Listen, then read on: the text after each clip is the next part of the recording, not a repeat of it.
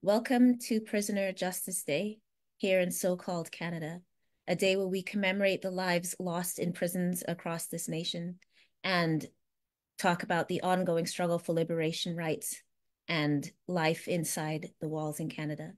I'm El Jones. I'm joining you from unceded, unsurrendered Mi'kmaq territory here in Mi'kma'ki, and I'm joined by Justin Piche, who's joining you from so-called Ottawa. Um, Justin will come on screen in a minute. Normally, I'm co-hosting with Desmond Cole, but he's not available. But I wanted to give him a shout out because this is our fifth year of doing this national broadcast. So the Abolition Coalition, which is made up of a group of activists, formerly incarcerated people, family members, and allies from across the country, began doing this broadcast to bring attention to the different events that take place across this country, both inside and outside of prisons, uh, on this day. And so as we go through this broadcast, we will be moving from coast to coast, from Halifax all the way to Vancouver to show you some of the different events that have taken place. We'll be joining some live. We'll be sharing some interviews and recordings that have been made from incarcerated people. We'll be sharing some words from inside, and we'll also be featuring live interviews with people as we go. So um, this day would, of course, be nothing without those people inside who have been fasting and on strike today. Um, this is the 49th year that Prisoner Justice Day has been observed in Canada and is 50 years since the death of Ed Nalon, who died by suicide um, inside the walls at Millhaven. And a year after his death, prisoners began Prisoner Justice Day, both to commemorate his death and to draw attention to the prison conditions that led to his death by suicide.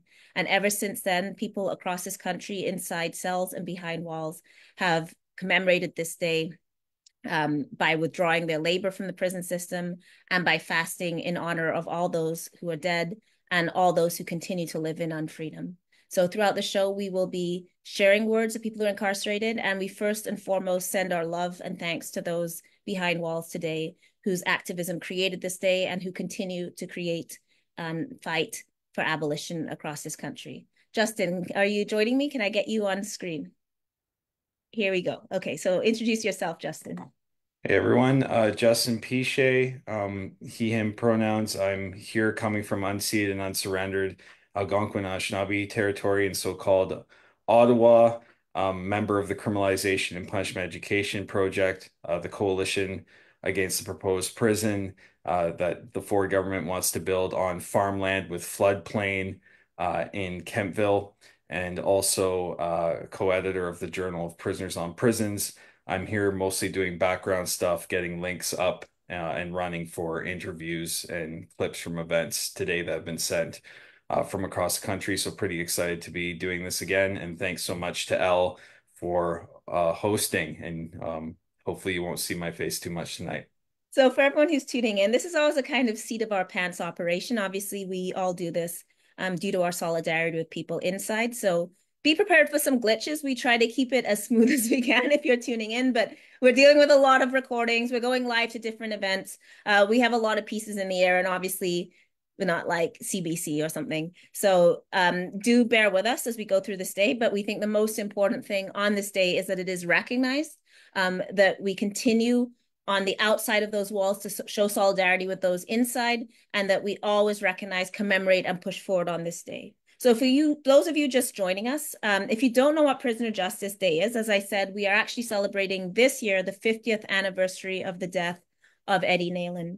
Eddie Nalon died alone in a segregation cell in Millhaven Maximum Security Penitentiary, which is located in Kingston, Ontario, and that was in 1974 on August 10th.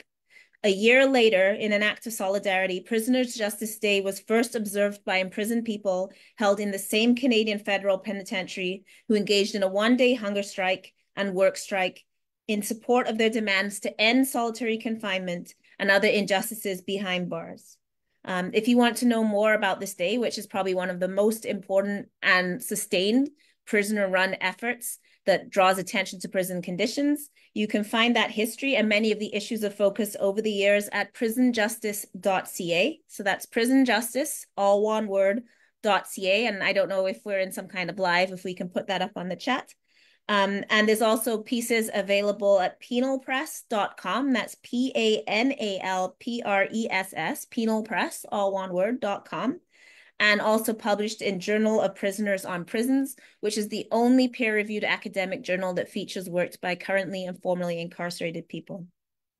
So since 50 years ago, 49 years ago, Prisoner Justice Day has been marked by people inside and outside prison walls across the world demanding change to commemorate the lives lost to human caging, take stock of the current deadly situation at sites of confinement, and organize for change and solidarity for justice and abolition across prison walls, PJD events are once again taking place across the country.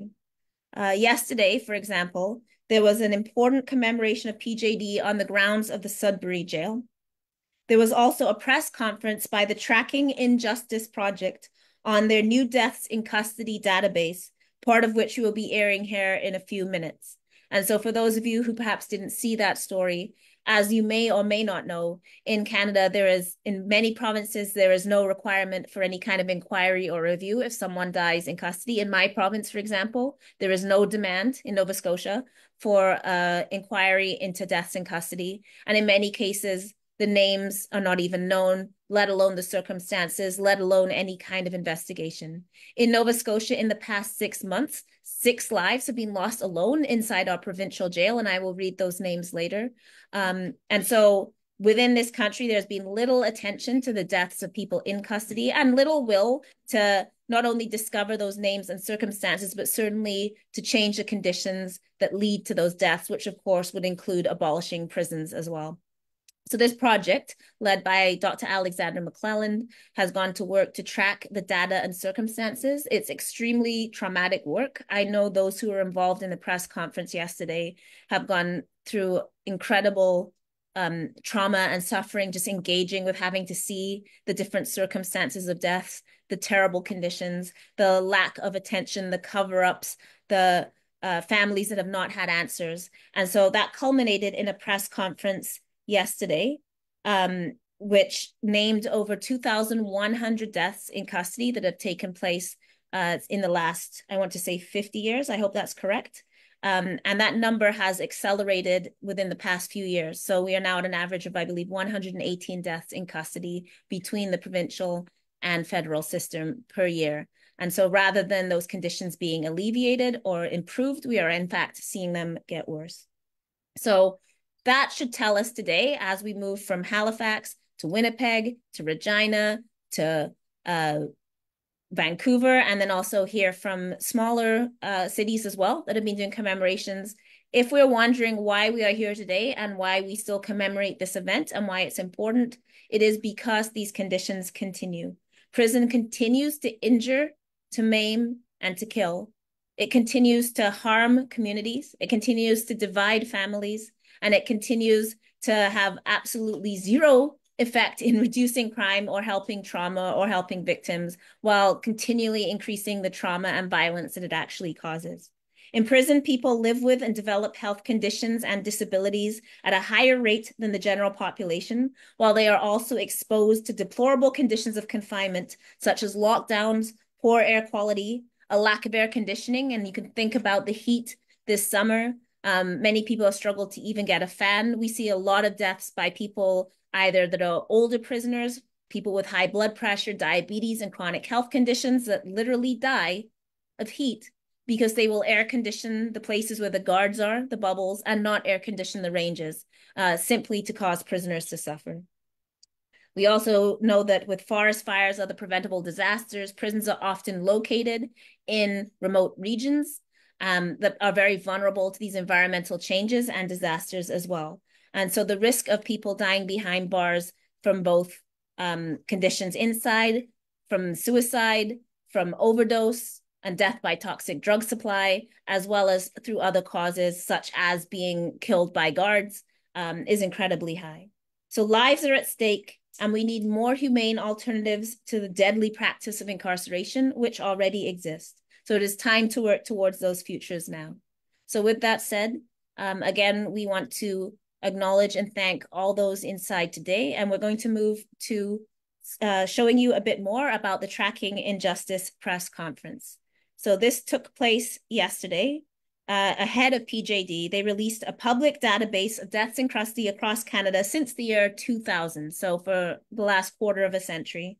Um, some of the findings, I'm sorry, I said five decades. I was off by a factor of two. It was 25 years. So in only 25 years, the database includes 2,131 deaths in custody since the year 2000. I'm going to say that again, 2,131 deaths in custody since the year 2000, which is inclusive of police custody, prisons, jails, youth detention, immigration, and psychiatric detention. And it's important to remember that incarceration doesn't take place only in prisons, but also includes things like immigration detention.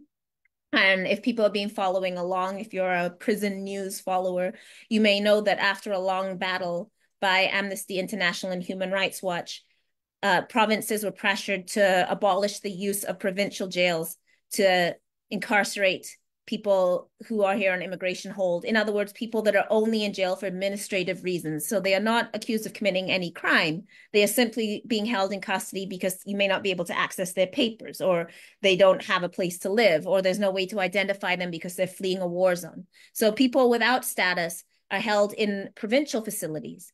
And so there was a big push to prevent that from happening because, of course, we have the means, first of all, to keep people in community. Should people need to be surveyed, we not that we advocate that, but there is an ability to do that. And of course, these are not people accused of crimes. They're people who simply moved their body from one place to another.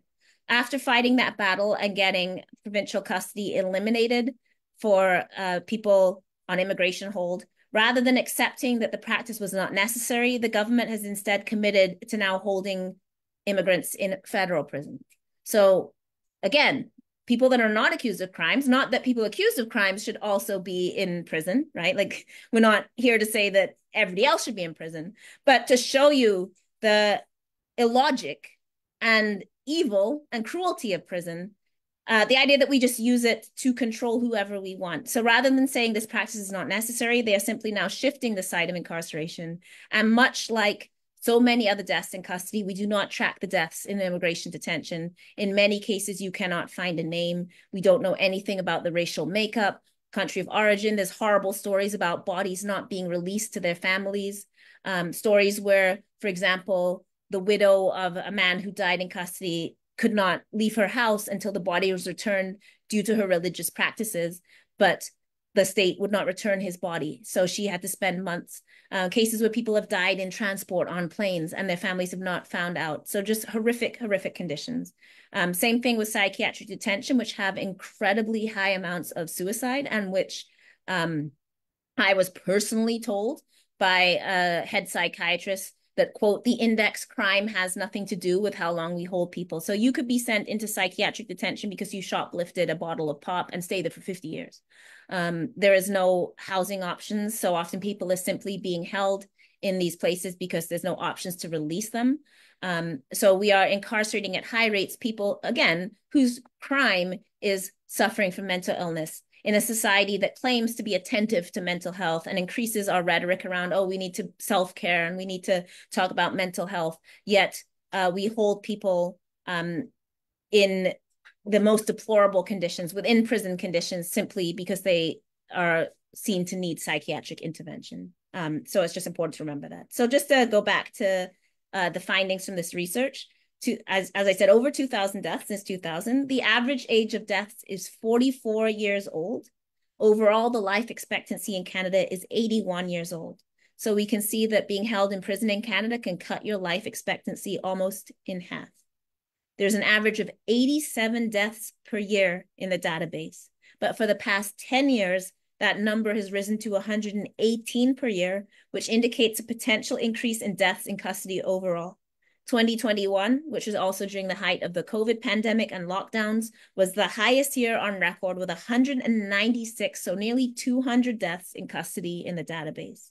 Among the leading causes of death include, and I, I know this may be um, traumatic to talk about, so those of you who are listening to this broadcast, I do want to pause and say, because this broadcast obviously uh, comes from a, a day commemorating beginning in the commemoration of the death of a man, Ed Nalon, by suicide.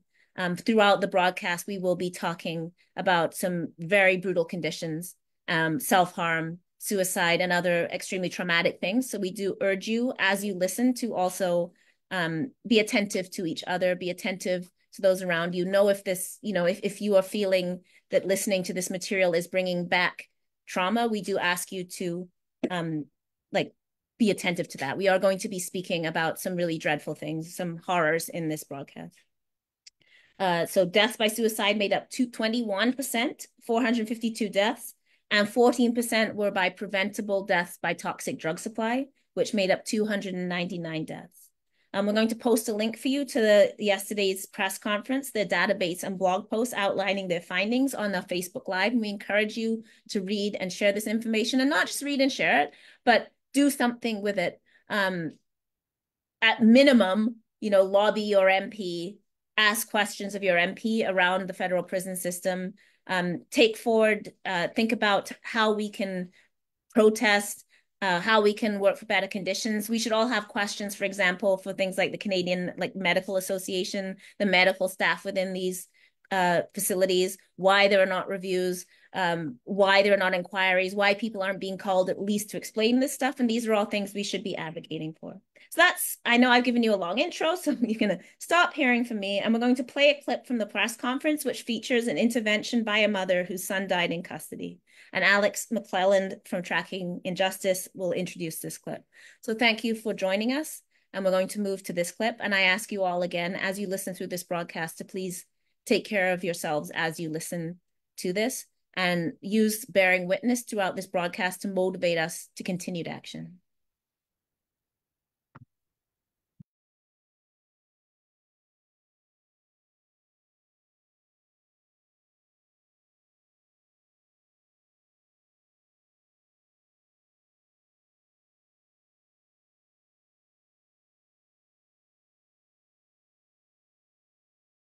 we're having Justin's just getting it set up. Hopefully we have it.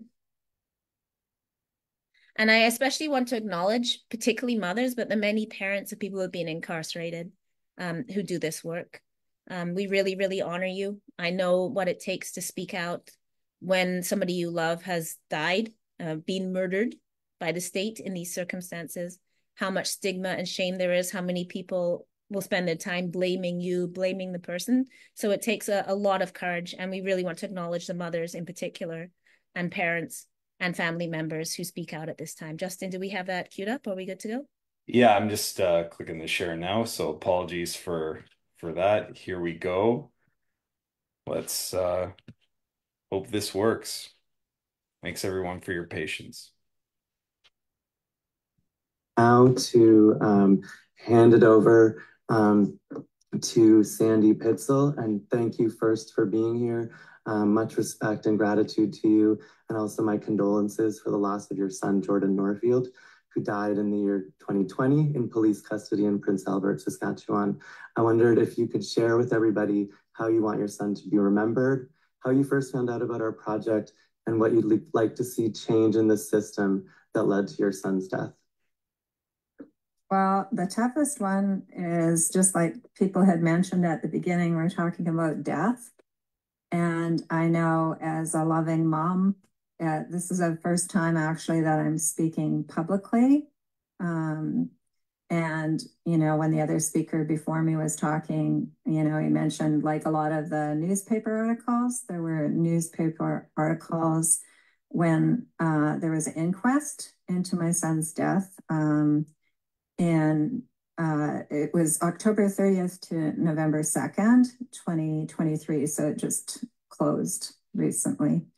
And uh, a lot of the information, just like the previous speaker said as well, was new information to me. Um, you know, what the coroner told me was a lot different than what was presented. And I found out a couple months before how different that was. Um, I think remembering my son is the tough one. I know the other moms would probably agree because love stays, you know, like I love all my children. I have three other children that are adults and I love them all equally. And my son Jordan was my first son. He looked like me. Uh, he never wanted to see anybody suffer or be hurt. Everybody was his buddy. He'd say, "Hey, mom, you know, can you buy my buddy, you know, a, a you know a, a meal too if I was visiting with him or whatever?" And I'd say, "Oh, like when did you meet your buddy?" Like afterwards, and he'd say, "Oh, just today," you know. So he was really friendly. Uh, every time, no matter what was going on, that we were together, we would have a laugh every single time. And so that's a little bit of insight into my son. Uh, I'm First Nations for those people um, who are joining us. I'm from English River, uh, Dene Nation in Northern Saskatchewan, Treaty 10. My son was Métis. And um, I um, found out about injustice and was really impressed with it. Um, I talked with uh, Dr. Alexander McClelland um, because I was searching my son's name. When you cannot talk about your your child's death, he was 30 years old when he he died. Um, he was overnight in a police cell and he was laying for the last three hours uh, before he was transported to hospital um, face down on the cement floor and was convulsing for over three hours. And so I didn't actually find out he was there until uh, later on. I did hear from the hospital the second day he was there. From police custody on the second to the hospital, he was uh, transported December 2nd, and he died three days later on December the 5th. So I was just searching my son's name because there's all these articles like the previous speaker said, where it's like, oh, you know, he died in, you know, cells at the police, and it has somewhat of a negative con- connotation. There's a stigma about the word prisoner, you know. So here he is. Um, and, you know, I was just searching, and the positive thing I found was injustice. My son's name was listed. It's like a memorial site, really, to me. It's like a positive listing of all uh, the people who have died in custody.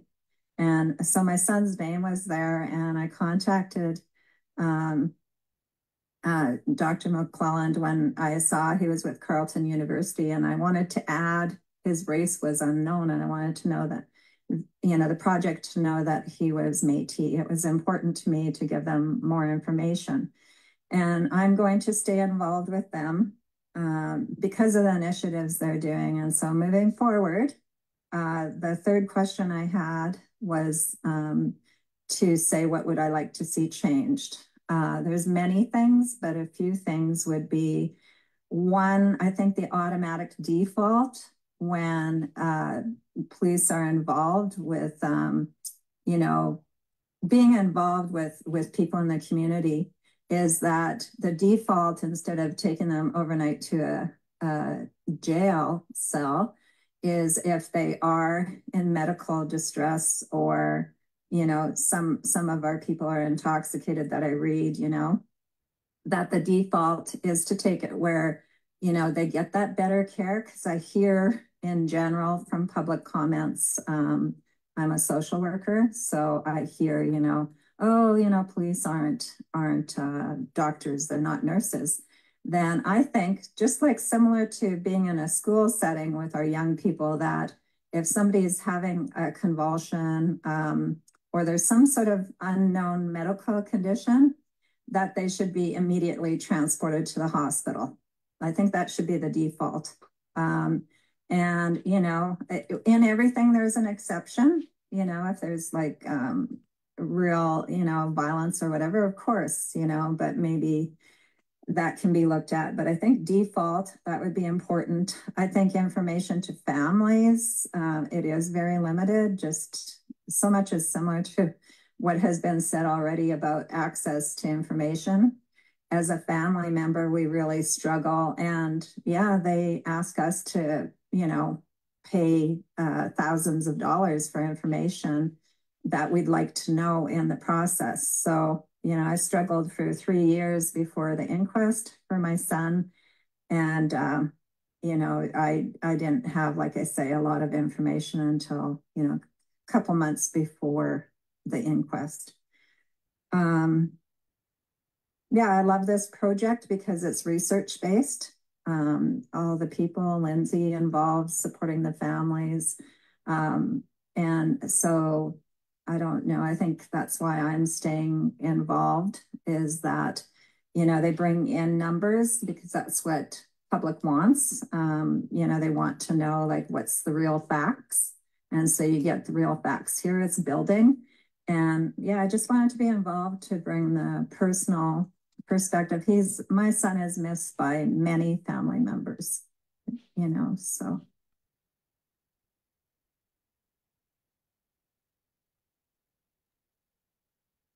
So that's just a clip of uh, the press conference that aired yesterday, and you can find that uh, the rest of the press conference through Tracking Injustice Project. And again, we urge you to go and look at that database, read the names, um, look at the materials, and then take action.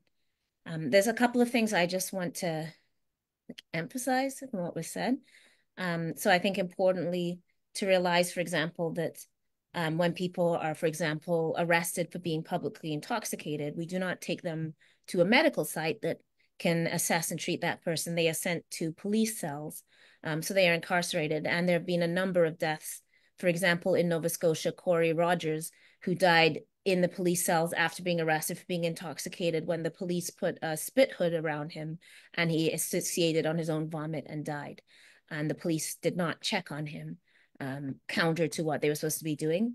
They did not receive any jail time and they appealed the penalties they did receive and actually got those penalties lowered. So even though they altered records, did not check on him, um, were sitting around like playing the harmonica and doing like on their phones while this man choked to, to death.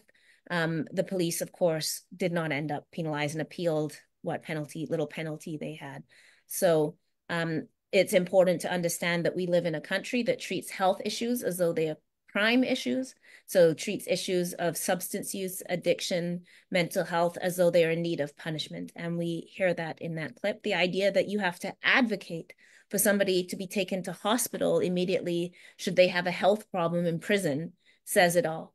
The idea that people can be pressing the button in their cells and actually be disciplined for misuse of the button rather than being medically assessed that people often have to protest, refuse to lock up, um, literally resist in order to get medical care for other people on their ranges when you realize that somebody is ill and they're not being taken to the hospital. And other incarcerated people have to begin protesting just so that person can get medical care. Um, where people have had to, you know, needed insulin and have hit their button multiple times and been given like disciplinary levels for misusing the button. These are all things that happened. And so that's really important to understand for that interview as well. So I urge you to look at the rest of the press conference. And um, I think those links are up on Facebook Live. So we're going to move now uh, to another recorded interview. This is a Center for Justice Exchange interview with Vicki Chartrand, and she is speaking to a Cree man who is imprisoned at Archambault.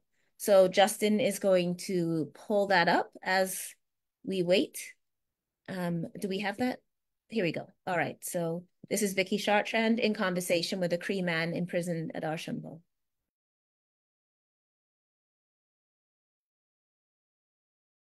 Well, good day, everyone. Welcome to another annual national broadcast of Prisoner Justice Day. I'm Vicki Chartrand. I'm the founder and director of the Center for Justice Exchange.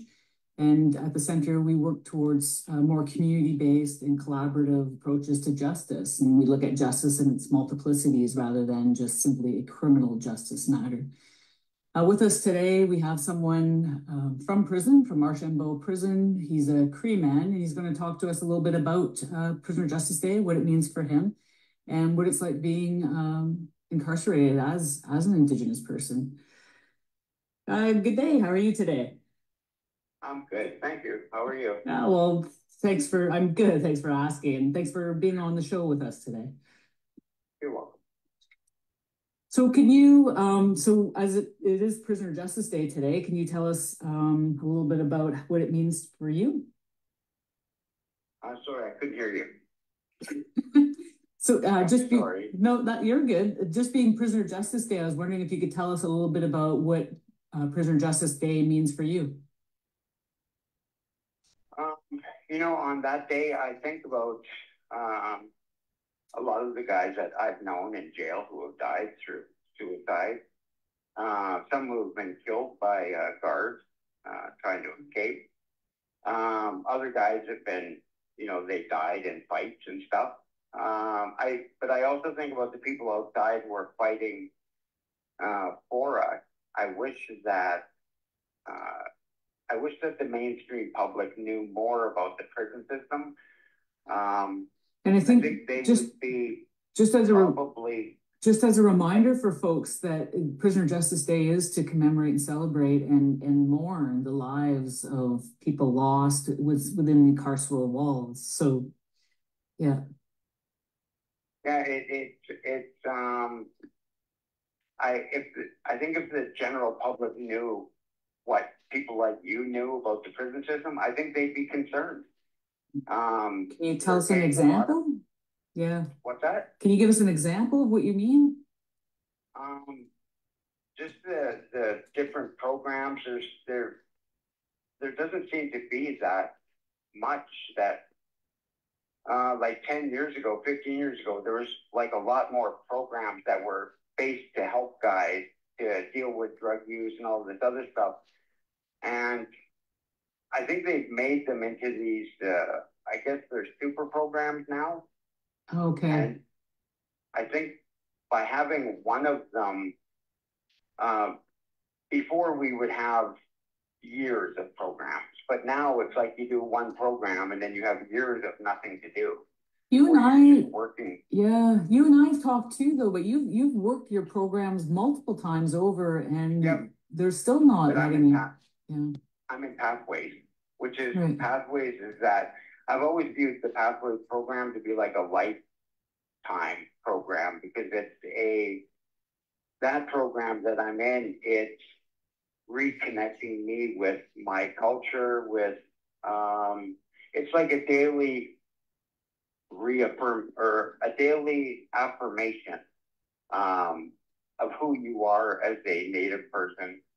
Um, there's like lots of smudging and, and circles and things like that. So for, for the program I'm in, that's a little different.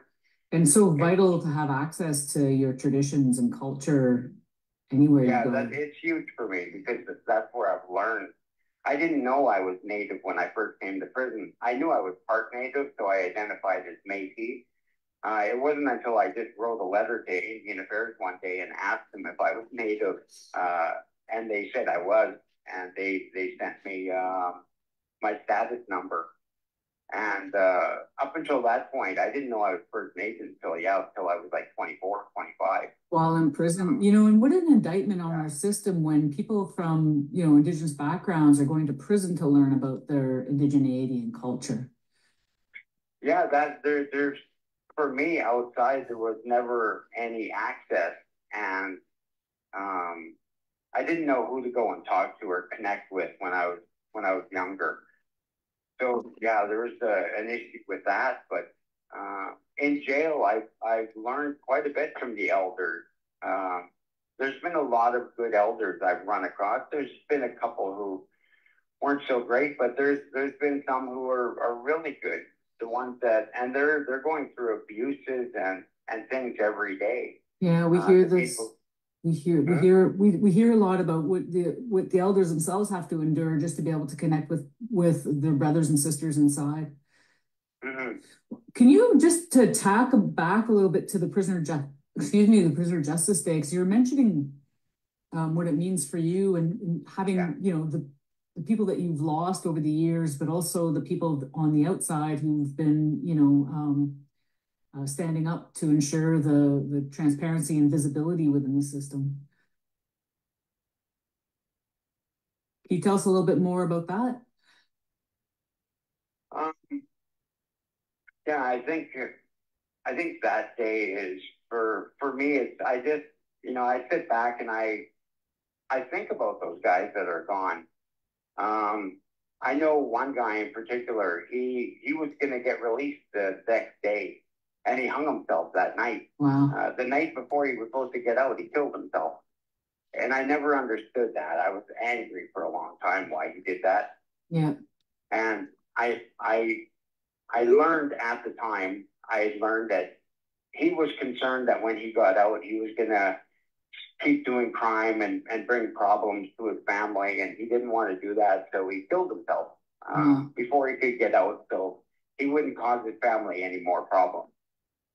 And I I was angry for the long. I didn't understand that. Uh, I understand it now, but at the time I, I didn't understand it. And I think there's a lot of guys in jail who they regret uh, their lives or their actions. I know for me, my um, my life, uh, you know, by I think in the places that I was in, it formed the person I am now, and and I I think that's uh, it, it happened to Native people, yeah, with the residential schools and the scoop and everything. But I, I think it's happened to a lot of other people too, lower income people. I don't think race for this. I don't think race is really. Um, I I think it's like when I look around in here, I see black guys, white guys, native guys. I don't think race is a is a big factor with prisoners.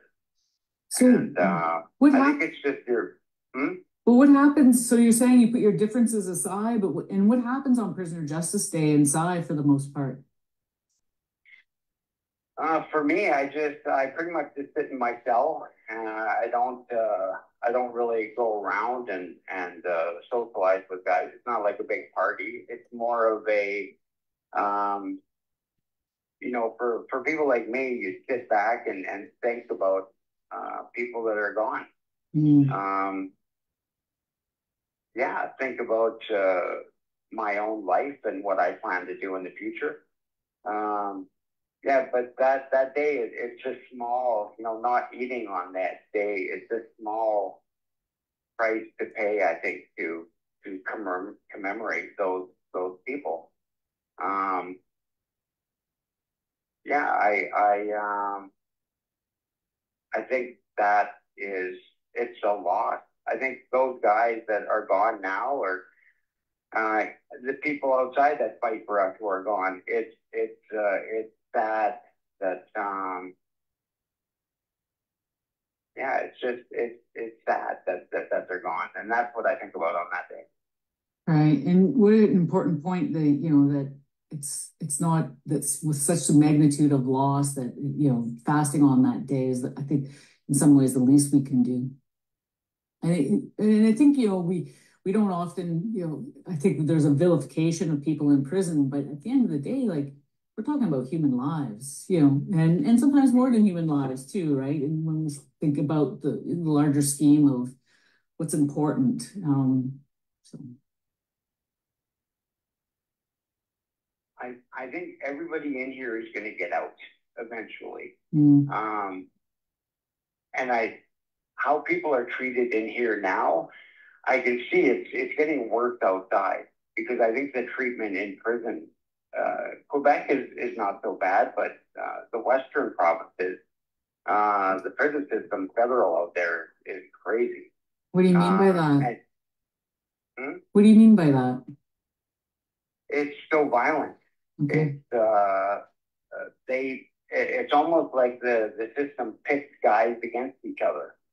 Um, Mm, and it's constantly done uh, almost to, to keep us off balance so we're unable to coordinate oh, um, a lot of the things like our cut pay and our I, I think those things happened after we took them to court for the, the cigarettes and all that stuff uh, I think it upset some people. They thought maybe we had too much money to hire lawyers. Uh, that's why we never get pay raises in here.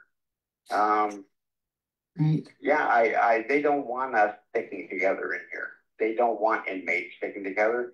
Because we were the only ones that would stand against um, the guard or the institution when they were making unfair policies. right, And now, when everybody's uh, separated now, uh, they're too busy fighting each other. There is no solidarity, uh, and that that's a problem. it's an I don't know interesting, if that'll ever get fixed.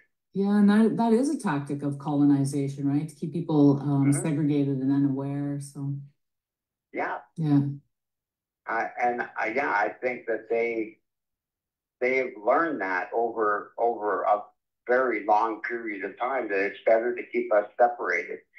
And yeah, it's it, that is a that is a colonization. Yeah. And I I I don't know where they practiced which one first, whether it was in prison and they took it outside to deal with native people or native people outside and then they brought it in here to deal with us. Right. It's uh but yeah, it, it is a tool that they use to, to control and to keep power. Yeah, and so Prisoner Justice Day in many ways represents some of that solidarity that that's lost throughout the year.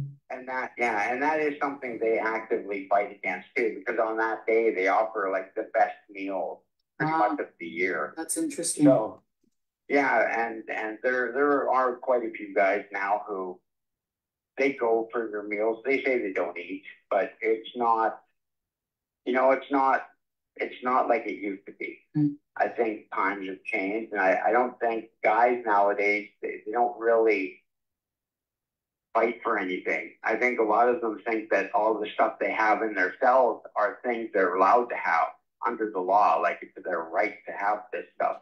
They don't understand that it was the older guys who fought to get the, the TVs and the clothing and the radios. Uh, it was us that fought to get that stuff. And um, I think now they just think that if they lose it, they can just take it to court and a judge will give it back to them. Um, so, but that's the mindset now. Uh, but I, I, yeah, I, I think it's losing power, or I, I don't think they'll they'll crush it all the way, but uh, they definitely on that day they do try to hamstring us. Mm. Um, yeah. Well, I think it highlights the value of how we need to keep pushing to um, commemorate uh, and uh, observe Prisoner Justice Day. Well, I just wanted, we're, we're running, we're wrapping up here. So I just wanted to uh, thank you so much for your time and insights. And, you know, I think it's so, it's so vitally important that we remember the value of people's lives. That's um, no matter who they are. Yeah, I, I hope that uh, you know there's there's a lot of things we do when we're younger, uh, like me, that when I was full of anger and uh, rage at the system. Mm. I think dealing with my past in residential school and, and the school, it's changed me. Um, I I like to think that I'm I'm becoming the person I was meant to be when I was born, and not the person that was created when they took me from my family and put me in uh, uh, the foster system. Right. So yeah, I'm I'm grateful for that. But thank you for the time and the opportunity to talk. Yeah, no, well, the pleasure is ours. All right, bye now. Well, everyone, take care, and we um, um setting out our, our heart and thoughts to everyone on this day. So that was uh, Vicki Chartrand in conversation with a Cree man inside Archambault. Um, we want to really thank both of them for that interview, and particularly it's so important to hear the voices from those currently inside who are not able to join us today. We're now joined live by Faith Eagle. Uh, welcome to the broadcast. Thank you so much for doing this. Uh, Faith Eagle is a Sisseton Wahpeton Oyate woman who was recently incarcerated in Pine Grove, Saskatchewan, uh, where the prison, uh, where she engaged in a over 10 week hunger strike to protest the conditions, um, including like undrinkable water, so basic human life, um, terrible food, but beyond that as well, um, all the many, many uh, disgusting and inhumane conditions. And Faith was recently released. So we're really, really grateful. And thank you for taking the time to join us. Welcome to the broadcast. Thank you.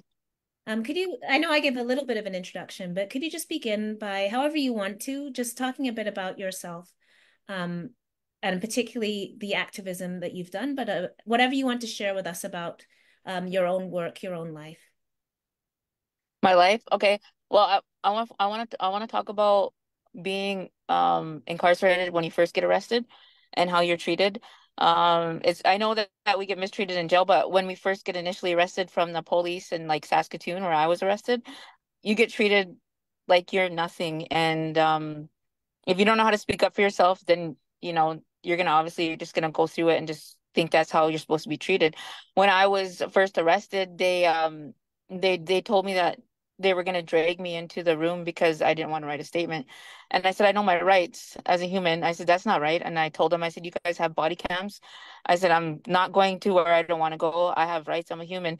And as soon as I said that, they stopped. They stopped from trying to like get me to go into that room. But, um, and then when I was laying down, they came and stabbed me in the neck with their like uh well they just probed me really hard in my neck they said oh we thought you were dead and just the way they said it and I said, I'm not dead. I said, I'm here. I said, you could call my name. I said, I, I heard you open because I was sleeping. And then so just and then um after that the detectives came in and they were trying to like still harass me and say stuff to me, trying to intimidate me. And I told him, I just said, Nope, I'm I, I'm a human being. I have rights. I'm no. And I said, You guys have no right to do this to me. And as an indigenous, especially uh, as a as a labeled um like going in labeled, they labeled me a labeled gang member. You're treated like you're not human. And I looked at it and I was like, wow. I was like, well, you know what? Even though you guys want to say this and that about me, I'm still a human being and I'm going to speak up for myself. And then when um I knew because I was like when I got arrested, I was dope sick. I was I was hungover, I was dope sick. And um I said, just take me to Pine Grove because I know that's what you're gonna do anyway. So um I knew when I as soon as I went into jail, I knew that this is not how women should be treated. Um I would hear women uh, banging their head off the cell doors, crying, rocking back and forth. There's one woman, uh, one woman in particular, she was so dope sick that her eyes were yellow. And I said, What's wrong? She goes, I'm dope sick. I'm sick. I need my medication. They're not giving it to me. And I was like, Wow. I said, You're not you're not getting your medication. She goes, No, I need medication. And like she needed some edge, like to get the edge off. So we gave her Thrive. We tried to help her as much as we could.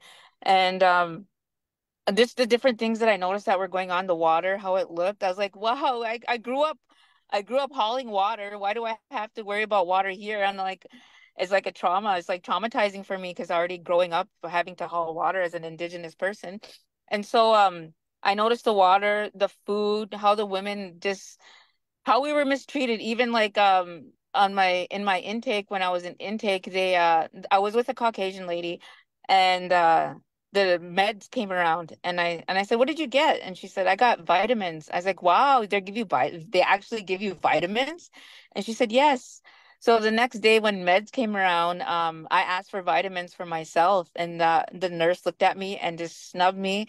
She said no, and just shut my food slot door. And I was like, "Wow!" I said, "Well, how did you get them?" She goes, "I don't know. They just gave them to me." and I we were in the same process, like even like being arrested together. And I knew that she didn't put in a request slip to get medication, like vitamins. At least I wanted something. I wanted something to help me, but I didn't get that. And then I knew that um I knew that the women's voices in there, they were they were stopped. They were shut. Everybody was too afraid to say anything. And I told them, I said, what are you women doing? I said, what's going on here? What's really going on? Is like, we're too scared to say anything because we're going to get locked up. And I told them, I said, we're already locked up. I said, what more can they do to us? And so when we uh when I st- when we started the hunger strike, um, when we are three weeks into it, I didn't we didn't say nothing because, you know, we didn't want to be um we knew that we'd get strip searched. We knew that they're gonna do a shakedown. They tossed our beds. They um they took us to the nurses. The nurses harassed us. They told us, are you guys on drugs? Why we weren't eating? And they couldn't believe it that we're actually on a hunger strike. And we're like, no, we're not on drugs. You know, we were hungry, like we were thirsty and like we needed hydration. And that's what they kept on saying to us. And they, they kept on trying to manipulate us. And I, and then I told them, I said, listen, just give us what we need. We don't want to be harassed by you. I said, why are you treating like, why are you treating us like this? And, you know, and I knew that I knew that that uh, did something to the nurses because after that they called a big meeting where I was with the ADDP, like the team leader, and then uh, all the medical staff. And I told them, I said, no, you guys mistreat us, and you mistreat as many of the other individuals that were here before me. I said, I told them, I actually told them this. I said, you know what? Today, th- that was our third week of our hunger strike when we went into that meeting, and um, I told them, you guys are now responsible for every indigenous that had passed away or, or any other individual that passed away that needed medication. I said, you guys should be charged for first degree murder because you guys withheld things from them when you knew that they needed it. And you go, you knew very well that they needed medical help and you didn't do it. And after that, their faces dropped. Like they knew that I wasn't going to stop because they're trying to make me stop. They're, I was like, no, I said, nothing's going to be, no, I'm not going to stop. I, and then I would get, uh, I knew that I had to keep on because the COs would kept on coming to my food slot and they would try and, um, they would try and antagonize me and manipulate me and say stuff to me. And I mean, like, I'd be sitting there because I was like weak at the time and they would they always they would come whisper your voice will never be heard. Your voices will never be heard. That's what they told me. And uh we are like okay all right um well thank you. Thank you for telling us that. And like we never I, we did it respectfully like we didn't cuss we didn't do anything. And you know after after being in there for that um for the hunger strike uh, we noticed that all the white shirts were coming in like the um what are they called? The team leaders they were all coming in and it felt very scary for us because we thought we thought we were being targeted like um it felt like they were shredding documents or something like that's how it felt and and we knew we had to keep on like they were hiding the like because you get apples and bread in there they were um, making sure that there was none left out like so that we wouldn't sneak it or anything and they were making like this is good bread and good apples and like even though we were hungry they were like throwing it in the garbage. So we knew it was we had a real fight in our hands and we um the women in there that were crying they're like um I noticed that they were they were going like this to us every time every time they walked they were going like like when we walked to the medical uh to get weighed in and uh, get checked for the doctor they were they were doing that to us and they said um thank you for speaking up for us because we were too scared to and I knew I knew I knew that they were scared because I seen I seen how they were. They everybody's medicated up. There's no mental health. There's no we, we don't even know what mental health is. I really didn't know what mental health was until i got in there. And i'm like wow am i i'm crazy. I feel like i'm going crazy because there was no help whatsoever i wasn't allowed to see the elders i kept they took away our request slips we didn't even they gave us the one ply one we, they didn't allow us like you had to have a really valid reason just to get a request slip and uh, i started reading the policy books i started reading everything and i was like hey they're they're doing us dirty. They're really doing us dirty. They're not allowing us to do things that we're actually allowed to have, and that's on them because that's not fair. And so I started raising that raising that concern. On, I think on the fourth or fifth week of the hunger strike, they um they started to bring the request slips out, and they started to like um after being antagonized and strip searched and the drug dogs constantly coming in, um they started to bring the request slips in, and they would meet us like every single week and they would ask us if we going to stop and we said no because there's too many people that had died there's too many people across canada united states all over i said people prisons you don't you, you don't lose your rights as a human just because you go to prison everybody's innocent until proven guilty that's what we that's what we told them and um they didn't like it they did not like it whatsoever and especially being an indigenous like look i have lots of tattoos and they didn't they they would like try to snub me off. I was out, I was segregated from everybody. They took away my phone time. They took away my yard time. They took away all my um my uh my cups, my utensils. So at that point in time, I just knew I'm just gonna keep on going. I said, nope. I said my ancestors suffered. They told my ancestors to eat grass, and you know when they suffered, they suffered lots. And so I remember drinking water, like cupping water, like with my hand just to get water because it was around COVID time too, so we couldn't share. But I would try. I would say, "Hey, can you guys leave like a old, like a old noodle, like an old noodle bowl, just so I could use it just to get water?"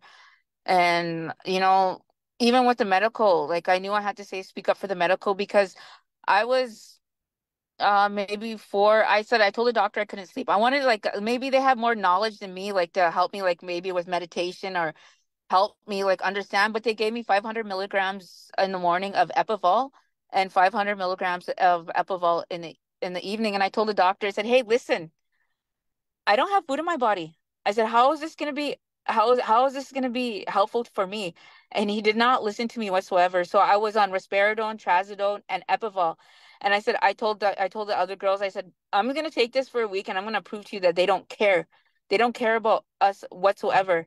After that whole week, I was sent to the hospital. My heart, something happened to my heart, and I told him I was like, I, I couldn't stand up. I got rushed to the um. I went to go see the doctor, and he said, "How come you can't stand up?" I said, "Because I'm sick."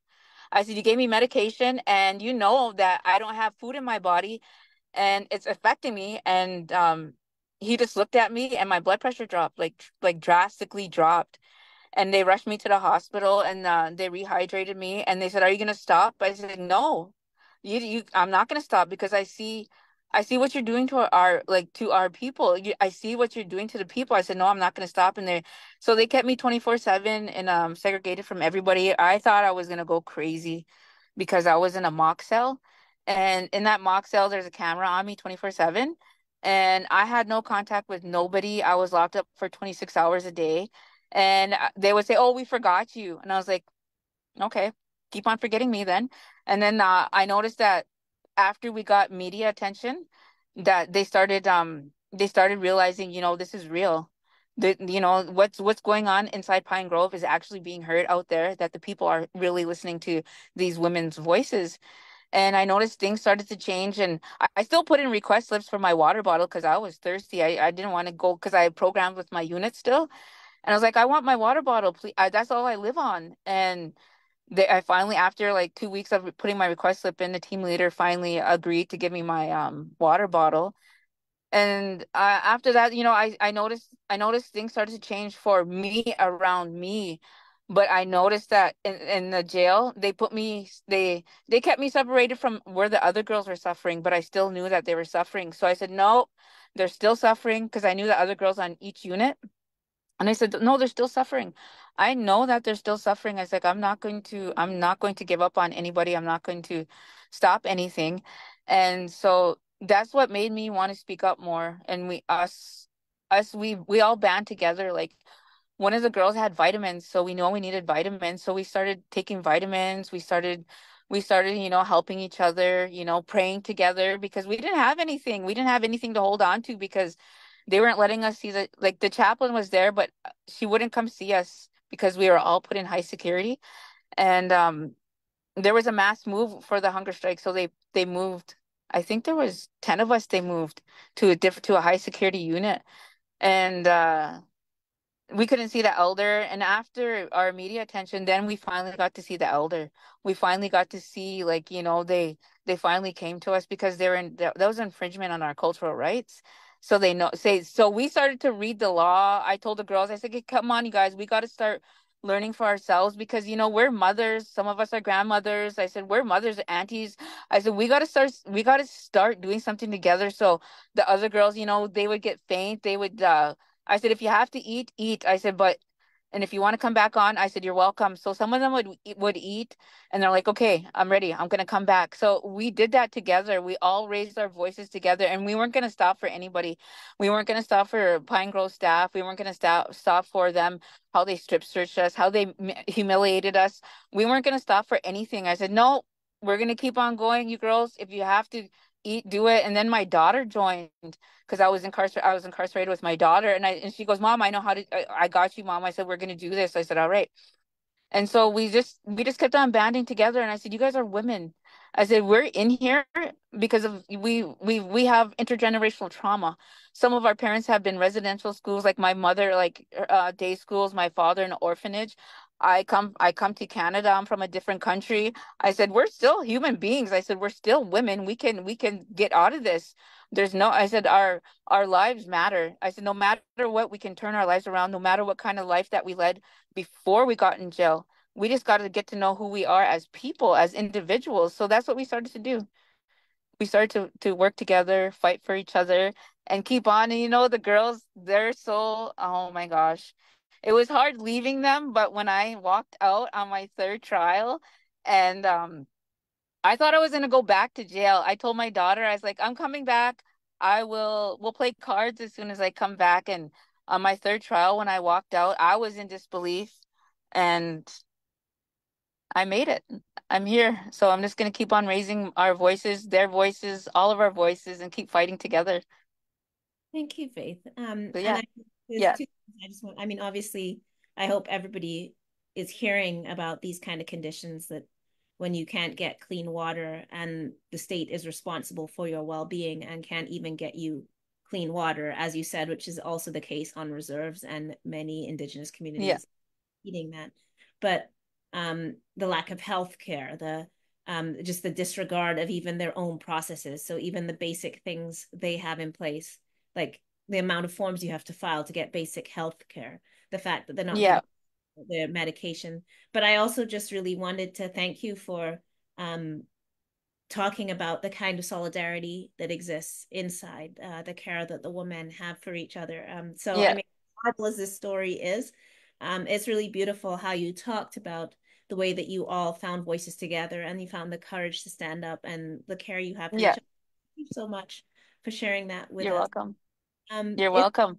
People can support you, get in touch with you. Like, do you have like a Venmo? I don't know. Is there anything uh, you said? You know, I know you just recently got out. Um, where where can people get in contact with you to keep up with your work and maybe support that work as well? Um, do you want to speak? Um, yeah, um, I am on Facebook, Faith at Faith Eagle, and TikTok. But the most, the way you can get a hold of me is through Sherry Gordon. I'm really close with her. She is still my good friend, and I still communicate with her all the time. So, if anybody needs to get a hold of me, is usually through her. So that's that's how we uh coordinate with each other. Okay. Um, um, we have a couple of minutes left. I know you said you're continuing to do this work. So, um, what do you? I mean, you've obviously from the hunger strike, from getting the media interested in this.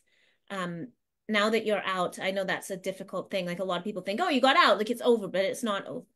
Um, so what what moving forward, like what what do you what are you working on? How are you continuing this advocacy? And again, like can we support it in some way? Yeah, well, right now, um, we're just uh we're raising the, like the ombudsman, like how much complaints that we put in. I just I just talked with the, I just had a conversation with them. I think it was last week, and I told them my experience in jail and my daughter. Like I'm and the girls like we're we're encouraging the girls to you know step forward and call there. And right now, I just got a right I got a call from uh Sask Human Rights. So the government has a reply with for me and I'm not gonna stop there. I don't. I don't. I'm not gonna stop there. I got to keep on going. I even for the men because the men are suffering. They, you know, you get there's some of them are still sitting in segregation after like a year. Like my partner sitting there a year. My daughter's still in there. So I'm not gonna stop. I I usually call in and tell them like the um the directors, hey, listen, how are our people in there? I'm here and i'm listening and i know what's going on inside inside are they getting medical help? So i noticed that when i do call in they do get their medical help and i keep on I, am persistent. I told them i'm i'm going to be persistent. These are people and their lives matter. Thank you Faith. so that's what i do. Thank you. Um and so again for somebody who had to go on hunger strike for months to come out and still be advocating and still not just leaving that behind, but continuing to care for those inside.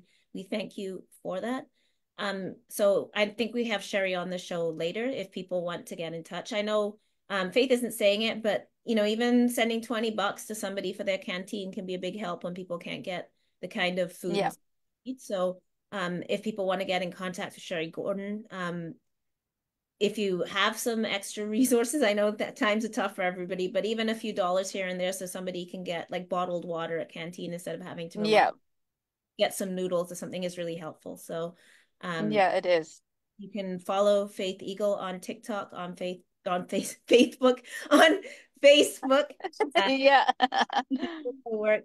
Uh, thank you so much for joining us and for sharing that. Um, we really, really honor you today. Um, your like your work is tremendous. Um, and I know the torture that you've been through to come here and have the courage to speak with us today. We so appreciate that. So we really honor you. Thank you so much. Thank you so much for having me. I really appreciate it. Thank you. You mean a lot. uh, so we, that was Faith Eagle speaking to us. And again, um, just you've heard about the work that Faith was doing inside, that these women put their bodies literally on the line to fight for basic conditions. So, you know, we can also on the outside speak up. So I really encourage us to follow Faith, follow Sherry yep. Gordon, and continue to fight for justice for those inside Saskatchewan. Um, we actually are joined with Fallon now as well. I don't, Faith, you can stay. You can go. I don't know if you want to. Okay. Stay.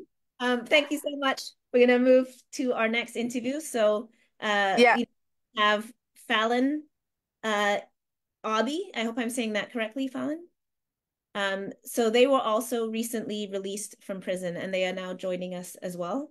Um, so Fallon, again, in your own words, could you introduce yourself with whatever you want us to know about um, why you're here, who you are, and the work you've been doing? Hopefully you can hear me. Oh, you're on mute. Do you, do we have you? Um, I'm not getting audio from Fallon, so I'm not sure what's, oh, there we are. Hello, welcome to the broadcast. Thank you so much for joining us. Can you hear me now? I'm not hearing you.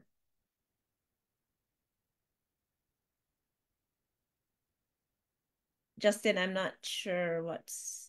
Yeah, and while we wait for uh, Fallon just to sort out the the the muting unmuting stuff, uh, just a reminder to folks that you can um, see or you can read uh, what's being said uh, via closed captioning using the CC function on uh, Facebook, and also if you go to Facebook Live, if you're there now, uh, plugging in, there's folks having chat uh, but also we'll be plugging in uh, the links that El has been talking about throughout the broadcast um, here. Okay, and now we have uh, we have you. sound perfect. Thank you so much.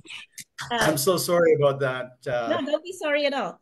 Um, it happens. This is live live broadcast with like no tech support. Welcome to the broadcast. Thank you so much for joining us. Could you please introduce yourself to everybody that's watching, however you want to introduce yourself, and what the work that you do and why you're here today. Uh, thank you. Well, my name is Fallon Vanessa Lynn Hobby. I am a trans woman who spent uh, time in both the men's and the women's system. I was actually fortunate to be the very first pre-op trans woman in Canada to transfer from the men's to the women's sector. Uh, 65 years old, um, have 22 years of lived experience, and I've seen an awful lot of things happen inside the carceral system that is devoid of what would be considered even sensible.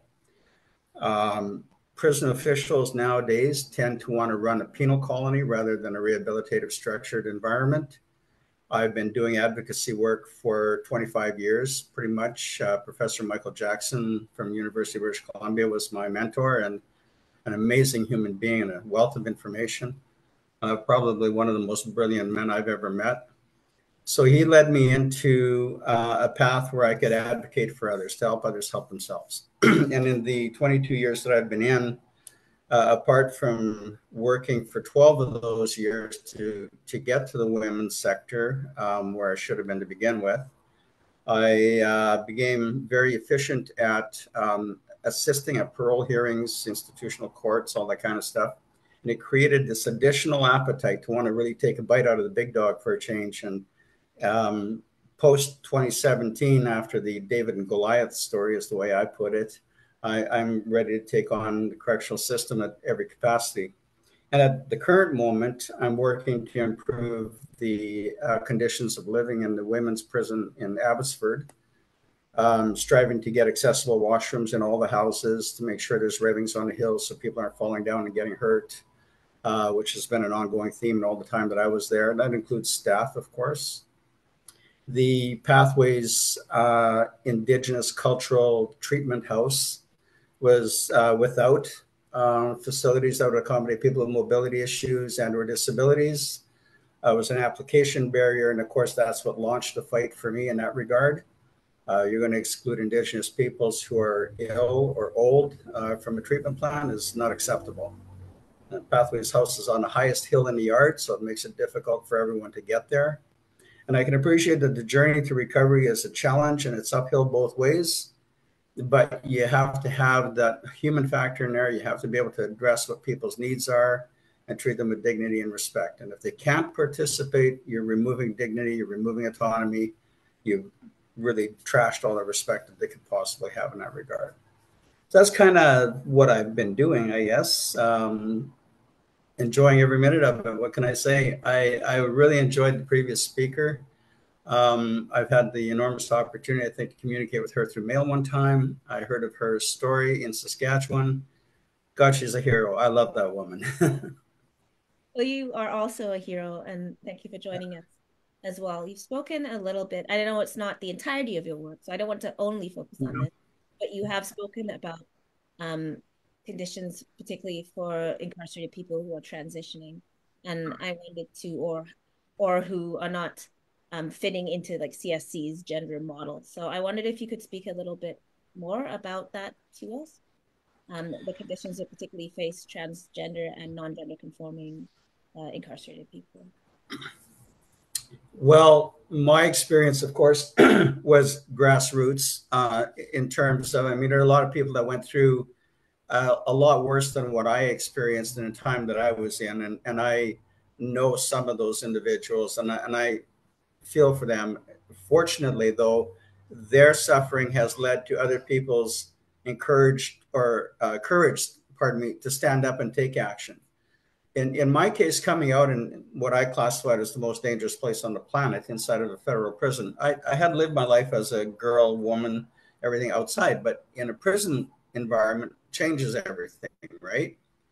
Um, so there are no services at all for anyone who is trans. You have to start by seeing a psychologist, and and then they're iffy and humming and hawing about your feminine products, deodorants, and, and things like that. And so everything I did, I had to do with a grievance and they would be downgraded to a complaint, and then bumped back up to national headquarters. And, and as I speak to you right now, I have three complaints at the tribunal level with one more mediation to go in on the 19th and 20th, hoping it closes, but I'm not going to hold my breath. I, I don't see CSC doing the right thing. Um, I've always given them the opportunity to do the right thing at the front end and brought the concerns there then. You know, the transitioning in prison and and not having those safety nets and safeguards to help you move through the red tape and the bureaucracy just to get to a psychologist a psychiatrist and go through all of that which is no longer required apparently um, it, it is arduous and it's painful and it just rips your guts apart you know but you have to find your soul and, and once you find that you can stand up against any force the, all of it so Thank you. Um, and I do just want to say that, and I said this as well to Faith, that at the same time as conditions that you're raising, I think anybody who's listening to these conditions who isn't, I don't want to say shocked because we should know that they happen, but who isn't wounded to their core that this is happening. Um, but at the same time, we're also hearing these tremendous stories of humanity, of solidarity, of the kind of uh, work that we see people doing, the courage.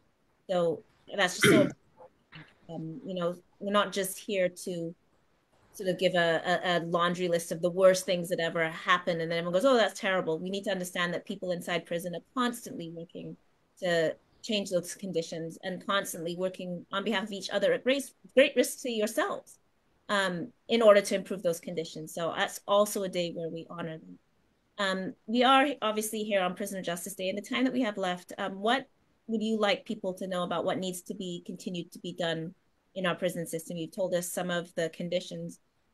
How do we resist that? Uh, how do you see us continuing to fight the prison system? And where would you like people to put their energies for action? We really need to get the message to society generally that the archaic process that they're relying on now is damaging people and it's not helping people if they want to reduce crime in Canada, they need to humanize the, the prison system to teach people that there is reward for good behavior, that there's opportunity that will be presented. We need partnerships with communities. We know that the relationship between crime and uh, criminals and victims creates this inseparable partnership.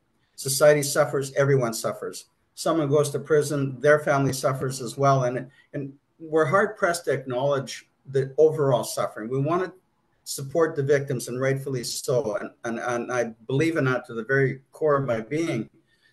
But we're forgetting that there's children and there's grandchildren and are moms and grandparents and everyone else who are left behind on the offender side of it. And I despise that word, but it's the only word that society understands to connect the two.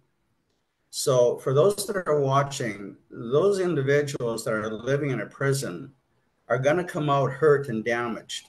It's not a place where you can recover emotionally, mentally, physically, and spiritually unless you're given the opportunity to do so. Society needs to say, we want them to recover, we want them to heal, we want them back. They're our sons, our daughters, our sisters, so on. We want them back. Thank you. Um, where can people get in touch with you if they want to follow your work, support your work, or just keep up with what you're doing? So I am on Facebook, um, but I'm in the process of setting up I, I want to set up a little website um, for two reasons. Number one, I want to continue working with the prison system, which I do. I still advocate for women men on the inside. And in fact, I have multiple files open right now on both sides. But the men and women that are in the community and doing the work through lived experience and creating apps and, and solutions and platforms for people who come out to make it. They show society that they're not the sum of what brought them to prison.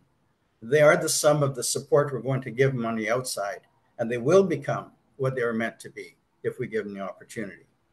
And that's where I'm at. I want to create opportunity. I want to kick the wheels off CSC, tear down the walls, rebuild it.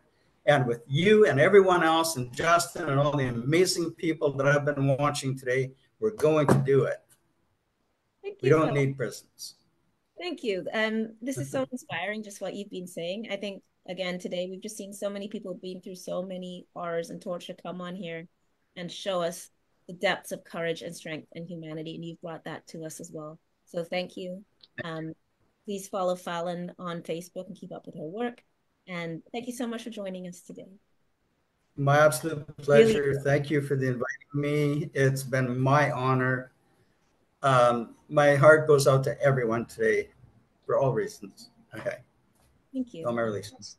Um, we, we really, really thank you for joining us today. And I just want to emphasize that people are joining us who've like just got out of prison, who are giving their time onto this broadcast because they know it's important to advocate for those still inside. So we're seeing the kind of community that incarcerated people are showing us. On this day.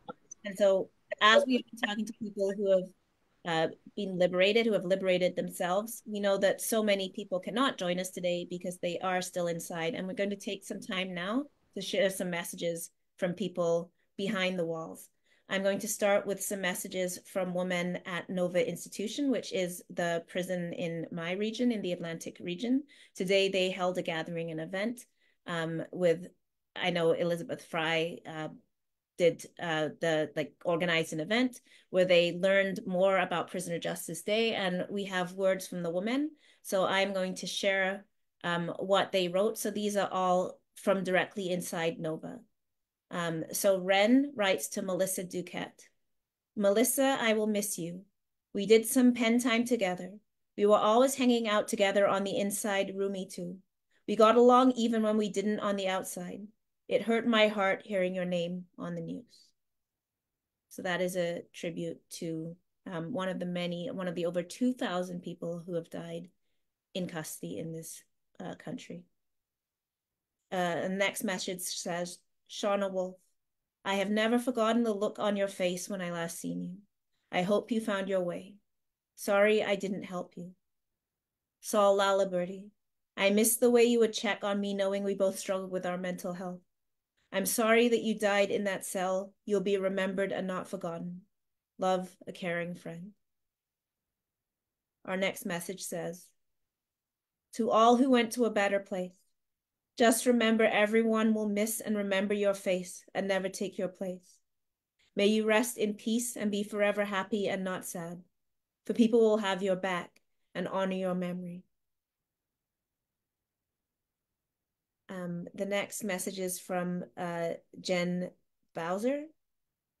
On this important day, when we all remember how much you, Natasha, Bonnie, Karen, and Letitia, we are so very loved, and how and how you will forever be missed and cherished. You are all so amazing with real spirit, and I love you all dearly. And I want to say I also um, had spoken with Letitia um, and so I, I echo that. So that's a message from Jen to Natasha, Bonnie, Karen, and Letitia. The next message is a witness to names. R.I.P. Jennifer Pitcher. R.I.P. Sean House. R.I.P. Carmen Piercy. R.I.P. Lynn Husbands. R.I.P. Laeta Sparks. The next message is from De uh, Devin Gray. R.I.P. to my Aunt Bonnie Welsh, who I love and miss very much. R.I.P. one of my good friends on the outs, Letitia Beals. Love and miss you as well. You guys are truly, I miss everybody. Love your best friend and your nephew, Devon Gray. The next message says, Rest in peace to all the women and men who have lost their lives while incarcerated. They deserved better. The next message. Thomas Gregg, as a youth in NY NBYCC, was convicted, that's uh, New Brunswick Youth uh, Facility, was convicted and made to serve four months. In that time, he met Ashley Smith. They became the best of friends and had each other's back. They both went through a horrific, horrendous time in those years. He got nine years out of those four months. The death of poor Ashley and the torture of Tom still surviving, they went through changed the youth justice system forever. So for Tom, he misses and loves you, Ashley. You will always be his guardian angel and best friend forever. And if people don't know who Ashley Smith is, Ashley Smith was incarcerated as a youth for throwing apples at her probation officer, was held in solitary confinement as a youth, moved multiple times to multiple prisons every 30 days in order to evade the laws that said somebody could only be held in solitary confinement for 30 days. Um, there are horrific videos online of her torture at various times during that transport. She died inside of GVI um, because the guards did not go inside her cell while she was had sheets wrapped around her neck for 45 minutes um, because they claimed that she was violent and that she was only doing these things for attention. So she uh, was killed by neglect inside GVI. Um, that death was covered up. It took seven years for her family to get justice. Her mother, Coralie, only recently passed, Coralie Smith. And so I also want to honor Coralie, Ashley Smith's mother, who has fought relentlessly for Ashley's justice for Ashley Smith and for the justice for people held in women's prisons across this country. Um, were it not for her fight over many, many years, uh, we would not have had justice for Ashley and uh, the attention that that brought. So I also want to say uh, honor and love and rest in peace to Coralie as well as to Ashley. Our next message is from Kylie. Rest in peace, Mikey Mitchell, Prisoners Justice Day 2024. And then from Nancy Cloud, RIP to all that were ignored in the system. From Richie King, Prisoner Justice Day 2024, you will be missed. Rest in paradise. XOXO. The next message. Shout out to Sean Shea and all the boys in Drumheller who are currently stuck in a heat wave and protesting. Stay strong, boys. So again, think about the conditions, how hot it's been, how hard it has been to sleep, I'm sitting here. It's not even that hot right now, but it's still humid. And I'm sitting here sweating doing this broadcast. Imagine being in a cell, no air circulation, no air conditioning. Um, maybe you have a fan, maybe you didn't have a chance to get one. Um, it's absolutely torturous conditions. And so, um, as climate change happens, that is also a prison issue. So, if you care about environmental justice, you should also care about prisoners who become victimized by those same conditions. This next message says, in honor of Jay Barnaby and Peter Paul, we miss you, our native brothers. Peter Paul died inside uh, provincial prison inside in, in Nova Scotia, inside the jail. And as usual, his family did not get any information. Um, they've continued to fight for information and justice for Peter Paul. The next message. I watched Sarah Denny die. I watched her get sicker and sicker and other inmates, and I begged for medical attention. I watched nurses refuse to provide health care for a human being for no other reasons other than that she was Indigenous and she was incarcerated. The prison system in Nova Scotia killed Sarah Denny. And that's from Marlene Albrecht. Sarah Denny was an Indigenous woman who was in an abusive relationship and instead of getting help was sent to jail and then um, had COVID as well as other chronic illnesses.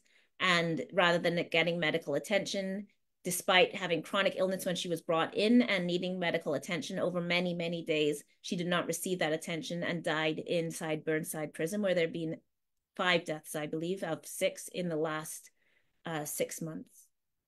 This next message says Shout out to all my friends across Canada that are locked up and fighting for our rights. Keep your heads up and don't stop fighting.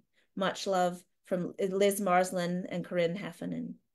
I also want to acknowledge that um, we are sharing names because the women who wrote these messages have asked for their names to be shared, and that takes an act of courage um, to say their names on this broadcast on a day where, as we've heard from so many of our speakers, those who speak out and fight for justice receive retaliation.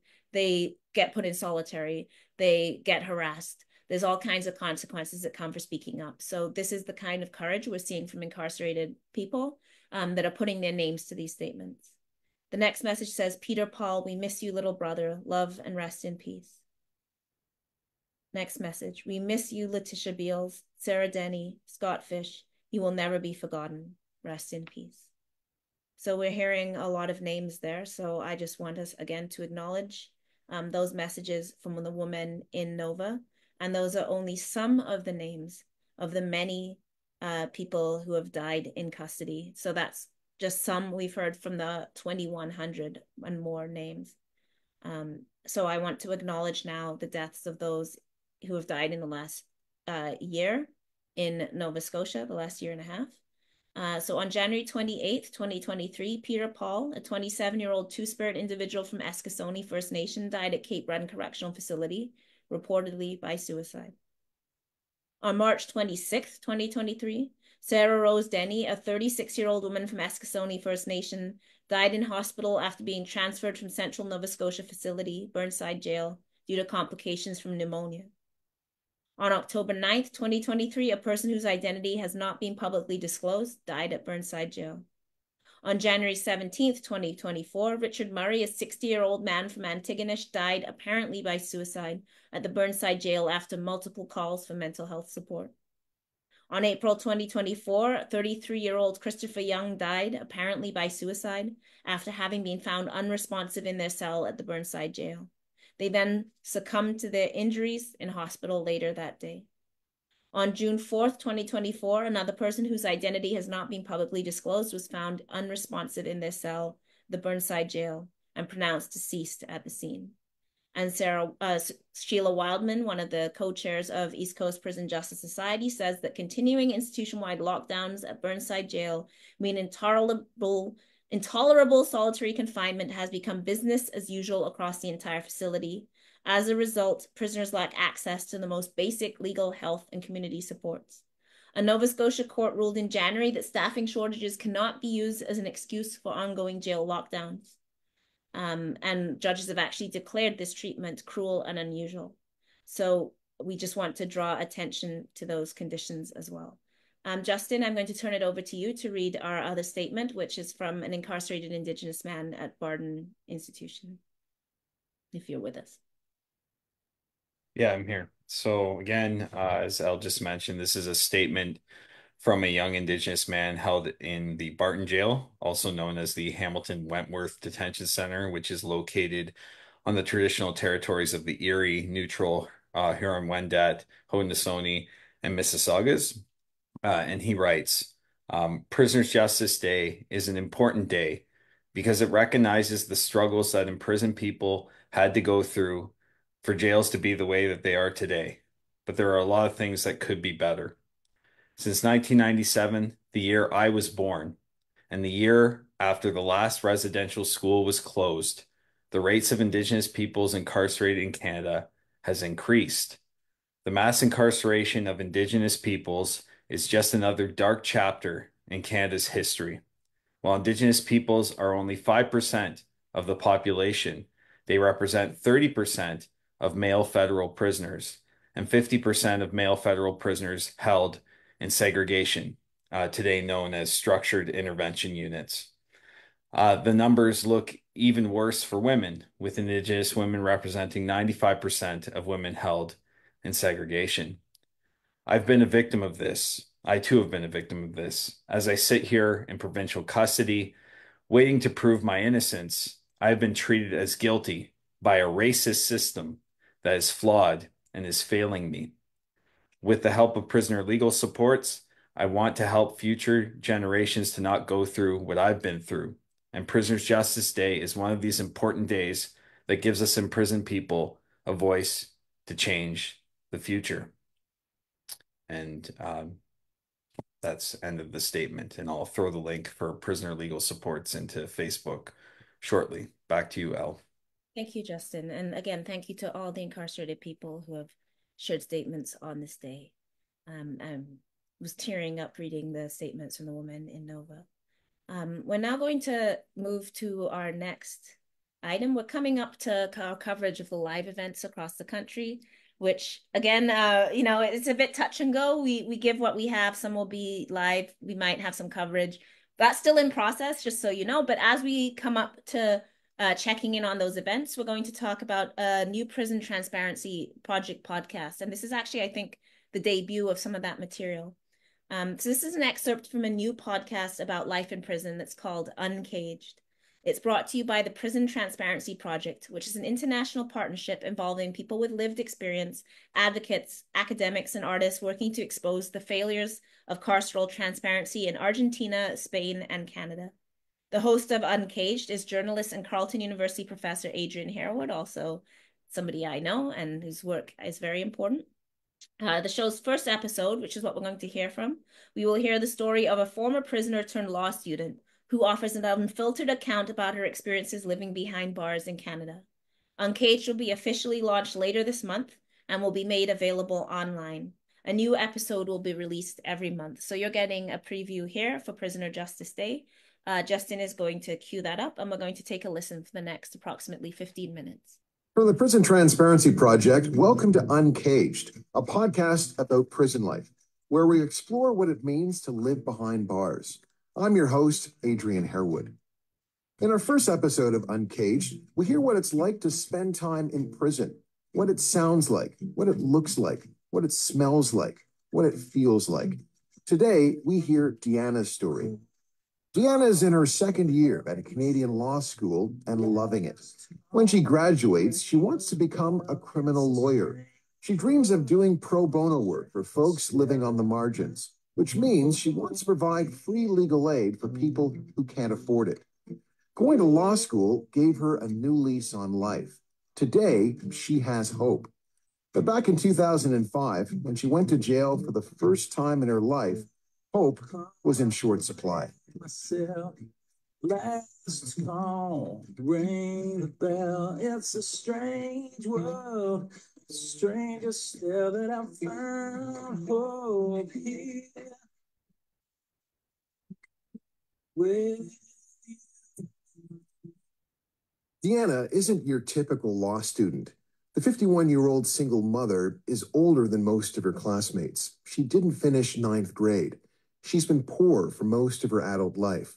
For several years, she was a self described addict and fed her addiction by working as a sex worker. And Deanna has been to jail more than once. In fact, Deanna's been to jail on so many occasions, she's lost count. She thinks between 10 and 20 times. Her longest stint behind bars was four months. Deanna's prison experience has left its mark on her. It's like nothing you can describe. There are literal iron bars everywhere.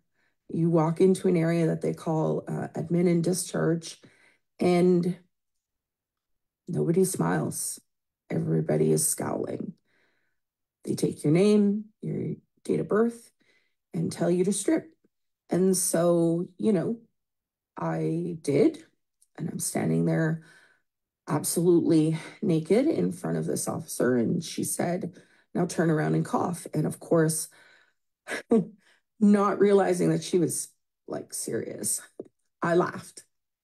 And she said, What are you laughing for? You look so stupid.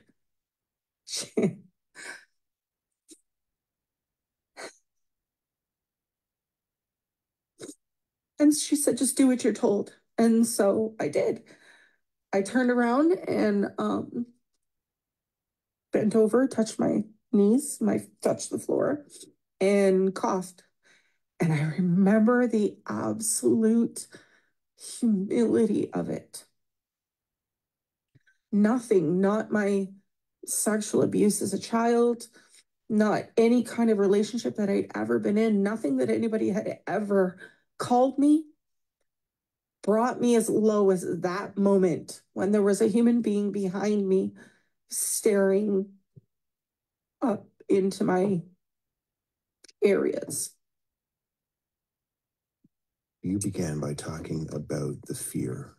You, you said that when you entered, when you entered that that institution, OCDC, that you were fearful. How do you deal with, first of all, that fear? There's never a feeling of safety inside. Although I can say that in times after that, when I had went back in, it was safer than many of the situations that I was in on the outside once time went on. When you're inside, there isn't just fear of the people that you're housed with. The guards themselves is what makes the fear worse because they aren't there to protect you.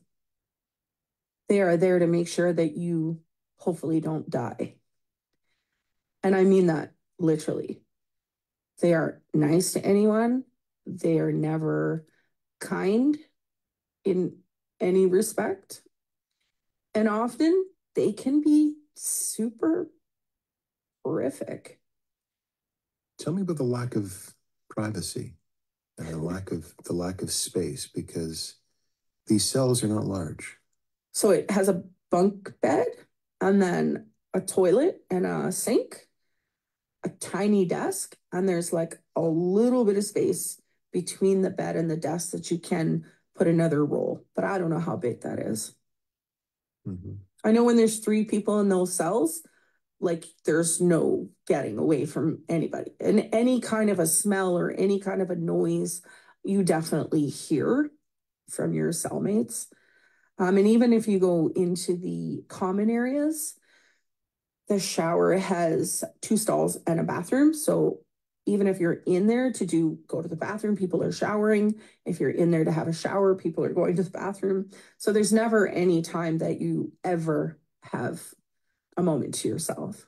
So three people are sharing a five by 10 foot space.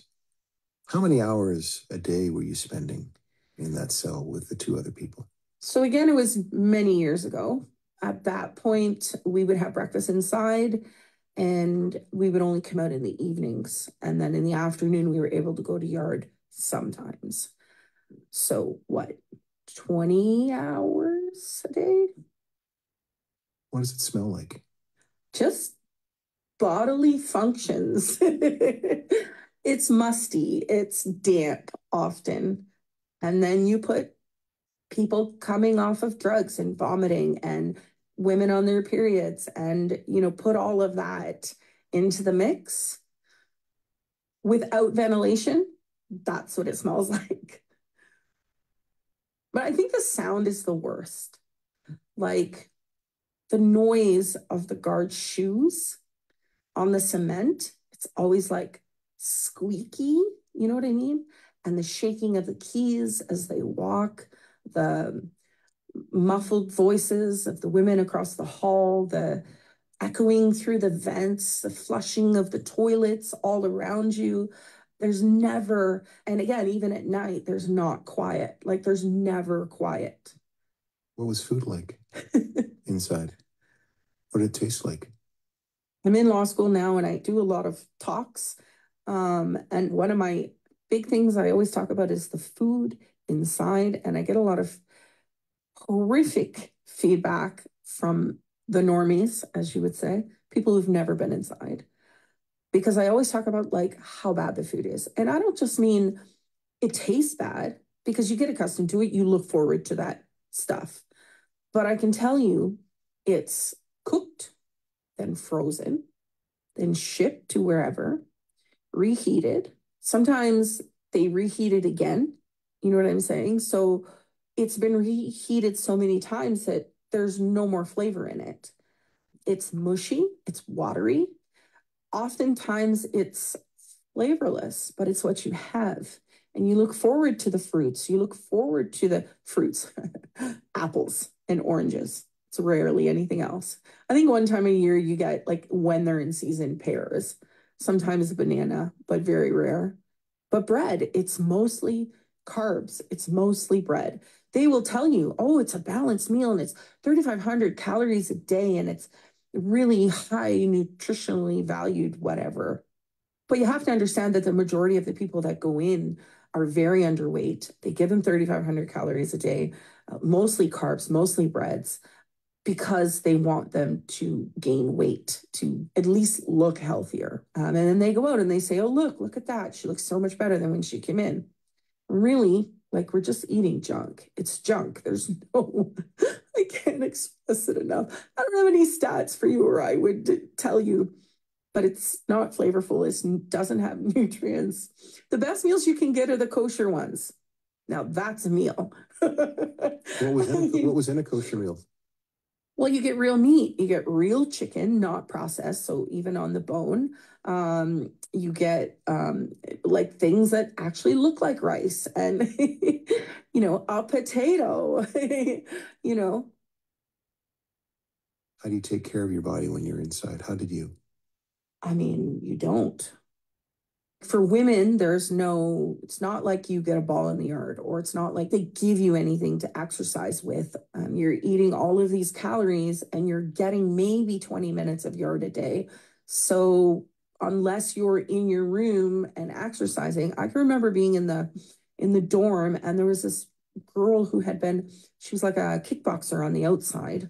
She would always exercise in the back of the dorm um, with her kickboxing moves, which was pretty cool to watch. But everybody would complain because of the noises, because of the movement, because of the, you know, so unless you're in your cell that you have a roommate that doesn't mind, people complain about it. There's no place really to take care of yourself.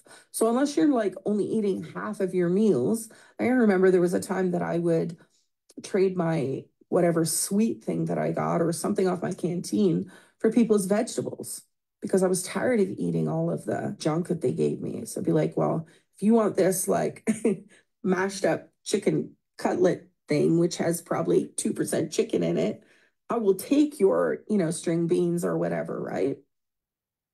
How were you able to maintain your relationships with folks on the outside when you were inside? I mean, you don't. Um, so back then, you needed to have a landline. Well, the last time that I was in was around the time that people were mostly only had cell phones. So the Elizabeth Fry Society of Ottawa often goes into Ottawa Carleton Detention Center to help women with release plans or phone calls, different things. So I would get phone calls through them I mean, for me, it was mostly either calling my lawyer, getting my lawyer to do some kind of message, something, I don't know, you know, or or through Elizabeth Fry. You're in law school. Now, now. yes. um, you have contacts, you have a network, yeah. you are connected to institutions, you're connected to universities. What you know now that the, the, the Deanna of 2005 did not know that you wish she knew? Oh, I wish the Deanna of 1993 knew that it didn't have to be that way, that I could get an education, that I could come out of the cycle of destruction that my family was all along.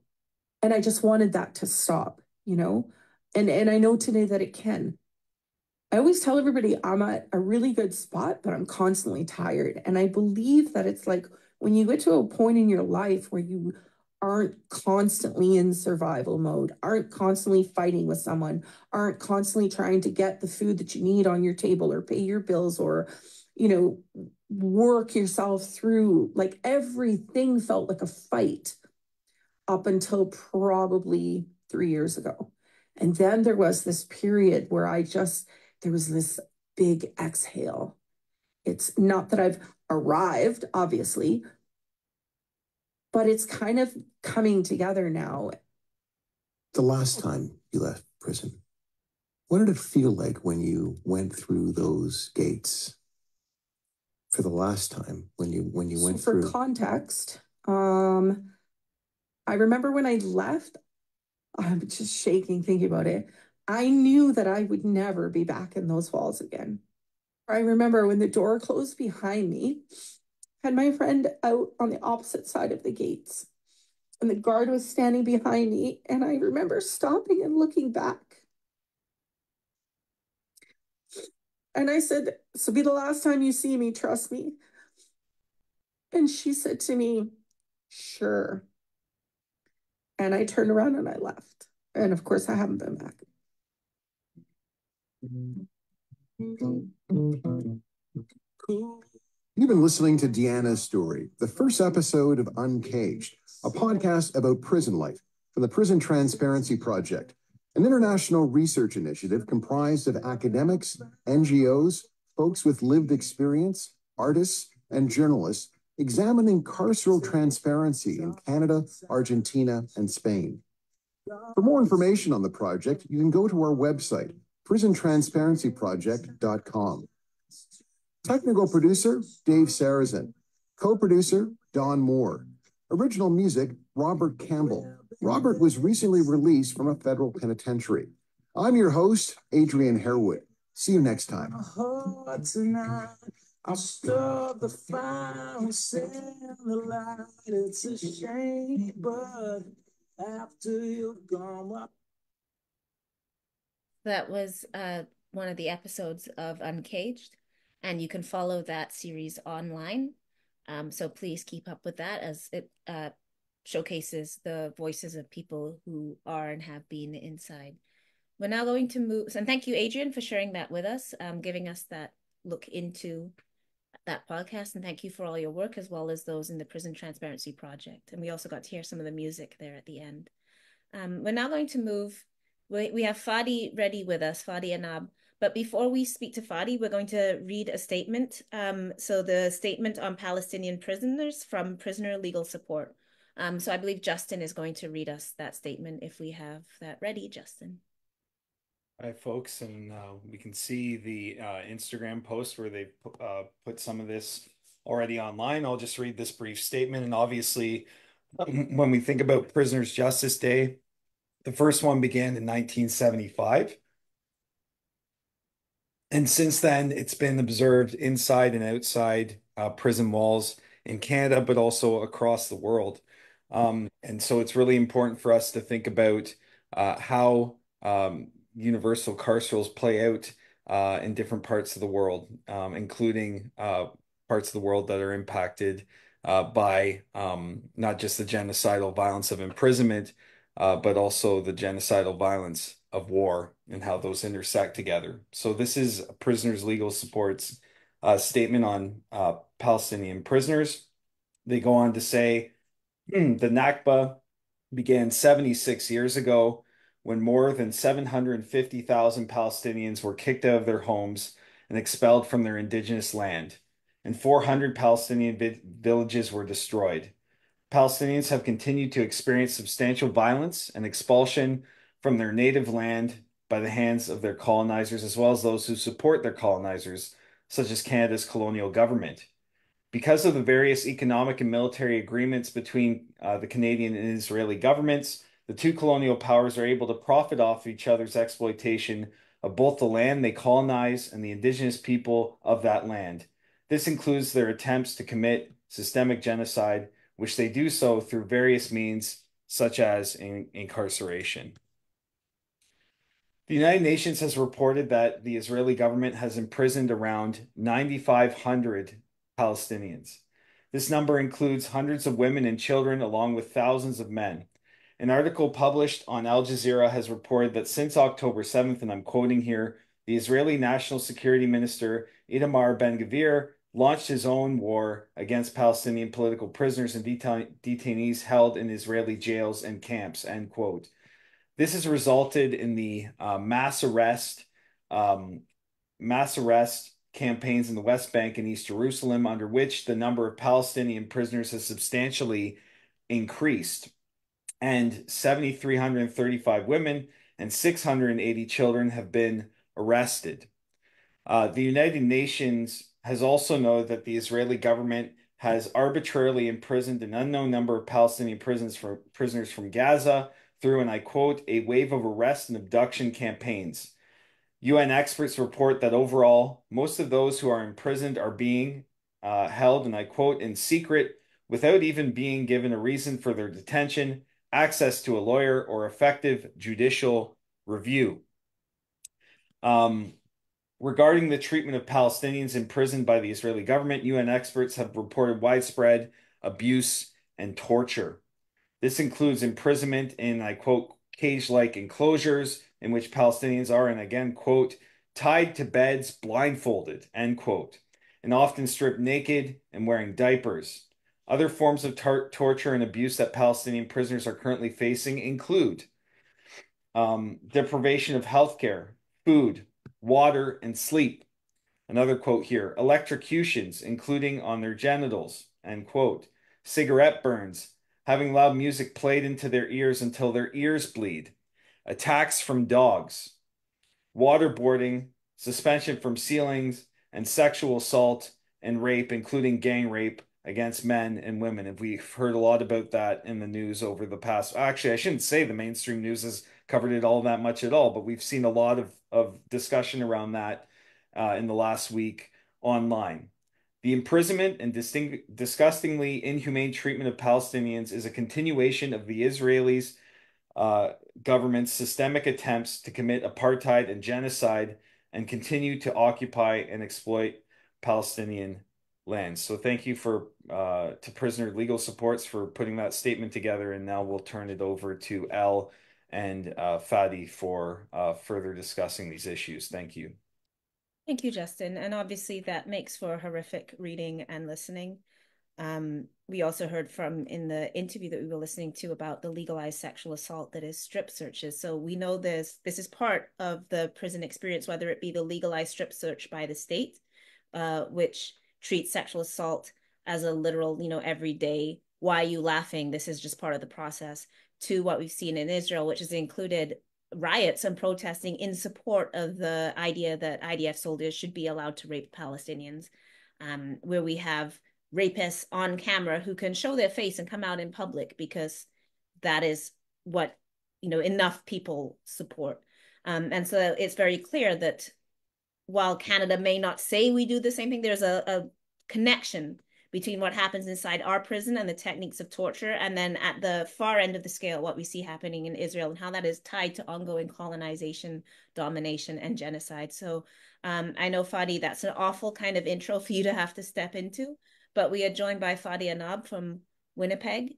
Um, Fadi also, along with uh, being Palestinian and speaking out against um, Israel's genocide and advocating for Palestine, also has done a lot of work on things like police in schools, work with Winnipeg Police Cause Harm, and working for um, Police Free Schools, and also reports on the general policing in Winnipeg. And so we know those connections are very important, recognizing how uh, the genocide against Palestinians is connected to policing techniques here. So welcome to this broadcast, Fadi. Thank you for joining. Hi, El. Uh, can you hear me okay? I can hear you. Okay, great. Um, thanks for having me and uh, thanks for making space uh, to talk about Palestine today. Yeah. Um, and yeah, I'm honored to be here with everyone. Um, uh, can I uh, start? Yes, yeah, okay. Share, share what you have to share. Okay, thank you. Um, and so uh, as of August 7th, uh, if you go to the Addameer website, um, we the total right now it's up to 9,900 political prisoners from Gaza and the West Bank are currently in Israeli prisons who suffer inhumane treatment. Um, and this is almost double the number of, from last year. So last year it was 5,200. Um, so just if you're looking at numbers, just the double shows a disproportionality in a way. Um, but we're not just here talking about numbers. We also must remember, while we're talking about numbers, that there's also other captives, uh, folks who are like in administrative detainees, 3,000 of them, 250 child prisoners and others. Um, but we also have to remember those who are living, um, how captivity erodes communities and weaponizes fascism, Zionism today. Um, and we also have to remember those who are dead uh, those who die in captivity or in the process of becoming captives. Um, so yeah, when I try to talk about prisoners or captives, I'm trying to refer to all these uh, groups. Um, but the problem is not just numbers, but also our humanity and um, monstrosity, uh, greed and waste that generates uh, generated by carcer carcerality, capitalism, colonialism. Those are dynamics we struggle with on a day-to-day -day basis in Winnipeg. Um, and for some folks, it might be really, uh, uh, yeah, why is Palestine related? But we know that police coordinated each other, the military, um, and it's also wasting resources, and it's also when you oppress other, you're oppressing yourselves and your community. So there's lots there to connect. Um, but I want to focus on the uh, Palestinian captives here. Um, many Palestinians in Gaza before October 7th already live in an open air prison. Um, so it's before October 7th. Uh, they're already a captive population before their official captivity. Um, um, since Israel heightened its genocidal assaults on Palestinians on October 7th, it's not just civilians in the community who are experiencing um, inhumane treatment, but also uh, Palestinians in Israeli prisons and torture camps. Um, recent recent report, which was just published in August, just earlier this month by B'Tselem, uh, titled "Welcome to Hell," um, uh, and I'm just going to share a quote from that report. Uh, given the political function of Israel's prison system in a reality of accelerated dehumanization of Palestinians in Israeli discourse, Israel's prison system turned into a network of torture camps strips of the basic package of rights to which they are entitled under Israeli and international law, as well as other universal rights. So besides torture, which Justin uh, alluded to, uh, and, and, and there's beatings and rape, and there's also the inhumane treatment through systemic malnutrition, dehydration, overcrowding. Uh, so, and those are systemic, it's not accidental.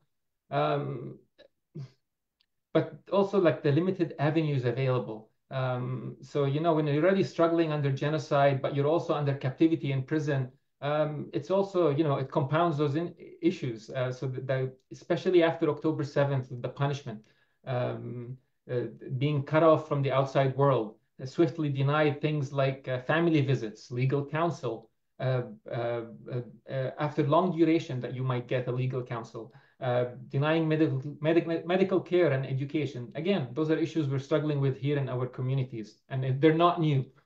Um, is it okay if I keep going, or uh, if, if Bonnie, just please speak whatever, say whatever you need to say. That's yeah, yeah, because I had some things prepared, especially that also it happened to be an international day uh, for Palestinians earlier this week, and I just want to capture some important messages for the audience. Um, also earlier this month, um, according to the head of the Commission of Detainees, uh, Detainee Affairs in Palestine, um, Faris, um, Israeli crimes against the Palestinians did not begin on October 7th, but are a continuation of the systemic process of ethnic cleansing, forced displacement, apartheid that began even before 1948. And I'm quoting him here. Uh, we urge the world to collectively protest Israeli occupation um, and the racist laws. And we can call on governments to uphold their legal duties to prevent such crimes from happening in solidarity with Palestinian political prisoners. Um, the international community and should occupy, should hold the occupying power to account by imposing a complete arms embargo on it, applying economic sanctions and suspending its UN membership to compel Israel to protect civilians according to its obligation as an occupying power. Israel must not be allowed to get away with these horrific crimes. Um, for the general audience, this also means that uh, it's more than asking for a ceasefire. Because, um, you know, it's a quick catch for people. Yes, of course we need ceasefire, but it's, it's beyond, uh, beyond the, the ceasefire. It also involves ending the Canadian military and financial support of Israel. It means supporting the boycott, divestment, and sanctions of Israel. Um, rejecting, and this is important, especially for those students, universities, uh, and many settings, rejecting the new Israeli and Zionist McCarthyism that seeks to intimidate, harass, and silence advocacy for justice in Palestine. We must act now. Um, and these are messages, again, by grassroots organizations. I want to conclude also with what Samidoun, uh, a Palestinian prisoner solidarity network, recently wrote. Uh, we also must fight for the liberation of Palestinian prison, prisoners in occupation prisoners and releasing them from everywhere throughout. It's not just about Palestine, but all prisoners. An end to the ongoing Zionist genocide in Gaza in, and in support of the heroic Palestinian and regional resistance and for the liberation of Palestine from the river to the sea. Um, on a personal level, when you're talking with with children, with parents, uh, with loved ones, uh, I mean, yeah, what does it mean? All that liberation and and and abolition and dismantling uh, Israeli occupation and Zionism. Um, and you know, I reflect back on uh, my personal relationship. Um, so if I'm thinking of my uncle here who went to prison and now he passed away, and he he wasn't he he he wasn't in he was in Jordan, not in Palestine. But here, you know, prisons can be uh, similar in different spaces. Uh, he all uh, as a, as a young boy, he coming out of prison, he he'll come to me and tell me, Fadi, not everyone in prison is a is a professional killer. Just like not everyone outside is not a professional criminal. Um, and so it was always this duality. It's like, look, I'm your uncle. I was in prison, and it doesn't mean I'm a bad person. It's just a bad situation, bad context. Um, and you see in these communities, like um, even when we're not talking about colonization, we're just talking about poverty and economic situation. Those can be crushing on families, and it often leaves you with limited options. Um, and then policing ourselves out of it creates more problems. Um, and so this is issues really, we feel it here in Winnipeg's inner city. Um, um, today, for example, I know I have a bit more time, so I'm going to talk a bit about this. It's okay. El? Yeah. Um, uh, today there was a, a, marathon from Stony Mountain, Stony Mountain, uh, a bit closer to the downtown. Uh, and you know, many folks don't know where the prison is, don't know how the prison contributes to the economy, don't know how the prison is a process of degradation for the whole community. Um, and uh, it's really like out of your periphery. So how is it to think about Palestinians at this moment? So it's a, quite a privilege to think of on Palestinians on stolen land at this moment. So I really need to acknowledge those connections here. Um, and so, uh, yeah, what does it all mean is that we should start asking questions like, how many of those confined in prisons today are really criminals or political prisoners, detainees, captives? How many citizens out there are, again, professional criminals and killers? Questions like these can help us understand that the social justice by and for people demand new definitions, relationships, material conditions, and humanism, uh, recognizing indigenous population, a long history of colonization, uh, and carcerality uh, doesn't help. And again, if, if we have white audiences also who might listen or, uh, you know, those who might fit or pass for colonizers or oppressors, we, we also need to recognize that it's not just about those who are prison, but it's also about creating a monsters out of you uh, through your complicity and involvement. Um, so that's why you should also be involved in this issue. Um, and we really need to think of, again, policing in spaces. Um, I live in the downtown. We go to the library, there's policing uh, metal detectors in the library um, so that homeless, disadvantaged folks, when they come in, if any metal rings, it's just really a, a, a hassle. And you avoid those spaces for these reasons. But you see now in reports after reports, like Israeli soldiers using carrots and sticks to torture people inside those torture camps. So if a carrot or a stick can become a weapon, um, why are we weaponizing and policing ordinary folks in the community and not focusing on really the real uh, monsters here who are weaponized. Uh, so yeah, I will end, I guess, by saying that we need to abolish policing and imperialism and support indigenous worker alternatives. Uh, we need to connect racial issues with capitalist issues. It's, it's not just about color, but it's also about class. While I'm sitting here, perhaps some of my neighbors are already traveling in Palestine. We need to be cognizant of these issues. How are how is other people's enslavement part of our freedom? Um, but yeah, it was really an honor to be part of everyone here and listening. Um, Thank you so much, Fadi, for coming on and uh, covering so much ground with us and so much thoughtfulness. Um, do you want to say anything else before we move to our next event? Um, no, I, am I'm, I'm, I'm really, uh, uh, I just, I, I'd hope, uh, I, I think I'm speaking to the converted in a way, especially of those who might click, but yeah, free, freeing Palestine, uh, don't shy away. Um, and it also, yeah, if you don't care about indigenous peoples in your own backyard, I don't want you to care about Palestinians out there, uh, because that means that you're, you're tainted in your humanity. So we need to think about who's in our backyard and also stretch our uh, solidarity to uh, Palestinians and others. But yeah, thank you all for having me. Thank you for joining us, Fadi. Fadi is also a Vanier scholar um, at a PhD student at the University of Manitoba in the Department of Education. Is that correct? Yes. All right. Thank you so much, Fadi, for, for joining us today and for uh, not only drawing our attention to the conditions of prisoners in Palestine, but for making those really important connections and for reminding us that local issues are global and vice versa, and we can't care about one without the other. So thank you so much for joining us on this day. Um, we're now moving, we move very quick in this broadcast. So thank you, Fadi. We're now moving to Syrus Marcus Ware, a long-term prison abolitionist and activist. Uh, I believe Syrus has joined us in every iteration of, of this day. I think you've been here with us. Um, so welcome. We're so glad to have you, Syrus. Um, Syrus is going to be reading up to us from the children's book, Abolition is Love, which you can see on screen. Uh, Syrus is the author of this book, and it also features imagery by another, I think we say friend of the show, Alannah Fricker, who has long-term been in the background of this show, doing a lot of um, tech for us in the past as well. Um, so Syrus is going to be reading this live. And Syrus, you can introduce the book and take whatever time you need.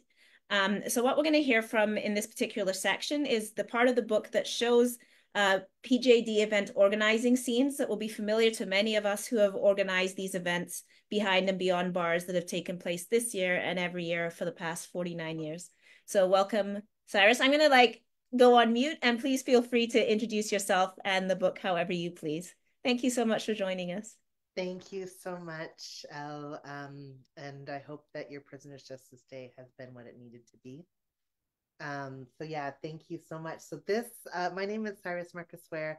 I'm an artist and an activist um, and a scholar, and I've been um, going to Prisoners Justice Day events since the, the late 90s and was really captivated by uh, the power of when we make those noises. outside of the Don Jail or wherever we were gathered uh, and let folks inside uh, know. And when we got to hear from folks who had just gotten out who were part of the open mic and just how magical that time of coming together to fight for abolition uh, was. So this book uh, just came out last year and it's uh, set on Prisoners Justice Day. It's set on August 10th. Um, the main character is learning about abolition and she's really excited because today she's finally old enough to hold her own candle at Prisoners Justice Day. I'll just start reading this. Today is August 10th, Prisoners Justice Day. We are getting ready for the rally, painting signs and working on banners. I'm learning about abolition. And there's some familiar artworks in there. These are all created by Alannah Fricker. Papa says abolition is love. It's a way of dreaming about the future and making sure that we all get to be free. Daddy says abolition means getting rid of prisons and police and systems that hurt our people like racism and ableism. And they've got a big Free Them All uh, banner in front, and all these folks are getting out from inside and they've taken over the police car. Um, they both say that abolition is how we are going to get free and what we are going to do together when we are free. And they're bringing some food to their neighbors in tents and they're painting a community mural. And the main character is writing to her uncle inside. Abolition is like planting a bunch of seeds and watering them to make sure that they grow. Abolition means love and care and taking care of each other even when we make mistakes. And this little tomato plant has gotten broken in the process of building this community garden, and that's okay. So um, they go on to learn a little bit more about abolition. They learn about uh, building access and disability justice into their abolition work.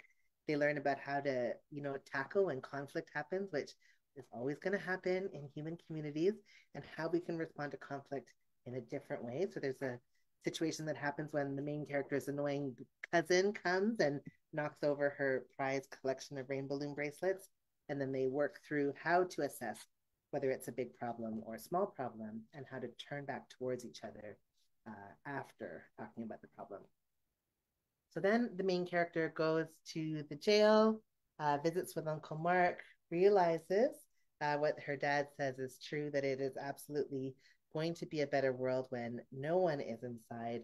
And then she does at the end of the book get to hold her own candle for the first time. She says, I get to hold my own candle at Prisoners Justice Day this year.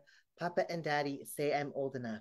Tonight we will read the names of people who have been hurt by prisons, and we will promise to meet every year until all prisoners are free.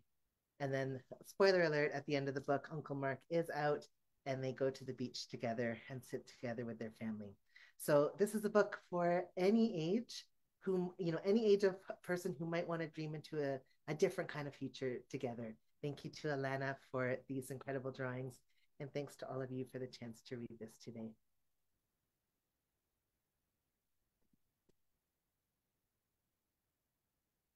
Oh, I think you're on mute, El. Sorry, I thought I came back off mute. I I will say all that again. I said we still have some time with you, so uh, don't run away yet. Uh, first thing is, um, where can people buy this book? I know we're going to put the link up, but let people know where they can purchase this.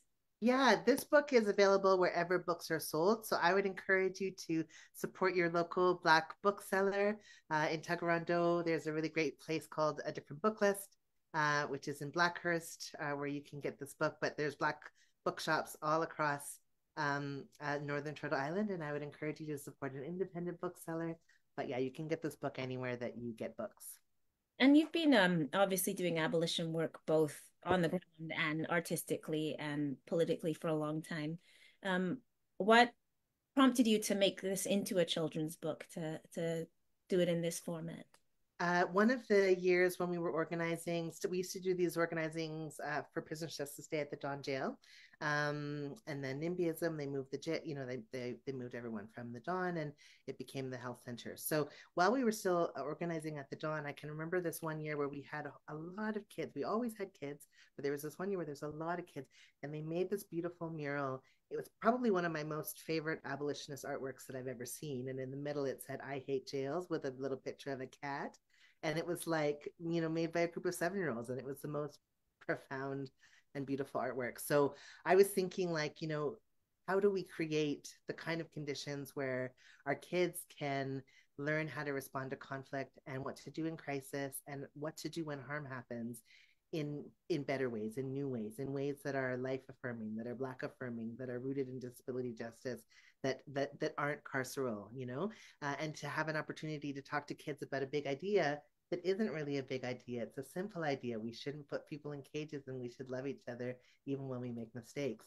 You know, this is a you know, this is something that we could talk to kids about from a young age uh, and and then, you know, imagine the kind of futures we could build together. So, I think, you know, for me it was just an opportunity also to talk to this other amazing audience of abolitionists, young abolitionists, you know, kids who are like, yeah, you know, I really hated it when you, you know, took my ice cream, but, you know, maybe we can work out some kind of repair and and they do you know? So it's happening on the playground all the time. So this book is for any kid in your life who's maybe thinking along these lines already or maybe a kid who maybe needs to think a little outside of the carceral logic so that's Abolition is Love, written by Syrus Marcus Ware, illustrated by Alannah Fricker. Uh, Syrus, before you go, is there anything else you want to take time to talk to us about? Uh, you know, just to say, I'm so thankful uh, for this PJD DTV today. Um, you know, just thinking about, I'm wearing um, the artwork of Peter Collins. This is from a t shirt that he made for us, I think 2004, 2005 for PJD. Um, and just thinking about, uh, you know, the incredible artwork and the incredible creative work that's come from folks inside. And for people like Pete, who, you know, the there was consequences to making political work that supported abolitionist movements. He ended up staying in a lot longer and ultimately died inside. And so, you know, just thinking uh, of Pete, thinking of Eddie Nalon, thinking of all of the folks who um, are affected by all of these carceral logics, thinking about, you know, the war, thinking about Palestine, thinking about Gaza, and just really hoping that, um, yeah, somehow, some way we survive this and we we come through stronger and freer together. Thank you, Syrus. Um, I know also probably you can see it right on the shelf somewhere behind is also the collection edited by you uh, until we are free. It's sitting oh, yeah. on my shelf. Um, anything else you want to point us to? Resources, books, uh, work that you've done that people can pick up after this broadcast? Oh yeah, absolutely. Um, yeah, Until We Are Free is a great resource because we, we get to talk a little bit about abolition. There's a conversation in there with Giselle Dias, a longtime uh, Indigenous abolitionist uh, and organizer. Um, that's definitely something to sort of check out. But I think, you know, for me, I'm turning towards the creative, um, you know, practice in this moment um, and thinking about artists who are, you know, talking. I was thinking about Denyse Thomasos. I got to see this exhibition of works um, in Halifax and Kjipuktuk. Uh, and their artworks that are looking at carceral buildings um, and these structures. And Denyse uh, Thomasos is a Black artist who's passed away, uh, but who is really, you know, thinking about the effect of the prison industrial complex on Black uh, communities. And so definitely would say to check that out. Um, and then, yeah, I think, uh, you know, there's a banner library I just found out about, um, and just thinking about some of the incredible artworks that have come out of the last, uh, you know, several decades, uh, and just hoping that people put their hands on the archive. Thank you so much for joining us, Syrus, and thank you for all your work. You're also a professor at McMaster, correct? Yes, yes. So, in addition to everything else, Syrus is organizing and working in Hamilton so-called Hamilton. Thank you for joining us so much, Syrus, and for every year that you've joined us here and shared so much. Oh, may I say one more thing? Go ahead. Uh, I'm teaching a class on prison abolition. So if you know any students or scholars who are looking to, you know, dig in at the graduate level, um, there's a class at McMaster. So send me a message. Would love to have you in my class. So that's if anybody wants to take a class with Syrus, let Syrus know. Let's get people in that class so it doesn't get canceled. Thank you so much for joining us today. Um, this is now the part of the show where we start going across the country. There are events ongoing across this country, some of which um, we have footage from, some we don't. Um, some of these ceremonies are very personal and private, um, spiritual ceremonies uh, dealing with you know people talking really closely around death. So we don't have access to all of these because obviously people don't necessarily want that public. Um, but we know there are ongoing ceremonies and vigils in montreal ottawa. Um, i said earlier in the day there was an event at nova in nova scotia but we're now going to move to some materials from kingston um, kingston is in many ways the heart of carceral canada um, both uh, the former women's prison, Kingston Prison for Women, and of course the notorious Kingston Pen um, are slash were in, in Kingston. And so we're going to now move to a message from Rachel and Bobby, both of whom took part in the Prisoner Justice Day Healing Circle at the site of P4W, that's Kingston Prison for Women, um, which was hosted by the P4W Memorial Collective. For those who don't know, the P4W Memorial Collective is a group of former prisoners who are creating a memorial garden to honor those who died at P4W and those who continue to live and die in prisons, jails, and detention centers across the country. In addition to their annual healing circles, the P4W Memorial Collective has organized film screenings, solidarity letters, roundtable discussions, and other gatherings. And I'll also say that they have been, when we say uh, organizing Memorial Garden, that has been a fight against, for example, um, Queen's University used to own the land and then sold it to developers. And then we've had events such as the developers wanting to maintain the aesthetic of a prison. So, oh, we'll keep the old locks of the doors. And I know Justin has done work on this notion of penal tourism, right? So taking this site where women suffered and tortured and were died, and then selling it to a condo developer who wants the aesthetic of prison so that you can charge these high prices for people to live there and keep some of the original fixtures. So there's been a fight um, against that kind of private property development and for the recognition of this site and the many women who lived and died within those walls.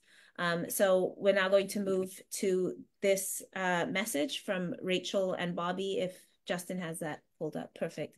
And I also want to say that uh, just shout out to Rachel and, and the work that Rachel does, particularly on, which is, I think, important today, looking at not just the suffering of prisons, but the great resilience and solidarity and the many other things that come out of prisons that we don't always acknowledge and talk about in talking about the conditions that can itself become dehumanizing because we just represent everybody as um, a suffering object. And Rachel's work is about uh, recovering and making clear the many other forms of uh, solidarity and engagement and resistance and love and care that take place within those walls as well. So we're going to move to this interview now. Thank you.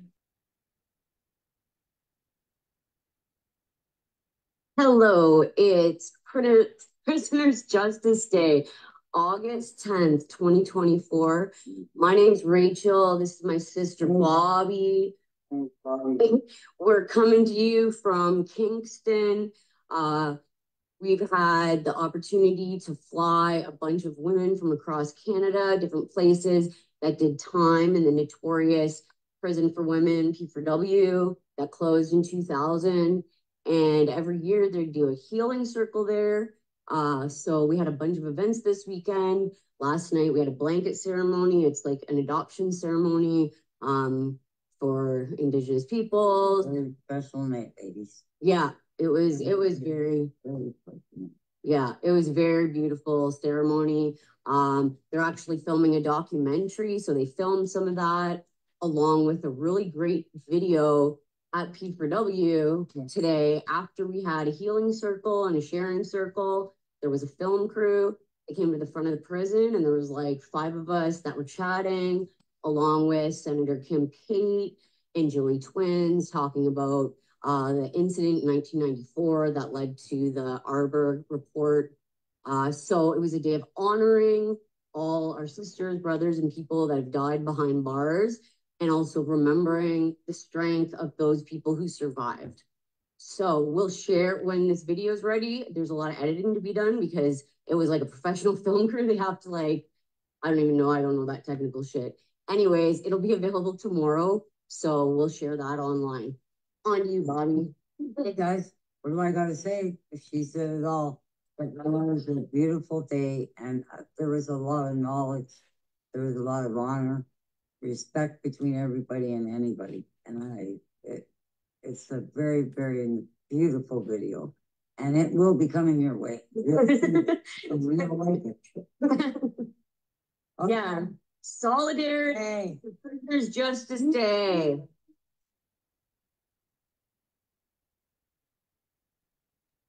So thank you to Rachel and Bonnie, and uh, we will have the link up for the videos that they're talking about.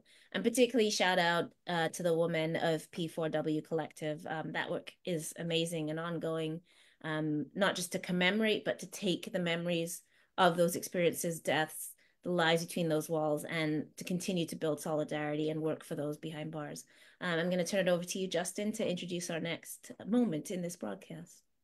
All right, thanks, El. Um, so next, uh, we have an interview I did uh, today with another Rachel, uh, the outgoing host of CFRC Prison Radio, uh, which has been doing um, PJD broadcasts in Kingston uh, since I, I, believe 2009. Um, CF, for those who don't know what CFRC Prison Radio is, it, it airs each Wednesday uh, from 7 to 8 p.m. Eastern Time on 101.9 FM in the so called Kingston, Ontario area and worldwide at cfrc.ca. Um, and their radio signal, interestingly, it extends to um, Brockville, to Belleville, Smith Falls, and Watertown in New York. So um, it does get um, uh, different uh, listenership from inside uh, on both sides of uh, this uh, imaginary border uh, that exists between so called Canada and the United States. Um, the program features news, interviews, writing, and documentaries about uh, prisoners and prison issues. Um, I, for one, have been interviewed on that show a few times just in relation to my research on prison construction in particular and resisting it. Um, so this time the roles are reversed. I'm interviewing Rachel. Um, so we'll listen to um, mostly her words for the next uh, 15 minutes before we start going to some more event footage across the country. So uh, I'm going to uh, quickly share the screen. You'll see my face again. And uh, here we go. You, Justin. Okay, so um, welcome to uh, Rachel from the Prison Radio Show that's broadcast on CFRC uh, in so-called uh, Kingston um, which is the uh, capital of prisons in uh, this this country. Um, and so today you're here to, to talk to us a bit about uh, the work that's been going on in that show since it first broadcast on Prisoners Justice Day in 2009 and started regular broadcasts, I believe, in 2010. Um, and you've been involved since 2017. So Um, you have a lot of experience with regards to uh, the show. So, what what have been the main things that that you've done uh, as a collective and yourself um, with imprisoned people on the other side, listening and contributing to the show uh, over the years? Yeah, so I believe the show uh, the show has had pretty much the same format since the beginning, since before I was involved, which is that um, it's on the airwaves uh, one week and one night a week, um, and three of those nights, three of those weeks are like interviews, analysis, that kind of content, like a news show basically about prison. Um, and then the fourth week has been a, a call-in show, um, which is a pretty different vibe. Um, so I would say, uh, in terms of your question about involving prisoners, um, during the the newsy sections, I mean, we've interviewed many prisoners and their supporters over the years. Um, people have been on the show in all kinds of different capacities. Um, and also we hope to sort of just share uh, stories and art and news and ideas um, and just kind of generate conversation about prison and prison abolition and prison issues and all that kind of stuff, um, sort of between people in the Kingston community and people behind the walls also in the Kingston community. Um, the call-in show, uh, which was is called Calls from Home, is a once a month uh, kind of fun broadcast where we take song requests and messages, supportive messages, uh, and put them on the air. So people's typically prisoners' loved ones call in and send like a, a song and a little message to someone who they're missing on that night. Um, and we would either read that out or play it out depending on how we received it along with their requested song. Um, so obviously that week had kind of more of a party vibe, like we'd play everyone's favorite music. Um, but it's just kind of a way to like foster connection, I think, uh, between incarcerated communities on the outside and us and the prisoners who are listening inside. Can you give us a sense a bit of, of like who was listening to the show or who was able to access the show from behind bars in terms of, of the reach yeah. that you had during the time you broadcast? Yeah. So one of the funny things about radio is that like you really can't know exactly your reach. Um, like there's no like count of the listeners or anything like that, the way there would be with a podcast. Um, but we can we can gauge that based on the calls we receive and the people who engage with the show. Um, and over the years, people in all three of the major federal sites surrounding Kingston um, definitely were, were tuning in and listening to their songs. Um, and families and supporters and loved ones of those people were calling us and emailing us. Um, we usually, for the request show, we would get, you know, anywhere between one and like 20 requests for the show per month. So that like really depends on uh, I guess just on listenership, you know, like we'd have people who were really into the show for like a number of months or years, but then they would get transferred or move or things like that.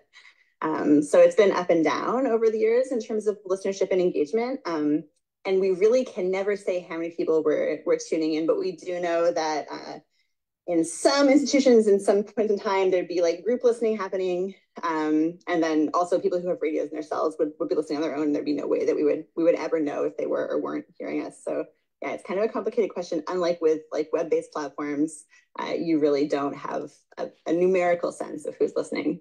But the the reach, the broadcast range, um, is like the entire area surrounding Kingston. So anyone who was able to tune in, had access to a radio, and knew about the show, uh, could hear us from um, the, the Joyceville Penitentiary site, from the Bath Millhaven site, from Collins Bay, uh, as well as from Quinte Detention Center, which is the provincial in Napanee, um, and also from Cape Vincent Correctional in upstate New York. And I know that before my time, there actually were like a number of calls for Cape Vincent as well, uh, although that was not happening since I've since I've been on the air.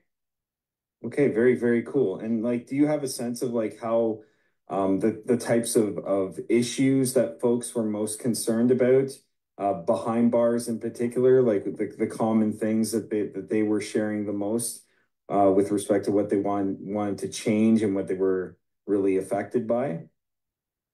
Yeah, man. I mean, it's been a long time, right? So there's like there's changes year to year about stuff like that. Um, uh, you know, one of our busiest times was during the pandemic. Mm-hmm. Um, we had like so much listenership and so much engagement during those those couple of years. People like hoping to just be able to access basic things that had become sort of expected, like visits, like um, like access to communication with the outside at all. Um, we've had lots and lots of talk over the years about about work and compensation for work, um, and like you know like prisoner wages, prisoner rights inside their their like inside and outside workplaces that they do work in. Um, we've had people talking about like access to healthcare inside uh, the paucity of healthcare inside, how like you know um, people who are basically just being killed by the lack of access to healthcare on the inside. That's been like a major theme for sure over the years. Um, yeah, access to like in-person visits, um, family visits, that kind of stuff. And, and it's a it's a huge list. Food, lots of food service stuff. Um, because there's been a lot of changes in that time in terms of like work and food. Like those two things have changed a lot in the years that I've been on the show. Um, yeah, I mean, I'm sure I'm sure your listeners like know the list, and we've probably heard like little bits of all of it. Um, but every year there's sort of like a couple salient issues that that come up, you know. Right, and it's not surprising in the context where the daily wage for federal prisoners to uh, work has not changed for, um, I believe, over four decades, and I still think it sits some somewhere around, I think, six dollars a day, and then minus yeah. board and all the rest. Um, and sometimes I get yeah. like during the context of the pandemic and whatnot. Sometimes mm-hmm. it gets massively clawed back, like when Harper was in office and so on and so yeah. forth. Um, but uh, not. So I got involved during. I got first involved like during the Harper years. Um, like my when I, when I first became a regular host of the show, um, there had been like a wave of, of work disruptions about wages and about particularly about room and board being taken away again, even though it was already included in the wage that was already being given. Um, so that was like the first major inside issue that I ever really engaged with on the show. Um, and I still think about I still think about that like that quote unquote wage is basically like no money for doing um, real jobs, right? Like I think, you know, people picture all the inside jobs. There's also people, um, there's people doing all kinds of stuff on the outside for for different wages, but still like not with the rights that we would have as like workers working in the same workplaces who are not prisoners. Yeah. Yeah. Um, so maybe we can just talk about um uh is there one moment in particular that sticks out in your mind as you're um leaving the show? Um and talk about what the future of the show looks like with uh, with um, mm-hmm. whomever's picking it up next. Sure. Yeah. Um, yeah. I mean, I do a lot of. I've done a lot of interview work because it's just something that I I do for other projects as well. But for sure, the call-in show is like the most has the most impact I think on the hosts. Uh, so when I think about memorable moments, I think about like PJD every year. This is the first year I ever have not been doing like a day long broadcast myself on CFRC. So it's weird to be free at this time even and be talking to you in this direction versus me interviewing you. Um, but uh, but we also do like a holiday special. Um, so we the last Wednesday before Christmas, uh, we would always do like a two hour kind of mini special um, where we would get people to send in their holiday requests. Um, I think like the second year I ever did that, we got like a number of voicemails from children because um, we do this thing where we put out a voicemail line um, and you can just call it and leave your message and then we'll like we'll play your message and your, the song you requested after it um, so I, I have like a really, really clear memory. I wish I could play it for you, but I don't, I don't have it right here. Um, of just like this, this series of calls from these two little kids who wanted to talk to their dad. Um, and like the super, super loving message that they, that they sent along with a request for that, like grandma got run over by a reindeer song. Um, which maybe is kind of like a joke thing, but like I just, it was like, it was so, so sweet. Um, and also really sad to think about that, that kind of separation, that level of separation uh, like you know during a holiday that presumably is important to the to these little kids. Um, so yeah, that's the thing that I always think about. Even though yeah, I did lot, I did talk to lots of people who were involved in like struggles on the inside that were really important. Also, um, and I have like a lot of favorite moments, but uh, that's what I always come back to when people ask me that question: is that Christmas broadcast every year?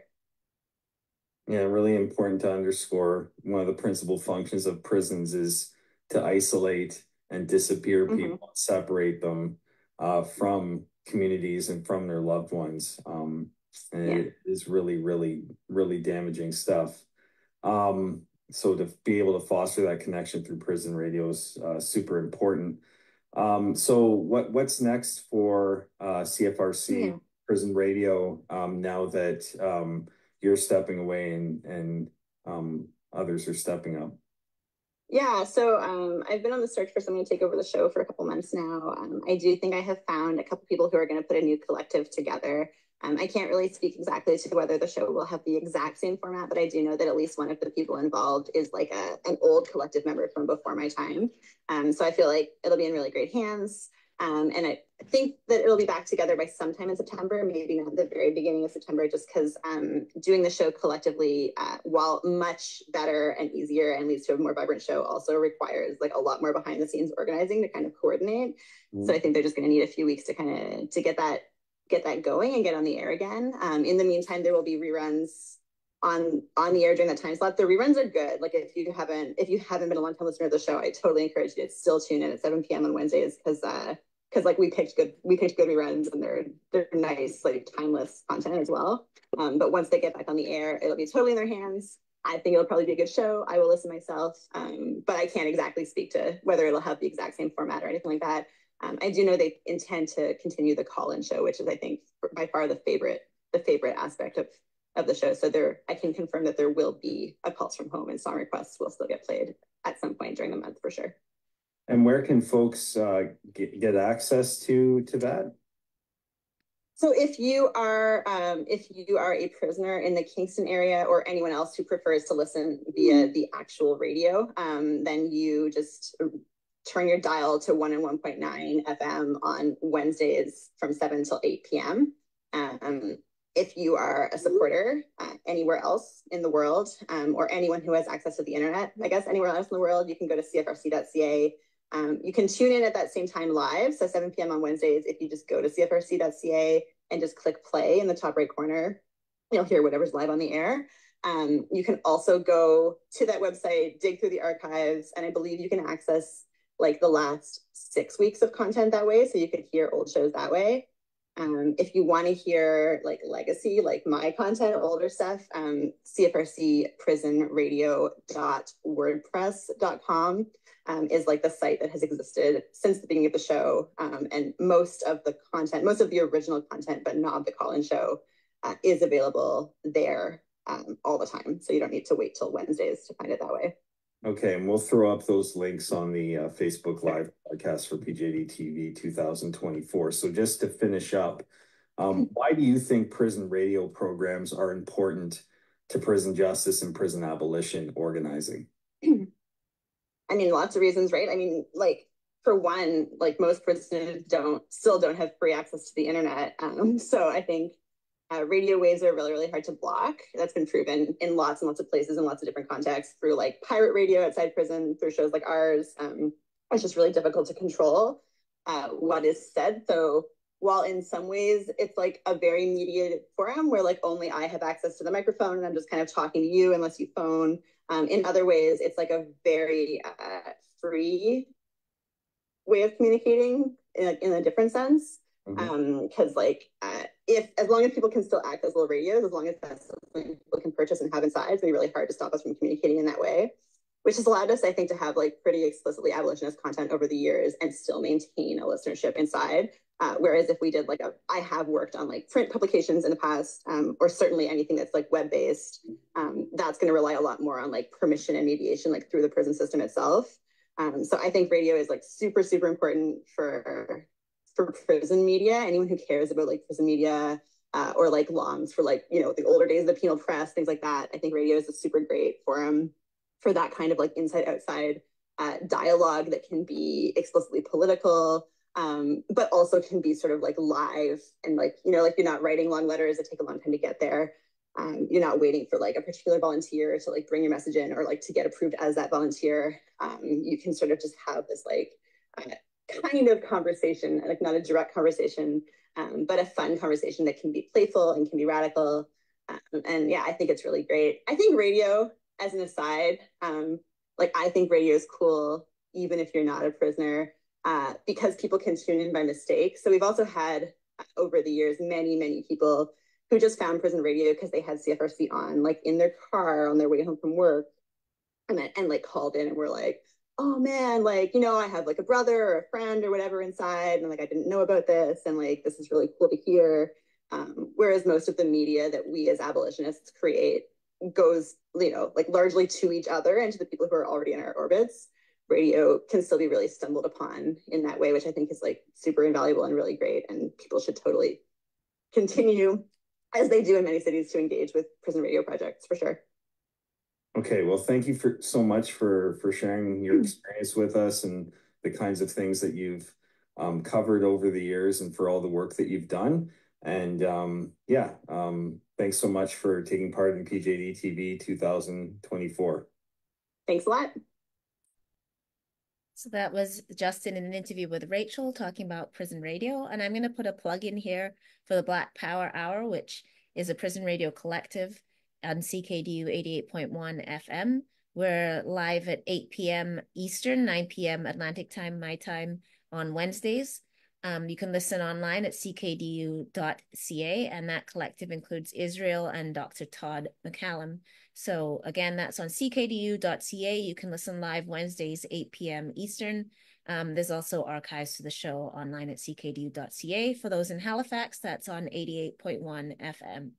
Um, for those of you just joining our epic and long uh, broadcast, this is our broadcast uh, that the Abolition Coalition, which is a collective of different prison justice, prisoner rights, liberation groups across Canada. Um, we do this broadcast every year for the past five years to honor Prisoner Justice Day and to bring you the stories and events that are taking place across this country on this day. Um, this is 50 years since the death of Ed Nalon, who died by suicide inside of Millhaven Institution after uh, being in solitary confinement. Um, and the next year, uh, which was now 49 years ago, on the anniversary of his death, prisoners fasted and went on a work strike in order to draw attention to the conditions of solitary confinement and to honor his death. And that tradition has continued on um, and is commemorated not only inside prisons, but outside prisons and also in solidarity across the world. Um, 1974, which is when, oh, 75, which is when Prisoner Justice Day began. Um, it was also part of a global wave of prison organizing, um, including things like the Attica Uprising, um, so inside New York, uh, California prisons, which included the original BLM, the Black Liberation Movement, um, where people organized on the ground. So we know that abolition, which we speak about, has always been a prisoner-led movement um, by those inside walls. We are also in Black August, which is a month um, chosen by members of BLM. So again, beginning with incarcerated people in California's prison system, um, Black people who chose this month to commemorate um, the many important events in Black liberation. So as opposed to Black History Month, which honors a lot of first, you know, becoming, you know, like first teacher, first president. Uh, Black uh, Black August is about our liberation struggle and recognizing the many um, important liberatory events that have happened globally. So um, the first enslaved people to land in the Virginias were in August. Of course, the Nat Turner uprising was in August. Uh, the Sam Sharpe rebellion, um, many Black revolutionaries were born or died in August, including uh, Marcus Garvey, W.B. Du Bois. Um, so many revolutionary events took place in that this month. So Black August was chosen as a month rather than focusing on integration into uh, bourgeois capitalist systems to focus on the work of liberation and to encourage us to um, look to our revolutionary past to continue that work into the future. And so it's also an appropriate month for Prisoner Justice Day to take place in the revolutionary spirit of Black prisoners and all incarcerated people across the world. So shout out to Black August that we also celebrate. And again, remembering this month has been the Haitian Rebellion Revolution, of course, also kicked off in this month. So many, many important global events um, in the liberation of African peoples across the globe took place in this month. We're now hitting the point of the show. I keep saying that, but we are, you know, we've had a lot of uh, interviews and taped material, and we're now moving to the part of the show, which can be a bit chaotic, but we are starting to join or at least get footage from or speak to people who have been at vigils, uh, ceremonies, and other events across this country as people commemorate and honor Prisoner Justice Day. We are shortly going to be bringing you some footage from Ottawa, which I believe is audio footage um, from the event in Ottawa. We may or may not have some content from Montreal. We may be joined later in the show. Um, again, because this is live, people are finishing their events.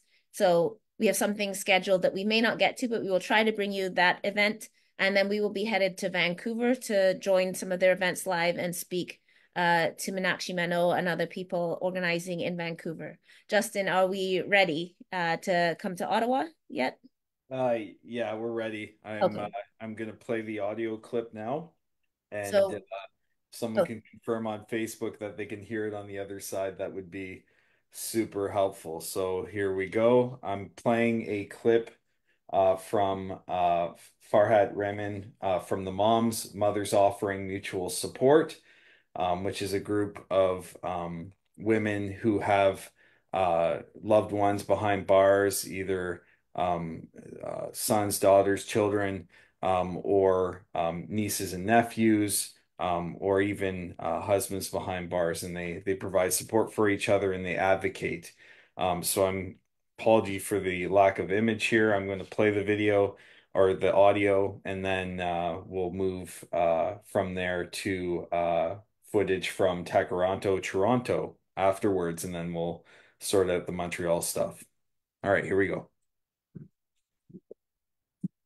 Hi everyone. So I am a mother of an incarcerated uh, man, and uh, I'll just give you a background of the group that I belong to. Um, uh, was one of the original co-founders of Mothers Offering Mutual Support. I mean, many of you know them, but uh, um, we founded this group to be a support group for uh, women who have family members that are incarcerated. And, um, uh, you know, the objective is to support one another, but also we formed an advocacy group for women who were willing to speak out. And uh, so we have an advocacy group, which is so important, uh, we, feel, we feel because of the uh, conditions of confinement our um, family members are facing. So they only have, they don't have any voice.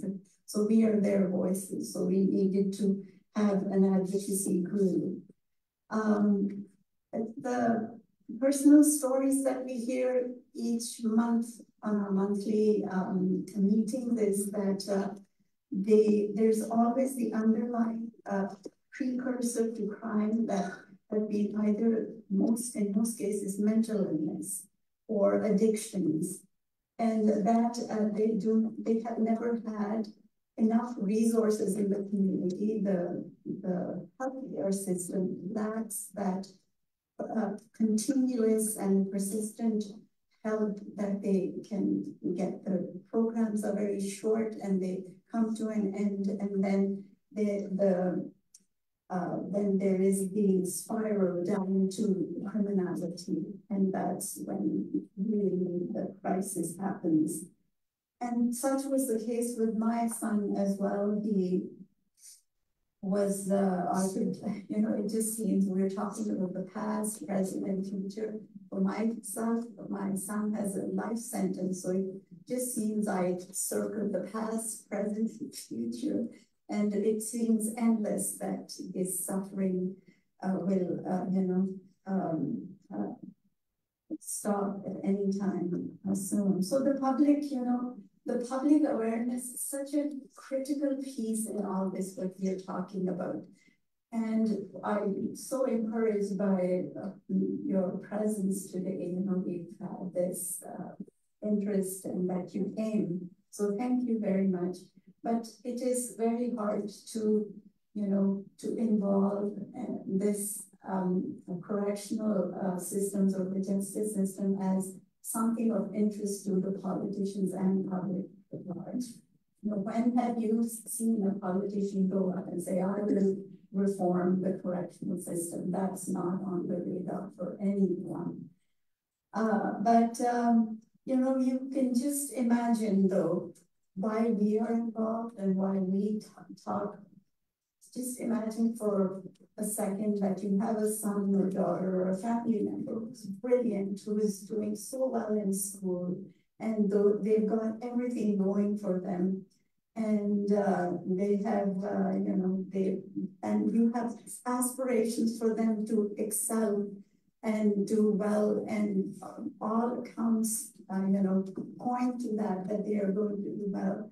But for some reason beyond our control, we just imagine that that loved one that you hold dear and have high expectations for ends up being incarcerated. And everything you have taken for granted to be simple and normal and routine that, you know, you think I'm Canadian and my son or daughter was born here and I can this is just like a system that I can, you know, I have, I will have, I have rights. But then you find out how the system is fraught with, uh, you know, inconsistencies. You're um, you're you're dealing with anxiety, anger, and despair, and frustration, and this painless learning curve that you have never imagined possible, or, con, or you're, uh, you know you're a contented Canadian citizen, but you will be it'll be a staggering and a desperate way to find help. And uh, so imagine that these scenario, you can just imagine how, what kind of an impact it eventually has. You know, you see them uh, once they get incarcerated and some of our moms have had the remand in the period when they are in there and they're awaiting trial. That remand has become longer and longer in our system, unfortunately. And you will hear the, I've heard the, the leader of the opposition and our premier for Ontario speak that, oh, they shouldn't be bailed. They should be put in prison. They have no idea what they're talking about when they, they, they don't think for a second that it would be anyone in their family member that can use the. If they did talk for a second, they wouldn't be making statements like that. So it's that kind of mindset that we have to, you know, struggle to uh, deal with. So most of the time, uh, and in one case last year, this did happen, but remand period was too much to bear for one of our moms and for her son. This, she kept saying, and she was in a meeting and she told me her son, I didn't think would be able to wait seven months. That was the duration that he would have to sit in jail and await his hearing, the first preliminary hearing. So there was the mother expressed this fear that this is it's not going to, you know, pan out well. And she, her fears proved right. And our whole group was very affected by this. It was like having uh, your own loved one pass away uh, uh, by suicide. So we have had experiences like that, but you know, we um, we advocate and we write letters and we've written opinion pieces, and those we hope will make a difference. We can only hope.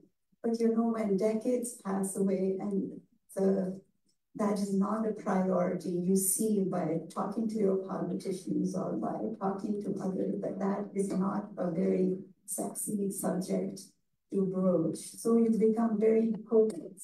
But sometimes the situation does get uh, alleviate itself for some um, uh, women and that in our group, and they would share a good time story, a good story that we really, you know, lifts us up again and that we can continue.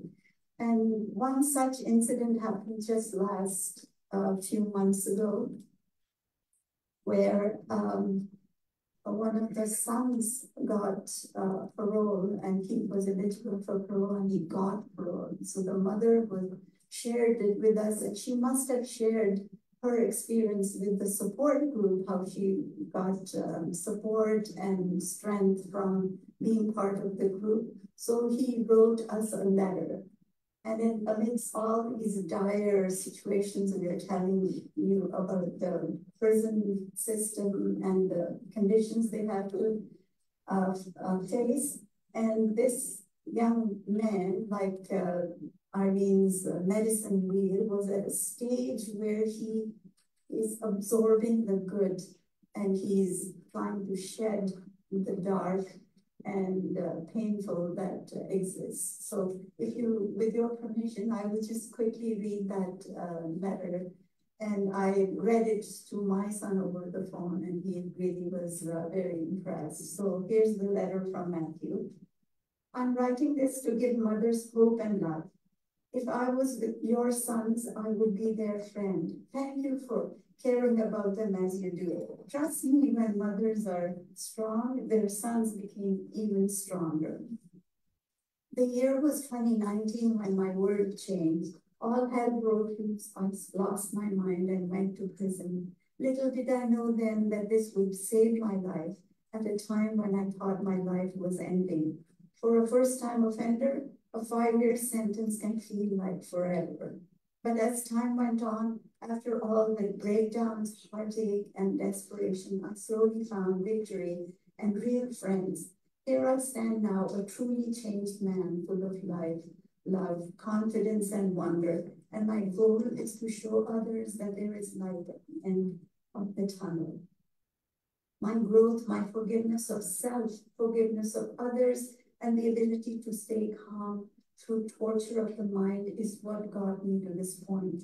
Going through the experience of a prison has taught me more about myself than I ever thought possible. The trick is seeing prison not as a place, but as a tool to grow. And when it's time to leave, a second chance at life is the gift that comes. People who surround me in prison can be untrustworthy, but there are diamonds in the rough. All I needed to do was learn the difference. People do care about each other in this place. I badly wish I had calming words for mothers with sons who are here for a long time. I can't imagine your pain, but I would say that from my time here, I found true friends who care for me. I can find that your son can too. If I can find that, your son can too. Family is what makes it. And here you can choose your family members. Remember, your sons do have good people around them. That is encouraging to you. Keep in mind that nothing lasts forever. One day we will all be free again. Just believe and never stop looking ahead. The best times of your lives are yet to come. This is very hopeful and positive, so I ended it with that, but the struggle continues. Thank you So that was uh, from Ottawa. We had the audio. And again, I really want to send a huge amount of love to many of the mothers who have to do this work of advocating for their children who were killed inside this country's prison. And we know the incredible trauma of that and also the courage it takes. We're now into the kind of messy part of this broadcast. Um, this is where we attempt to join many of the events. So we will be headed to Toronto first, uh, to Toronto to um, we have some footage from the events that took place there. Um, just full disclosure, Justin's like literally receiving footage and is behind the scenes trying to desperately cut that footage and can't come on camera while he's doing that. So we're going to be kind of in this frantic stage to bring you this footage right now. So Justin, just give me a thumbs up when you're ready to place, when we're ready to go to, to Toronto. Just let Yeah, me know. we're good. Okay, we're good. All right, so we're going to join. Uh, we uh, there's this footage. Do you want to set us up, Justin? What are we looking at? Okay, so we have some uh, footage taken earlier in this day from the event in Toronto, and we'll just let that play for a moment. Yeah, we're going to listen to uh, three speakers. And at this Prisoners Justice Day event organized in Tkaronto, Toronto, um, there was information booths from local organizations.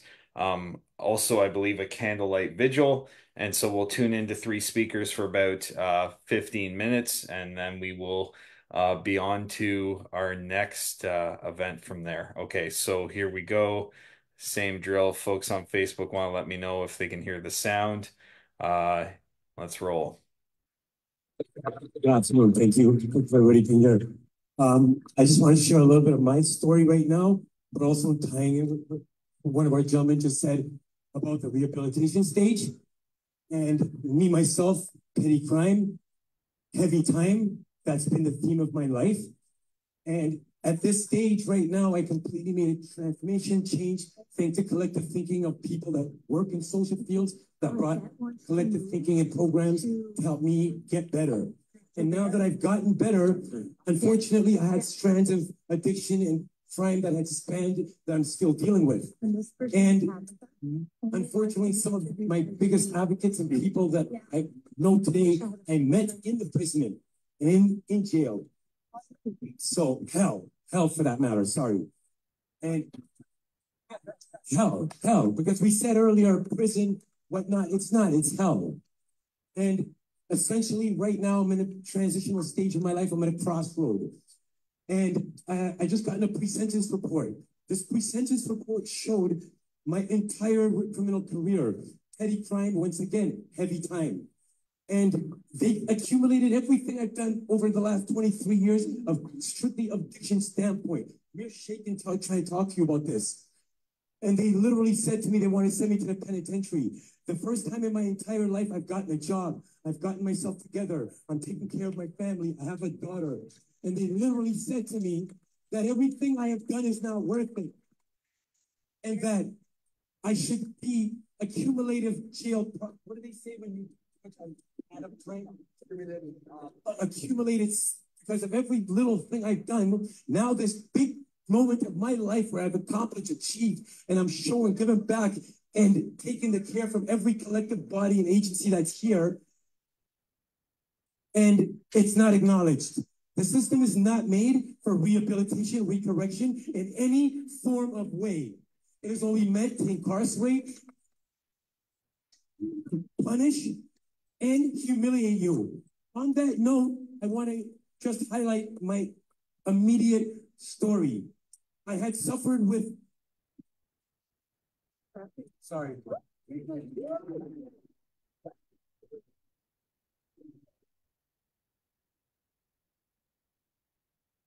I have suffered with illiteracy my whole life.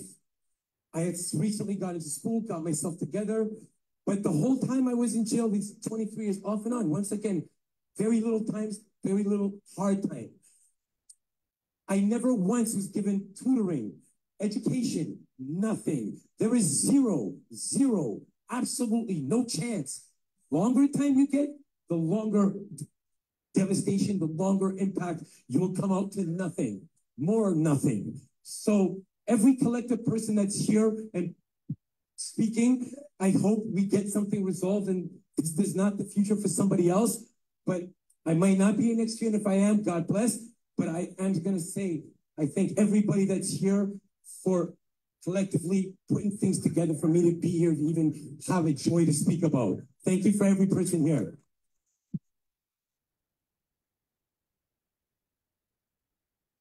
Only is up from there, right? Only way is up. Only way is up. One way, one way, only way is up.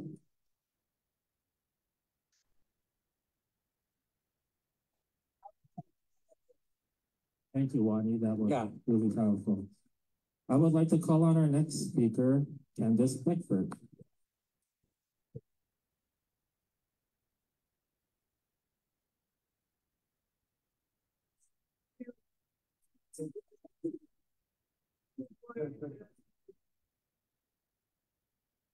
Hi, everyone. Um, thank you for coming out. My name is Candace. Um, I'm 42 years old. Uh, I am a person of who has been diagnosed with HIV. I am also, um, I would also consider an addict. Um, Thank you. A recovering addict. Um, also have been out of the prison justice system for about five years. Um, you did so good. You know what? Um, when you're really frustrated and it's hard to talk, I almost never got to meet. Has to come um, and I just want to share my little story with you. Thank you. Um, I never really grew up with brothers and sisters and stuff like that. You know, I was very sheltered by my, my dad. He really tried to keep me out of, of trouble and make sure I went to school on time and you know, all that stuff. Um, I ended up wanting to be around people so much that I wanted a friend so much that I started hanging out with the wrong crowd. And that ended up me being involved with people that did crime, drugs, and that landed me in jail. Uh, when I was diagnosed with HIV in 2009, um, I had just gotten raped. I was held hostage for 36 days, beaten and raped. Um, I ended up in, jail and I found out in jail. And everybody that claimed they were my friend were really not my friend. That's who you knew, how I knew who my friends were because they were the ones to say, hey, I'll still be there. Nothing will change. And guess what? It was the total opposite up until today. The, the, the guards in that jail in that in are so terrible. I mean, they would segregate me on purpose, make it look like I did something I didn't do. If I put in a canteen sheet, they throw it out, things like that. And to the point where I had to file more than one human rights complaint against the system because don't let that they abuse their authority against every woman. They lock you down for you being black, for you being whatever you are, for you being an addict, and they treat you like you're shit. They treat you like you're nothing. And that is not good. And then but that but then they expect you to respect them, but they don't respect you. Everybody is their own person. Not drugs, crime, that that does not define you as a person. You are your own individual, no matter what. And everybody deserves respect, and everybody should have respect, and everybody should give respect. So my short little story is that I love all of you, and I just want to pray for everybody out there that has passed. The Spirit is here with us today. So let's thank God and pray and say amen. Amen.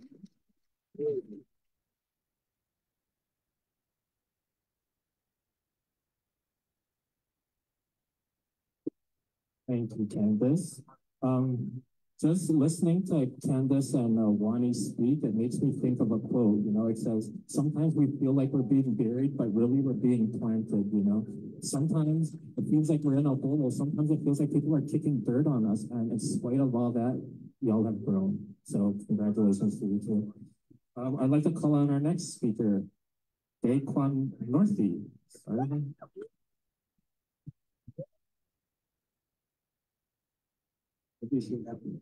Hello, how are you guys doing today? How are you, my man? All right, all right. Um, I'm 30 years old. I'll start like at the beginning. Um, I was born like in 1994. My mother passed away when I was about three years old. And my father passed away in like 2001 when I was seven. I had just moved to Canada. Um, when I was 12, I was I found out I was diagnosed with uh, HIV. So not to give any excuses for my incarcerations or anything, but I've had it pretty bumpy, you know. I think I've even run into a few people along the way, you know what I'm saying? Good to meet you, of course. And I didn't know how to like, you know, work the system. And I've had to have older men like tell me, you know, don't put yourself out there like that and protect your own, you know? These guards aren't here for me, right? They're here for themselves and their paycheck and their families. So they don't really care about me, right? So I just wanted to tell you guys that little beginning and just to let you know about the last part. Like I just got released about last year. Um, my my most recent charge was with one of my uh, kids' mothers. I have two baby mothers and three kids. Um, they're all like eight years old and under. So my my youngest one is eight months old. She's her name is Zilla. The last time I was incarcerated, I literally took it upon myself to like remove all negative from my soul because they had kept me in a cell for by myself for 37 days and I didn't even know my rights. So I had to literally look it up, get people to bring me papers. I was sitting there crying, singing, going crazy, watching people smear shit on the wall, you know, kids younger than me losing their mind, right? And I spent 37 days in a hole. And I don't think I can do anything to correct it at this point. I don't think I, I can pursue it.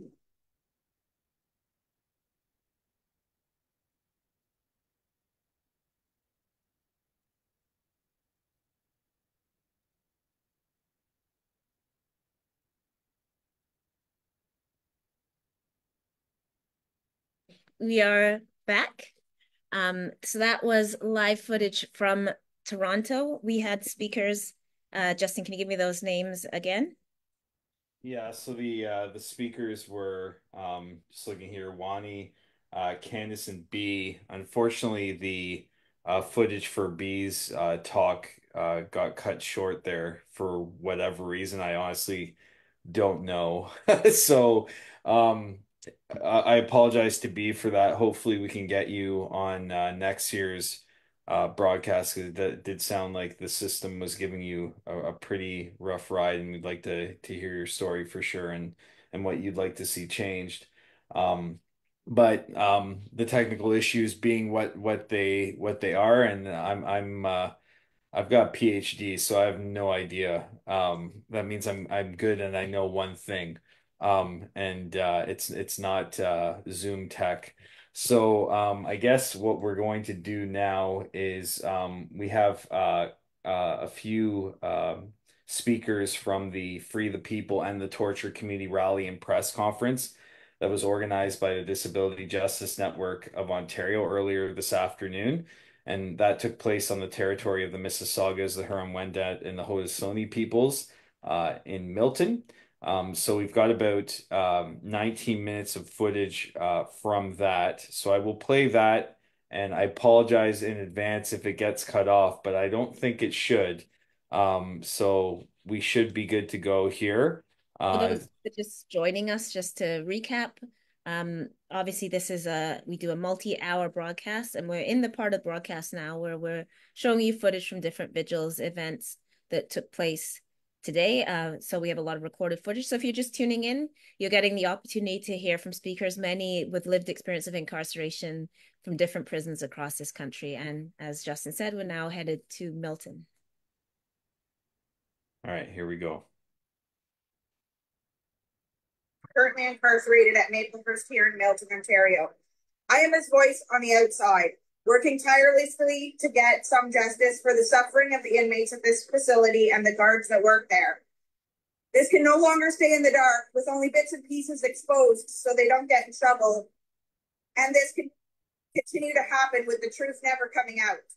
I am tired of sitting, listening, and seeing what's happening in there. I am in no way justifying the actions that led these inmates to be arrested. It's that everyone deserves and has the right to be treated humanely. These excessive lockdowns are having the same effect as long stays and segregation. I am seeing this with my own eyes when I visit or have a phone call. The lack of support for these prisoners with mental health concerns or addiction concerns, or even support for navigating the criminal legal system is only making things worse, not better. If only they had, I mean, really had the supports in place with full access to these inmates, they could turn a new leaf and come out prepared for living in society again. If they had access to rehabilitation in the first place, they probably wouldn't even be incarcerated right now.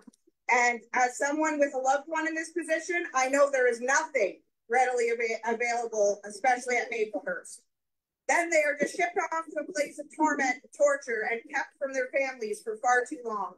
Even with a gap of nine years, my family member still fell hard again because he had zero support and was subjected to similar conditions and torture as a youth in the criminal system it really shows that they are what members still fell hard again because he has zero support. It's ruining their lives and the lives of loved ones. Before being incarcerated, my family member was full of life, ambitious, outgoing, loved music, and was so talented. He loved the outdoors and family road trips. Now I see a very broken man. This place breaks everyone who comes here and leaves everyone with no hope at all for a better life. This not only breaks the inmates, the families suffer too with only so many lockdowns and the loss of visits and phone calls with our loved ones going days or weeks with no contact whatsoever. So we don't even know if they're okay. Mothers, children, family crying themselves to sleep, worried sick. Now, we now live scared, anxious, and stressed out, losing sleep and appetite, constantly making sure we don't miss that call because we don't know when another one will happen or if something bad had happened showing up to visits being denied, and all because of understaffing or because they need to hide something to lock their access to the outside world. Family having to take the financial burden of filling an expensive canteen fund to be sure our loved ones have phone time that they barely get to call us on, and extra snacks, food, hygiene products, and having that taken as, away as punishment having to take on a lawyer's job because Maplehurst doesn't provide proper access for inmates to communicate with their lawyers. Tons of canceled lawyer calls. The courts never seem to have the paperwork or any proper communication between Maplehurst and the courts, resulting in so many remands or missed court dates. Or maybe that's on purpose too. I would not put anything past the system these days. When it comes to Maplehurst, I wouldn't put anything past them, especially after the institutional crisis intervention team the ICIT, unlawfully was brought on December 20th to the 24th, 2023, after an incident where a CO was assaulted by an individual inmate and others on a different range cheered. There was no crisis, there was no threat after everyone was locked down and the individual, was cuffed and taken off the range.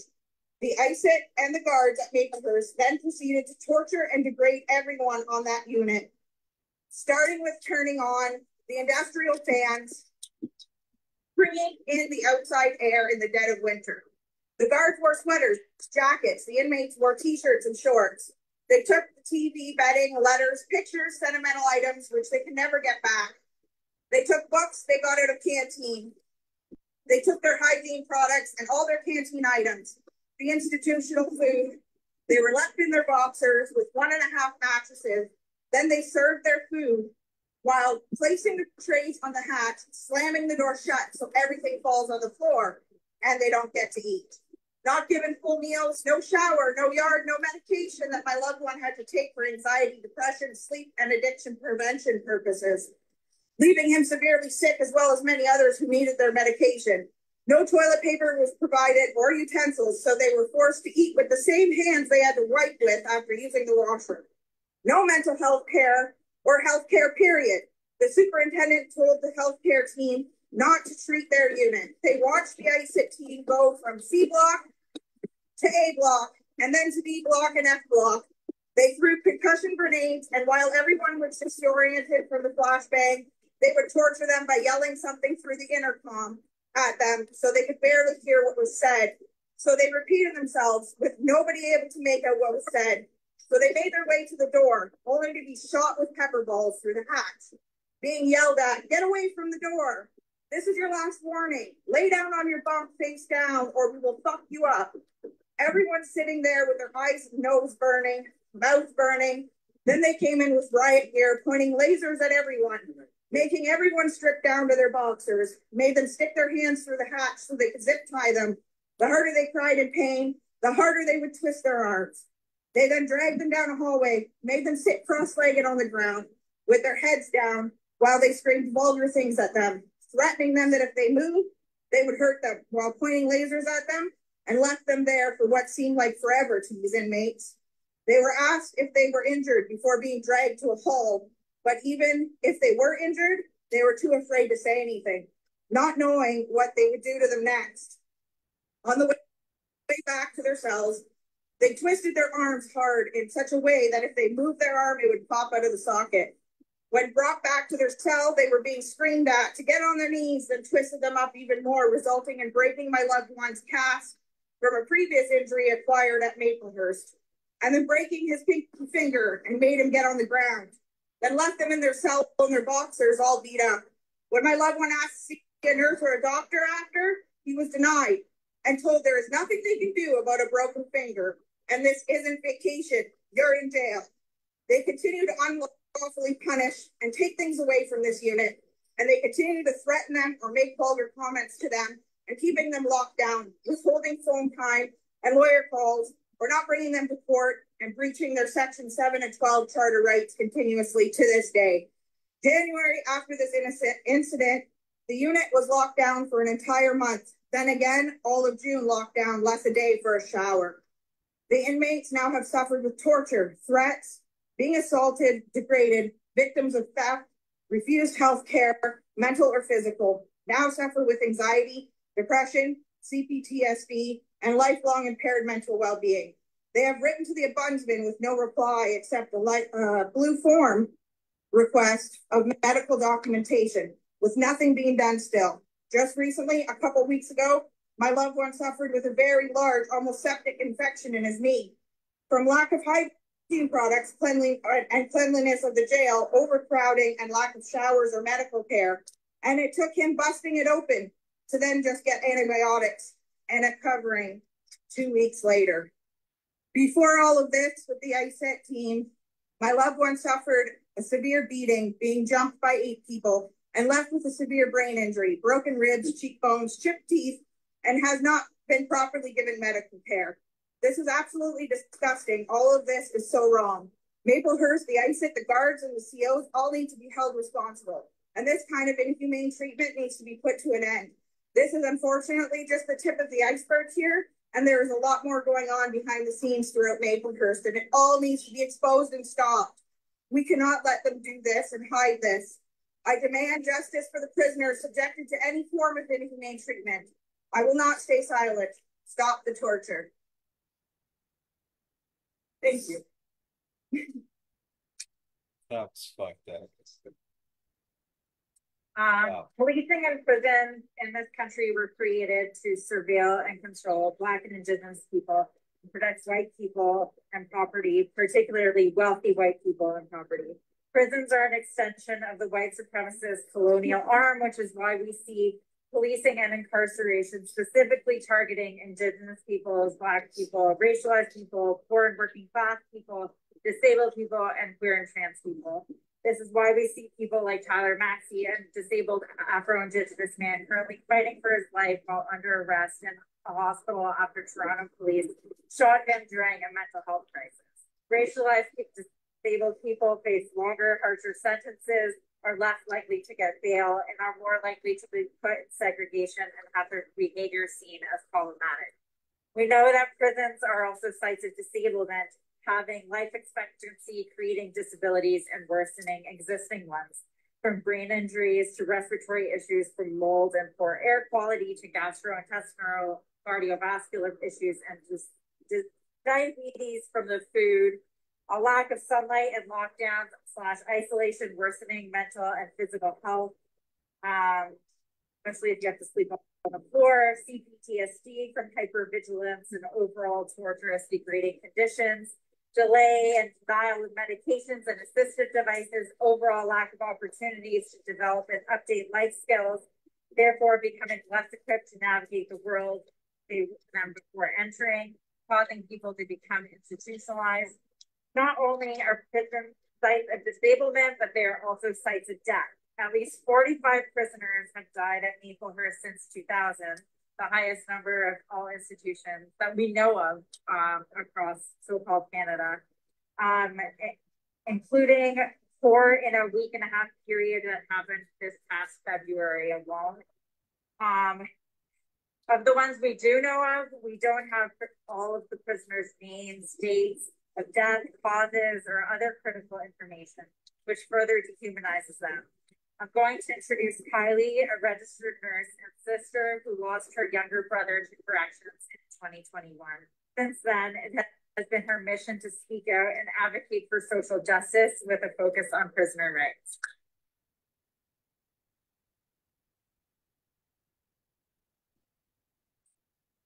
Thank you so much, Kylie. Um, was right here, Maplehurst Correctional Complex, three and a half years ago that my life would forever be changed I would be thrown head first into a world I had no idea about. My naivety would be quickly ripped away. 1,325 days since I last saw my brother smile.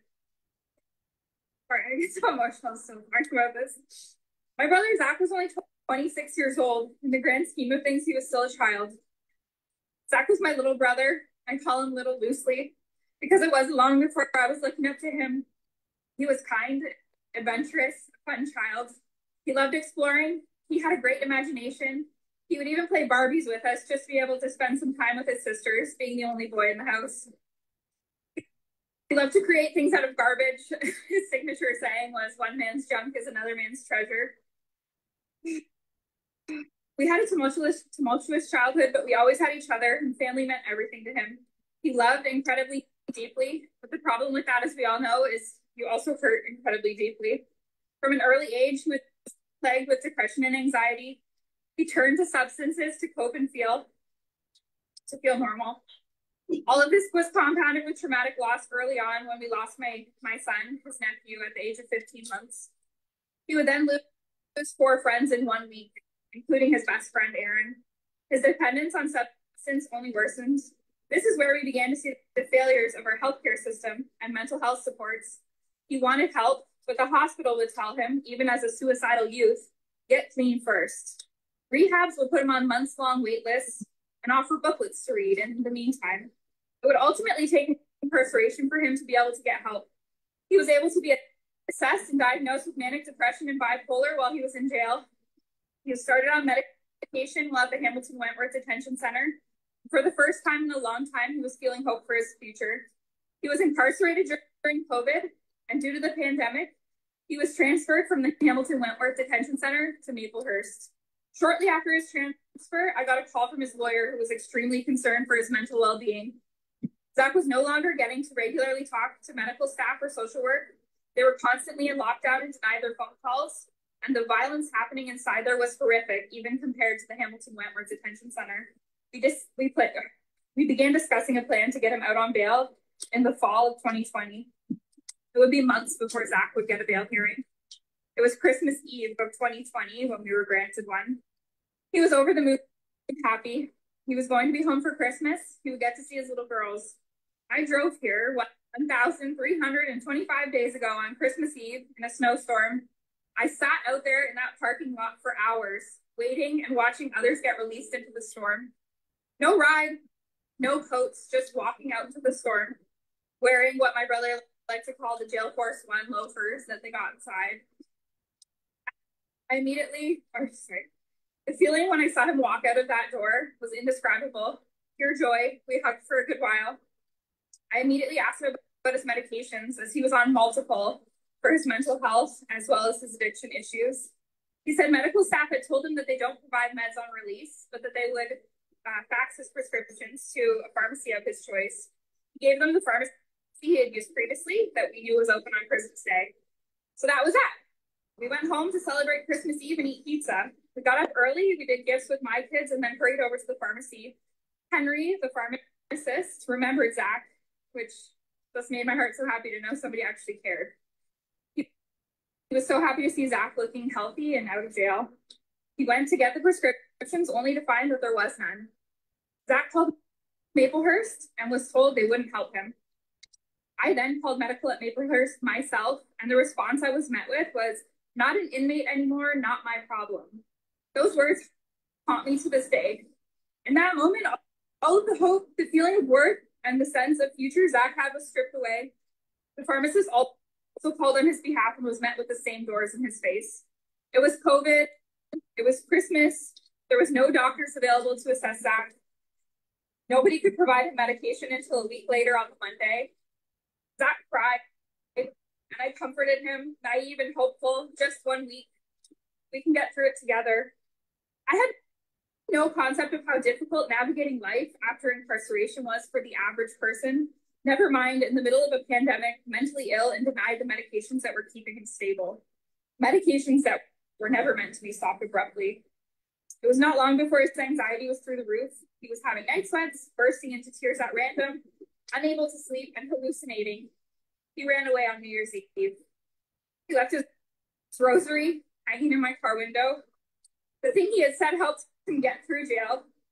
He left his coat, his smokes, and his phone, and a note apologizing for being a fuck up. He no longer felt his life was worth anything.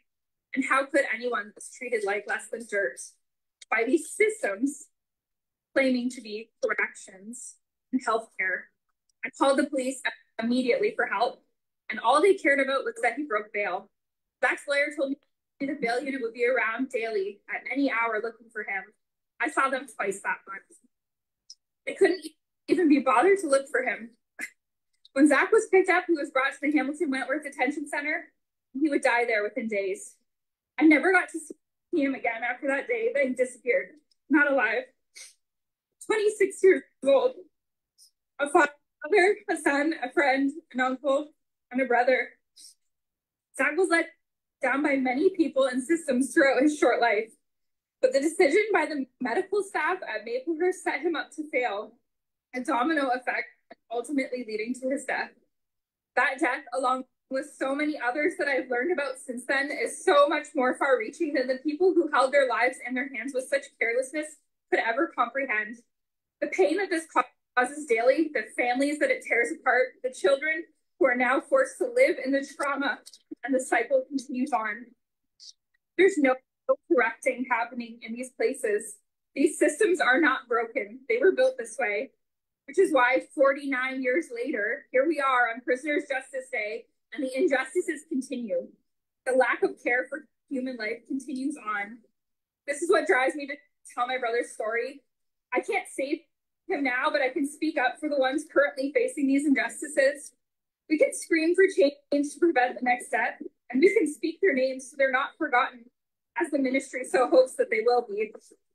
Their deaths will not be in vain. This is an uphill battle and it's hard. But getting to speak and see all of you here who do care gives me hope. It's not for nothing. We have to keep fighting for the ones we've lost and the ones that are still in there fighting. We have to keep talking, keep saying their names. We will have justice.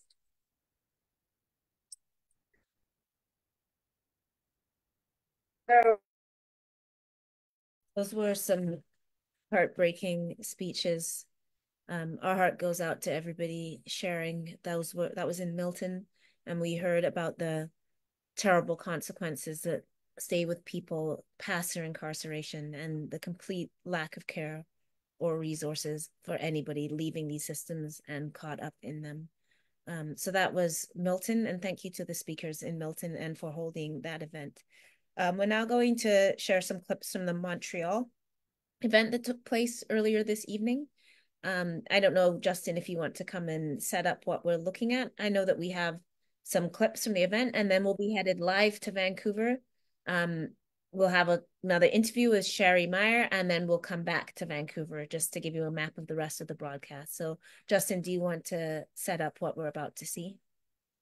Fuck this system and fuck Maplehurst. That's all I have to say after that one. Anyways, um, yeah. So uh, in Tiohtià:ke, uh, Moonee Montreal, um, we're gonna play uh, four clips uh, from the annual uh, PJD vigil that happens uh, every year at uh, Parc Vinet. Um, and as per usual, hopefully the audio and uh, the video will all work out here. Uh, and if we run into technical uh, glitches, we're going straight to Vancouver. But uh, my shirt is also a Montreal Prisoner Justice Day shirt. Yeah, very nice. They they've got some pretty cool swag for this year too to to raise funds for for the organizing work that they do there too. We'll try and show that later. Um, so uh, I'm going to share the screen now and uh, cross our fingers here. Here we go. From my story, you know, my, the main part of my story is all that glitter is in gold. Um, I'm a lifer, 69 years old, you know, taking care of myself. I go back to the days when you made Justice Day was first you can trust it. When my brothers here, they know. Um, me, I was born in Halifax, Nova Scotia. Scotia. Mm -mm. two seconds. So we'll we'll go back to that first clip if we can in a bit. I think it might have been partially downloaded, so hopefully I'll fix things on the background, but we're gonna listen to a song here. Okay.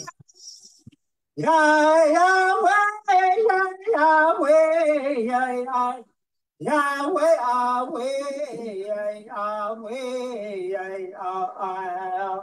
Yahweh, Yahweh, Yahweh, Yahweh, Yahweh, Yahweh,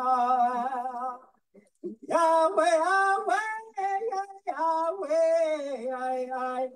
Yahweh, Yahweh, Yahweh, Yahweh, Yahweh, Yahweh, Yahweh, Yahweh. Yahweh, Yahweh, Yahweh, Yahweh.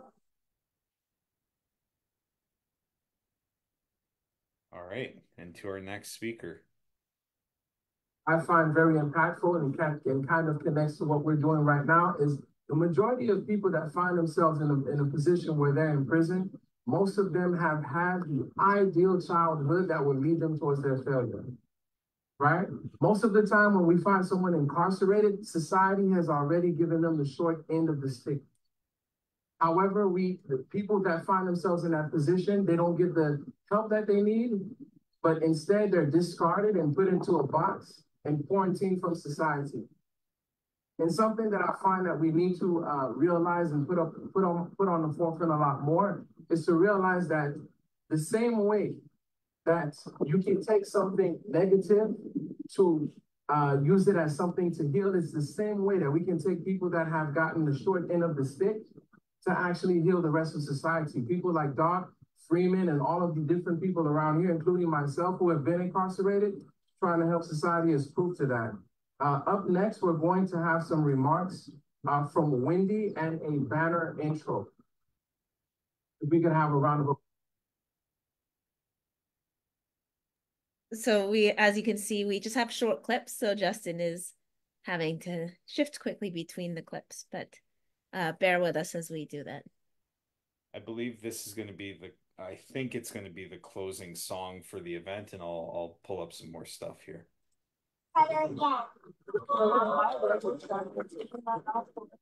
There's no way it's taken than five.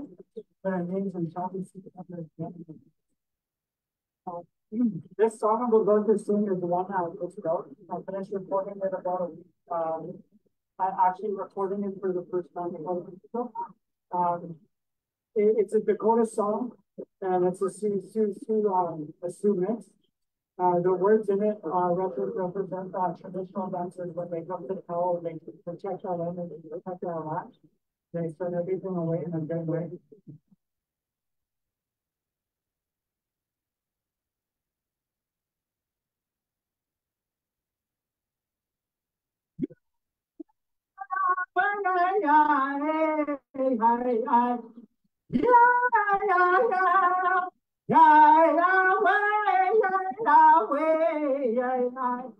Yahweh,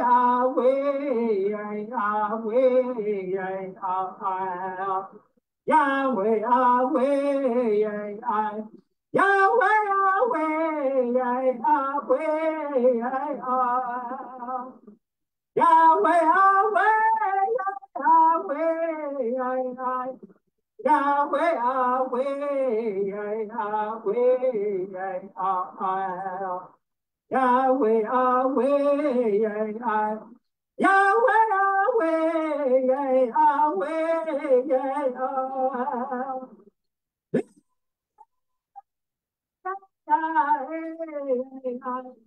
Yeah, yeah, yeah. Yahweh, Yahweh, Yahweh, Yahweh, Yahweh,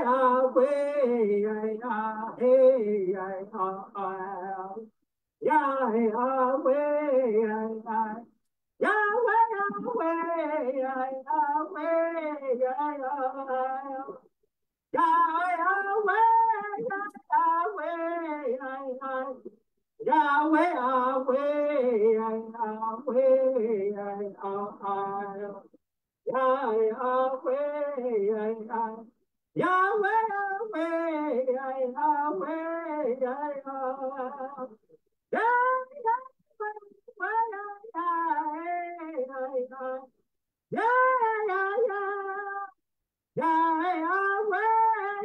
Yahweh, Yahweh,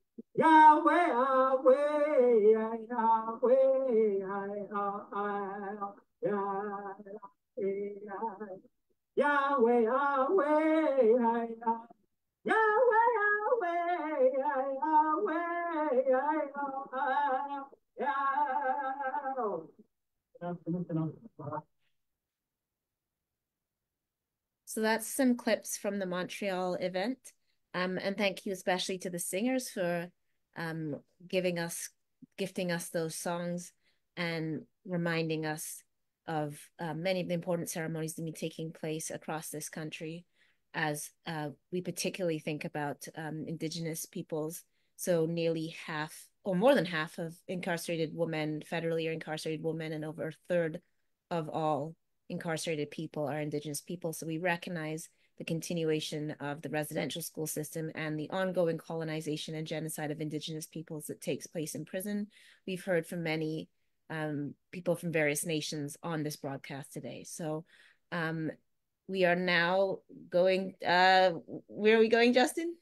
We're just gonna stay. We'll we'll come to me for a second, and then we're gonna go to to Vancouver. So, um, just to say that, like at this point in the broadcast, um, I think we we can kind of return to uh, what the the how PJD started and also um, uh, what it's been mainly about over the years. And to do that, um, just to, to bring a reminder to folks who may just be joining us online, I'm going to read a bit from our, our friends at PJD in Montreal um, put together uh, in French. So I'm, I'm going to share some French content for a minute. Hopefully that's okay with folks. Um, and this is on Instagram. We'll post this on, Facebook in a second. Donc, encore une fois, euh, aujourd'hui, c'est la veille pour la journée de la justice euh, pour les euh, détenus. Um, donc, il y a eu un événement aujourd'hui à, à, Montréal, à Parc Vinet, um, qui a commencé à 14 heures aujourd'hui. Um, on reconnaît que Chaque 10 août, les détenus participent à la journée de la justice pour les détenus en jeûnant et en refusant de travailler pour la journée. cette pratique remonte à 1975 lorsque des détenus du pénitencier de Millhaven, situé à l'extérieur de Kingston, en Ontario, ont organisé une journée de grève de la faim, d'arrêt de travail et de vigile en honneur de deux prisonniers décédés en isolement. Donc, euh, on sait, par exemple, euh, que cette année, ça marque le 50e anniversaire de la mort de l'un de, ces prisonniers-là, Edward Nayland. Euh, puis voici un passage des mots de prisonjustice.ca qui ont été traduits. Eddie purgeait une peine d'emprisonnement à perpétuer, perpétuer et avait fait des allers-retours en isolement depuis le début de sa peine. Il connaissait bien les procédures de la prison et le fonctionnement du comité d'examen des cas d'isolement. Même si Adi s'est suicidé au petit matin du dessous, les preuves montrent clairement que la main qui a tenu la lame de rasoir est celle du système pénitentiaire et de ses administrateurs apathiques. Um, il continue euh, qu'il s'agisse du trou, de l'isolement ou des unités d'intervention structurées, l'isolement et le manque de communication se poursuivent aujourd'hui et causent beaucoup de douleur et de souffrance. Nous luttons pour mettre fin à toutes les formes d'isolement carcéral et à toutes les formes de prison. Donc, euh, merci euh, aux gens euh, à Montréal qui ont mis ça ensemble. on va maintenant passer à Vancouver. Elle, um, if you could just hold us for like about a minute. I'm gonna transition us from here, okay? Thank you, Justin, and thank you for getting that uh, bilingual content in. Uh, just a shout out to Justin. Um, this event always comes together. We always think about it and plan it, you know, as usual with activists and people in a bit of a scramble. Normally, uh, Comrade Desmond Cole hosts this broadcast with me and I said, oh, you know, Desmond's not available. I need a co-host. And Justin swore he was just going to be behind the scenes. There's a lot of tech stuff, as you can see, putting up different interviews. Some of that stuff is coming in as we speak. And so Justin didn't think he was going to be co-hosting and has really been jumped in as we go into doing some of these hosting duties. So thank you, Justin, who's also, as I said, like frantically behind the scenes, also uh, connecting with people that we're bringing in to do the interviews, um, clipping stuff as they come. So thanks, Justin. It's your hard work that has got this broadcast off the ground as well as everybody else. And I'm about to frantically bring in an interviewee from Regina instead of going to Vancouver. So uh, please welcome Sherry Meyer coming to the broadcast. If you just want to cue that up, well, I guess I could. Um, so uh, earlier today, um, Sherry and others uh, from Beyond Prison Walls organized a Prisoners Justice Day memorial at the Saskatchewan legislature, uh, which took place on Treaty 4 territory in Regina this morning. So Sherry is here. Uh, and sorry, Sherry, for just bringing you in like this. Uh, just some technical issues on our end with Vancouver.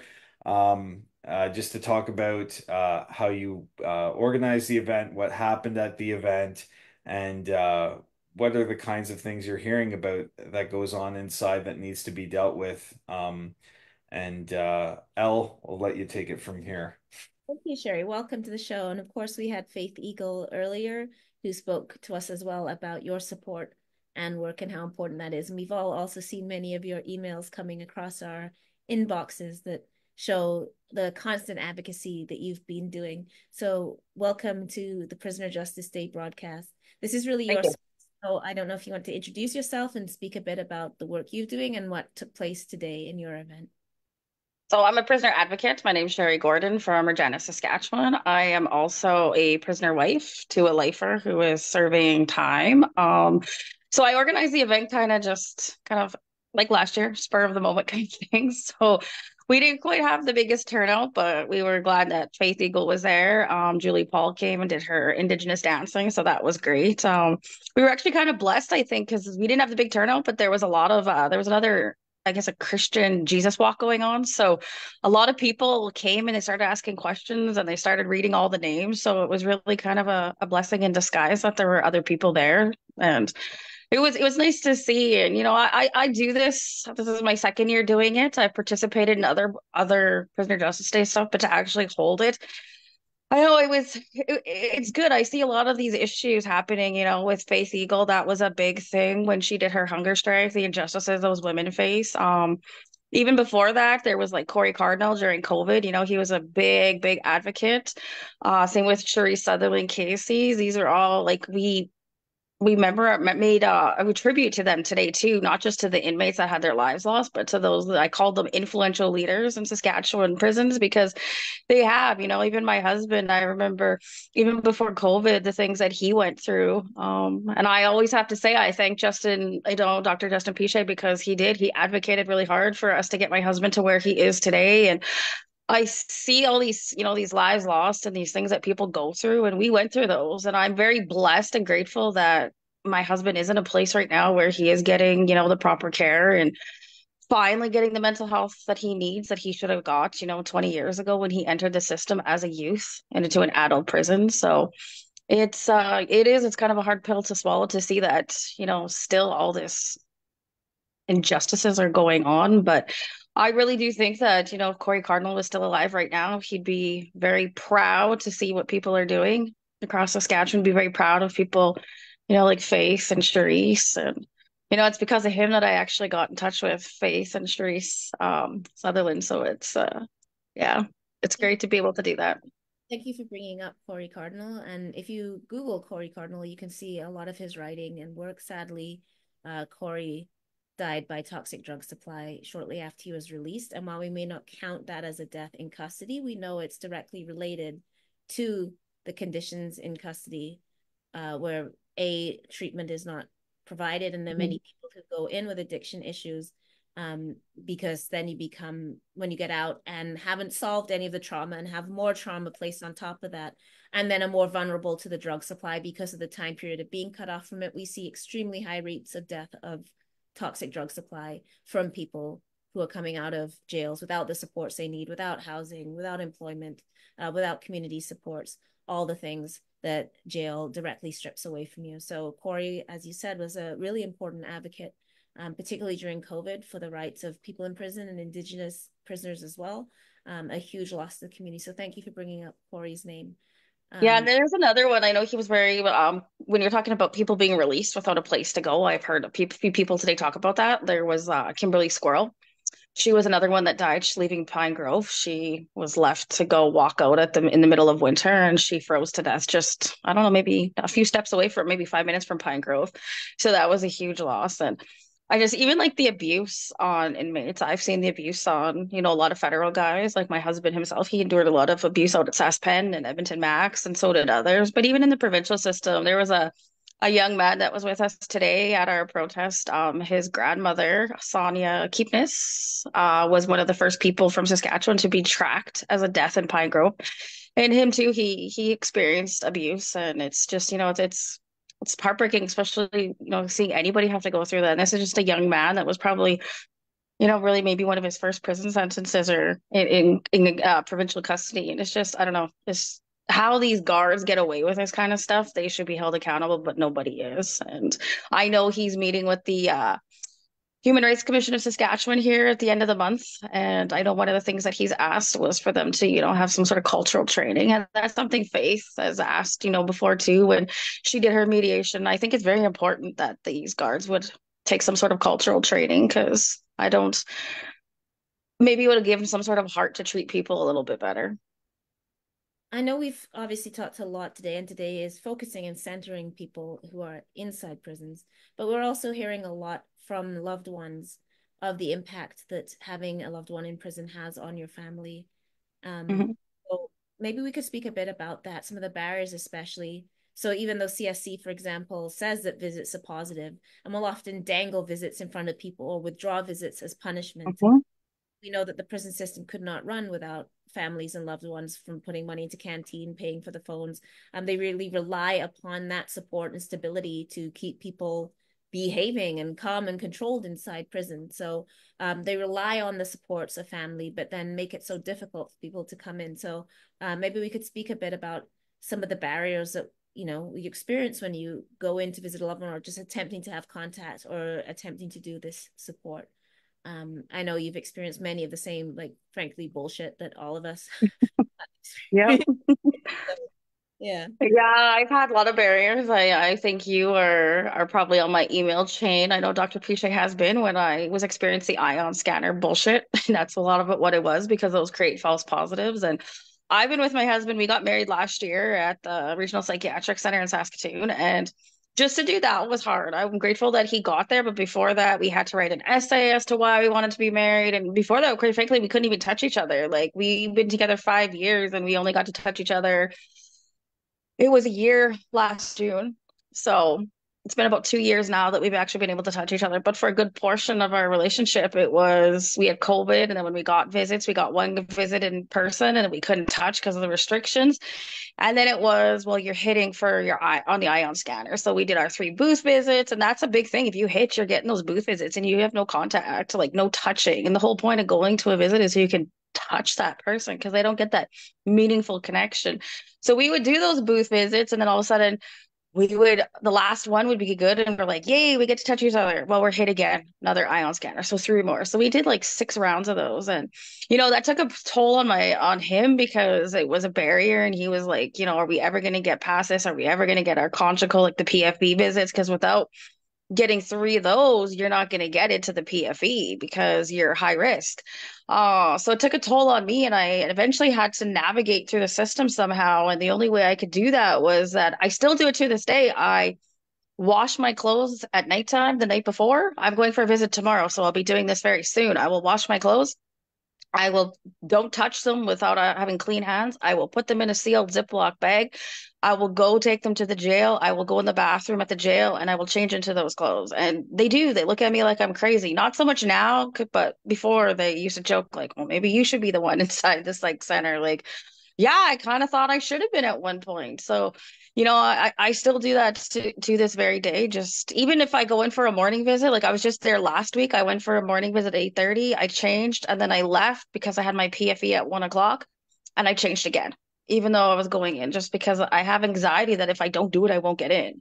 For those who don't know what we're talking about, so much like the airport, um, there's these scanners in prisons. Yeah. So when you're going to a prison, you have to go within this window you have to put like yourself in a locker then you go through metal detectors then they do scanning then they bring out a dog. There's a whole process before you can go in all of which by the way cuts into your visiting time. So if you have a visit from say like one to four they don't start processing people until one.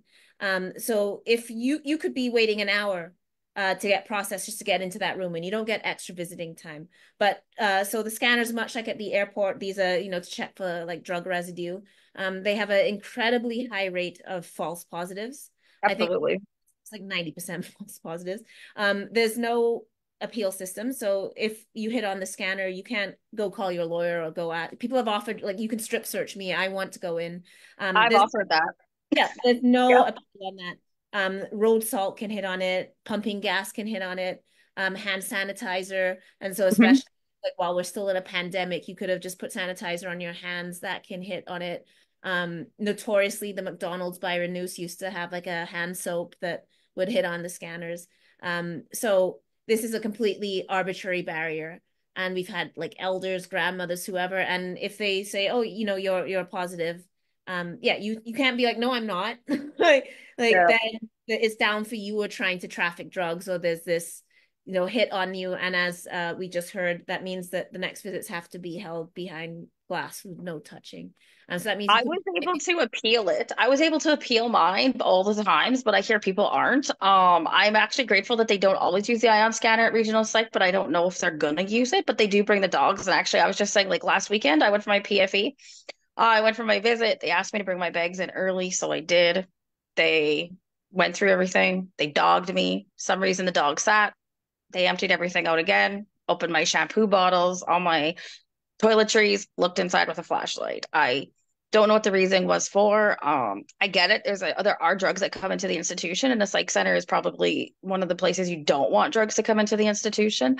Um, but they've been really good with me with my visits. It's everywhere else that I had a problem. Uh, to to get into a psych center, I did have problems at first. I had to appeal it with a 12 page uh document that I wrote to prove, and I investigated how the ion scanners create the false positives because they don't test for the drug they test for the same molecular structure as the drug. So I think they just got really pissed off with me and were like, you can have your visits, just shut up. because they the warden every warden of every institution we've been together five years and we're at our fourth institution. We're hoping to go now into uh, a healing lodge for him. So he's working really hard to get to that until we get his review. Um but yeah it's it, it's been a battle. And i do i feel sorry because i hear a lot of people that go through the same bullshit that we went through. And it's it's awful you know like I even like Sask Pen right now, you know, the um, Julie Paul, her son is over there, and she was even saying too, you know, they're having restrictions on visits because if you piss dirty off for drugs, then you get like restrictions, so you're on booth visits, and that's kind of hard, you know, and you just need that contact. A lot of guys are doing drugs because they don't have visits, they don't have that contact, and that their policies, I think, if they do, they kind of need to be changed or they need to be tested more often. I remember when my husband was in that situation, he was constantly using drugs, and part of it probably was because he didn't have that human contact. I've, you know, you talk about families witnessing things. I've sat on the phone and heard my husband slash up guards sitting there saying, drop it, drop it. And he was like, back the fuck away, or I'm pardon my French, but he was like, back the fuck away, or I'm gonna slash my neck. And that was during COVID. That was during, you know, the uh, children with the unmarked graves, and all of a sudden the phone goes dead and you know they tackled him down i've had him not call for days and i had to worry you know crazily about him and call the institution and i'm told well if he would only not act up he needed a timeout for acting up and here they throw him in an ob cell for 20 i think he was in there for about three days constantly watched and the only way he got out of there was he threatened to call the RCMP. He says, if you don't get me the F out of here, I'm going to call the RCMP. And that's when he called me. And that's kind of where I think a lot of my advocacy really took off just because the injustices that he went through as an indigenous man, just as an inmate. And I don't even like to call them inmates. I don't like to call them prisoners. I made the comment here earlier today about uh, a guy who was in a long-term offender. And when he got off, he wrote this document and he said the best way to refer to prisoners is not that way. They should be called um, incarcerated Canadian citizens because that's what they are. And I think, you know, a lot of people don't remember that they do have rights. They do fall under the Canadian Charter of Rights and Freedoms. And these institutions like to break that. And I, you know, I give credit to people like Corey Cardinal and, you know, Faith Eagle and Cherise, all these people who really they protest for their rights when they're violated. I think that's very important to remember. A lot of people just forget that. So Sherry, if people want to um, connect with you, track your work, where can they find you? Uh, so I am on Twitter. It's under, I think it's uh, the uh, Prison Walls is what it's called, but the easiest way is on Facebook. So we were Beyond Prison Walls Canada. And then as of February, we actually got nonprofit status. I haven't done a lot with it, but so now the Facebook page has changed to Beyond Prison Walls Canada Society Inc. So we're on there. I'm quite responsive. If people need help, I still do things, help out. Um, just so people know what kind of advocacy work do you do? What can they contact you for? Uh, they can contact me for pretty much anything. I you know I'm there for support. Um, I used to do a lot of like grievances and help people with a lot of federal stuff, but I kind of I don't really put my nose into federal stuff just because it causes a lot of problems. But I do still people reach out to me. I do connect them. Um, I do. I'm very close with the vice chief of the Congress of Aboriginal People, Kim Beaudin. So I will try and send things his way if I can't. But provincial, um, you know, Saskatchewan provincial is the easiest thing for me to deal with. I don't to get any backlash from it. I just, when I kind of, I hate to say I stepped back from advocating on the federal level, but when I did, uh, when I was really active in it, it kind of caused a lot of issues. You know, there was a lot of harm done to my husband for it. There was a lot of harm for me. So they always said, you know, shut your mouths. And I'll never shut my mouth, but I just kind of, I tread lightly, kind of very real, right? That like mm-hmm. we're on the outside and the person that can be got at is the person on the inside who can be denied visits, denied food, transferred into different situations, transferred away, um, given level, like all kinds of retaliation. So um, we've said throughout the show that people and a, a, lot of people that are coming to speak on us to us are not off parole and other conditions mm-hmm. themselves. Um, so it takes a lot of courage for everyone to speak out because not only of the stigma, but because of the real consequences. So Sherry, thank you for joining us. We're about to move, I think, going live into Vancouver. So thank we you. have to end our time with you, but thank you so thank much you. for your work of your advocacy. You. Love to your my love to your husband. And I thank need to you. you about school, I think, as well, right? Sorry? I need to connect to me about school. Is that the case? I think yes, yes. Yeah. Okay. I mean, meaning Thank you. I was away, so we will connect offline. Yep. Okay. Perfect. Thank you so much. Yeah, Thank you. Take care. Thank Bye. you so much. And Justin, if we're ready, we can uh, go into Vancouver now. Are we ready? Uh, oh, perfect. So we're joining live uh, now Vancouver, uh, which has one of the longest running Prisoner Justice Day. I believe this is at the Claire Culhane Memorial. Uh, so I don't know, Justin, if you want to set us up any further. I think we're just joining as Meenakshi Mannoe has been speaking.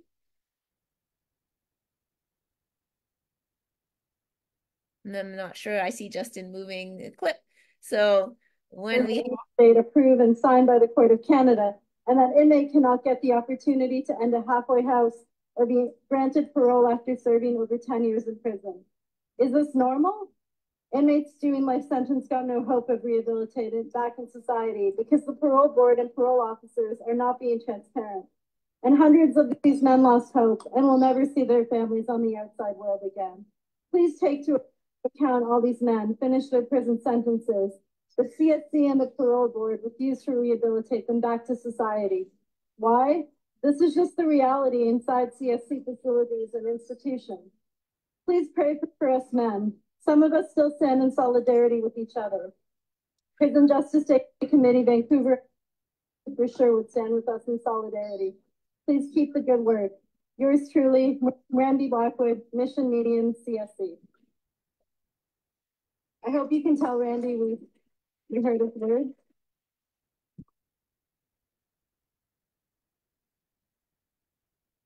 I think this goes back to what, you know, folks from Joint Effort were saying that it's a one size all fit program. There is no real interest in rehabilitating people. And at the end of the day, prison is a massive money maker, right? It's a massive industry. It's not quite the privatized prisons of the states, but it is an industry, right? Um, everyone working there is on the take. Those community resources, the CSC funded facilities. I just saw something about like a trans history project at UVic that was getting CSC funding. And I thought, how shameful, how absolutely shameful that people are saying that this is liberatory work and you're taking money from such a genocidal institution that actually does like incredible harm to trans people inside. Uh, but some people will take any money, right? Um, I asked the researchers to get back to me, but they haven't. Um, I'm going to invite a couple more folks up to speak. Um, so you're not just hearing my rants. And the next speaker I have is Q, who is an artist and organizer um, who just moved closer to Vancouver and um, has spoken here in previous years.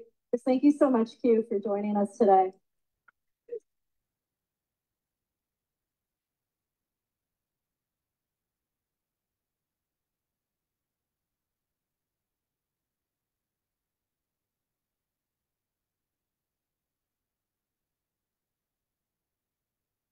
That's a considerably closer trip, a 10 minute bike ride instead of last year. Was it like a two hour car ride? Quite a bit closer. Um, yeah, I'm Q. Um, I've done a little bit of time inside myself um, through the juvie system, um, but I prefer to center someone else on this day. Um, my brother, some would say died, some would say killed, I would say killed. Uh, my brother was killed by um, the state. Uh, you know, they, they injured him pretty badly uh, in his arrest. Um, and then um, he was left to to die of COVID while handcuffed to his bed. Um, and, you know, I think of the, I actually really appreciate, I was hoping I would, I would be speaking after Randy's word that Machine shared with us, um, talking about solidarity inside, because something that's pretty heavy on my mind every day, but especially this day is solidarity on the outside. And then, of course, thinking of joint efforts work, bridging that gap the inside and the outside. Um, my mom died um, quite recently. Um, she she took her life because of the grief of my brother's death. Um, and so I'm thinking of, you know, she was someone that was failed for her whole life by systems of support, um, whether that's the prison industrial complex, which she had her own experience with, or the medical industrial complex, which she was neglected by and harmed by, you know. And yeah, I just think of what solidarity between all of us looks like because we're all we have, us on the outside, folks on the inside. Um, and we need to be all, all that we need. We need to be collectively, whether that's locally or globally, across state borders, because borders are fucking fake. What does solidarity actually look like? What does care actually look like? And are we are we actually taking care of our people, whether they're inside or outside, or grieving people that have died on the inside or the outside? What what are we actually doing for each other? Um, you know, I think of mutual aid and how it grows out of poor people and drug users and black people and sex workers and people on the streets and people on the inside. And you know, you hear from old time lifers about what solidarity on the inside has looked like and could look like again. I know that some institutions have more inside solidarity than others. And how do we help the people inside grow their solidarity while we grow our solidarity on the outside? What does that work look like? I think it looks like pen pals. I think it looks like pen packs and out packs. Um, looks like feeding each other. Looks like showing the fuck up when we're tired, but someone needs a ride from the airport because they're visiting someone that lives, you know, three provinces away or whatever the fuck. It looks like doing the the the 10 p.m. run for food because everyone forgot to eat.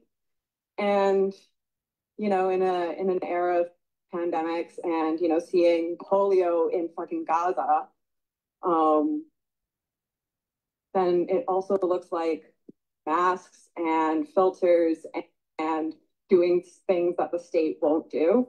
Um, you know, people inside fought for their own masking and hand sanitizer and, and everything because everything is restricted when you're in a prison.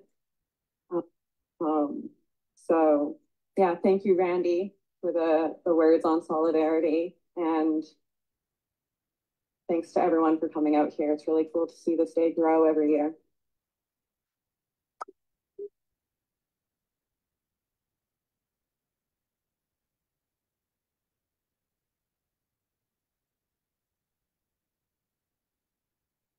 Thanks so much, Q, for sharing a few words. And as you were speaking about conditions in Gaza, and I think most of us are aware of what's been happening in occupied Palestine, um, about the conditions in those prisons, about the horrors that prisoners under, political or not. Um, and those conditions are reflected in Canadian prisons as well, right? We've heard about rampant sexual violence that is the norm, um, that institutions cover up, that wardens cover up. Um, in Newfoundland, a prison guard just released, just received an absolute discharge for allowing um, unsanctioned dental work on other prisoners. So, you know, medical experimentation done by a prison guard. Um, and, you know, it's, it's so striking, right? When you hear stories like Jackie's where just just for being present, you can get 10 years. And then you hear about the violence that prison guards do and they get absolute discharges. Like it's unbelievable. Um, it, it highlights that this is there by design, right? That the the level of violence can't go away. You know, it's important that we keep fighting it and we keep naming the human rights violations that are occurring, but we can't be deceived into believing that we will make a better prison. It would be a disservice to everyone whose name is listed here to pretend that.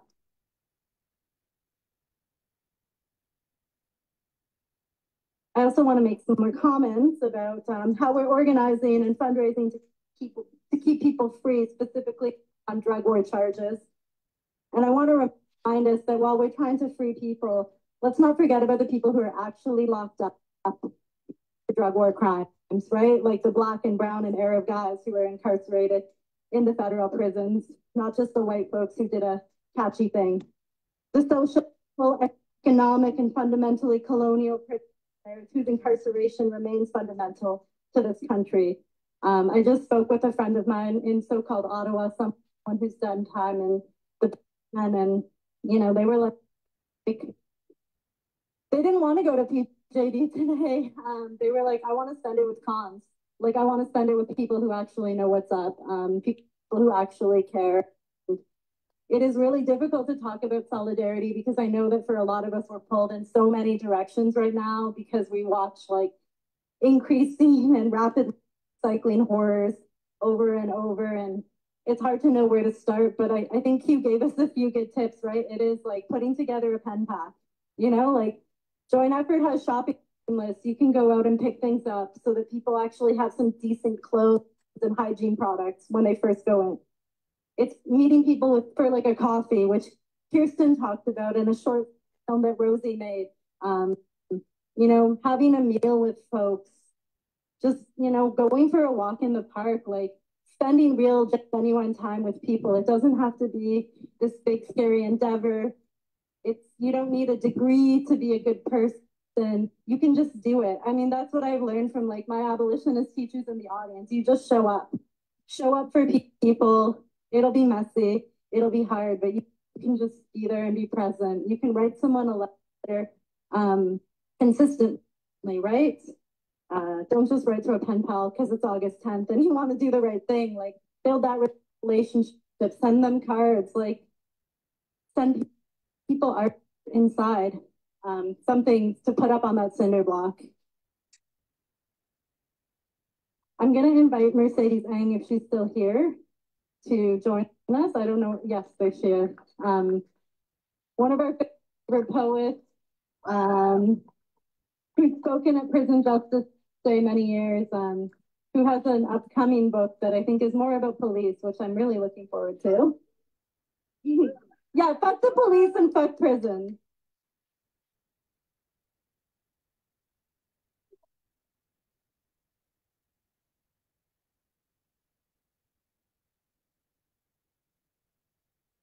This one is my line.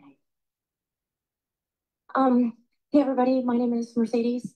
Um, I come I guess, to this day because my dad was inside a lot when I was a kid. Um, he died in the 90s overdose crisis, so he didn't die inside, but somehow it still seems accurate to say that he died of the system. Um, as and actually saying this um, book that I am working or wrote um, is more about the police. It's more specifically about Vancouver Police Department and their crimes, um, and about uh, the cop-loving um, mayor that we have. Um, but we, we know that the police are the way that people get to the, the prisons. Been thinking a lot about the words safety and care, um, just because the mayor ran his whole campaign on this idea of public safety, and it's just very clear that some people's safety matters and other people's safety doesn't. Um, thinking a lot about the words care um, as well. Safety does not look like 100 new cops, 100 new car 87 nurses. Safety does not look like a Ruru Reman finance row mayor buddying up with a billionaire. Safety does not look like cops investigating themselves, cops opting for retirement, then joining the military. Big trucks with thin blue line stickers in their motors. Safety does not look like decamping the DTES. Safety does not look like security on aunties on practicing Tai Chi in Chinatown Plaza because they don't have a permit. Safety does not look like Indigenous mothers writing their names on their children's arms so that their children can be identified if their limbs are separated from their bodies, if their bodies are not intact. Safety does not look like Indigenous mothers and families investigating their daughters' disappearances and murders because the police's negligent investigations ascertained their daughters' deaths to be unsuspicious. Safety does not look like Gastown, Chinatown, Strathcona, Railtown residents who loved everything everywhere all at once, but don't care about displacing aunties or popos who look like the protagonists. Safety does not look like protection of property over poor people, does not look like corporate values of a fun city with swagger. Safety does not look like determining a teenage white boy's racist threats unthreatening. Safety does not look like cops at Memorial March or cops at Pride. It certainly doesn't sound like cops making drums either. Safety does not look like momentarily worn orange shirts over VPD uniform for a photo op. Safety does not look like see something, say something. Safety does not look like a Vancouver branch of Bank of Montreal staff calling 911 on a grandfather for trying to open a bank account for his granddaughter using their government status cards. Safety does not look like the VPD handcuffing the grandfather, Maxwell Johnson, of the Heiltsuk Nation, and his granddaughter for being Indigenous while trying to open a bank account. Safety does not look like wellness checks, compassion, fatigue, and in intentional blindness. Safety does not look like feminisms that seek to punish or essentialize. Safety does not look like golf shirts and smaller guns. Safety does not look like deploying sniffer dogs and the recently rebranded community industry response group at protests calling for the end of the killing of children. Safety does not look like people at Crab Park drinking $8 coffee saying house people shouldn't have pets that they have for companionship and safety, while the expensive coffee drinkers, purebred dogs kiss on the grass that people would like to sit on. Safety does not look like weaponizing dogs. Safety does not look like the VPD tweeting a donation request for uh, easily militarized cyber trucks. The billionaire who bought a social media platform to stop the woke mind virus from infecting said platform. Safety does not look like the fire marshal's order to decamp the DT, uh, the downtown east side over fire concerns. Safety doesn't look like a family flame on the street. Safety does not look like failing to inform businesses located in a 100 year old building that said building is on fire watch. Safety does not look like informing residents in a 100 year old building that is on failing to inform residents living in a 100 year old building, that building being on fire watch. Safety does not look like empty fire extinguishers at a 100 year old building on fire watch. Safety does not look like cop enforced injunctions to dismantle 10 cities, does not look like diverse hiring and cultural awareness training. Safety does not look like blue walls of silence. Safety does not look like any team whose, be, whose name begins with assertive. Folks, I don't know have you have seen those assertive outreach teams or um, that are forcing folks into recovery, whether they want it or not. Safety does not look like being incarcerated under the Mental Health Care Act.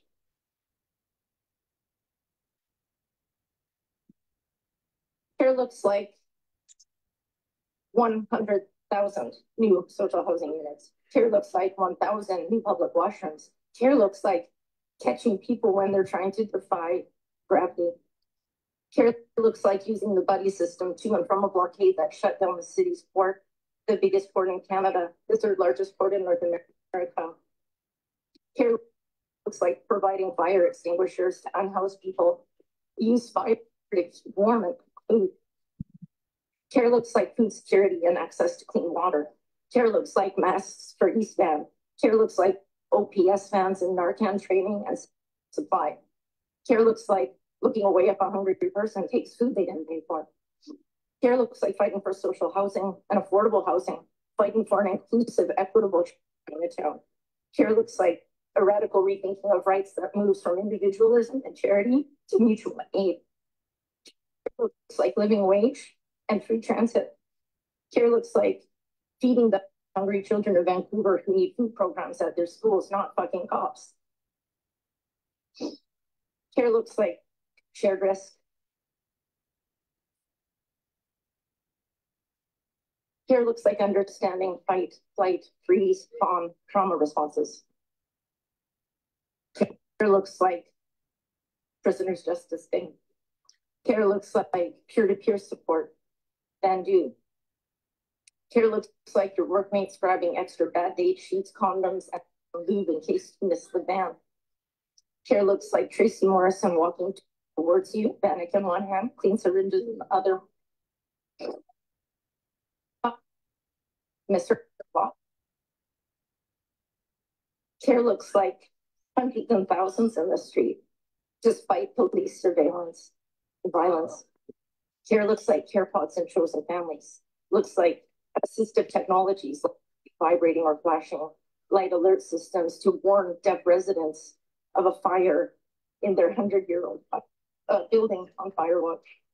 Care looks like a five-hour Palestinian poetry sit-in led by students, despite those students already having already having been positioned as a threat to student safety.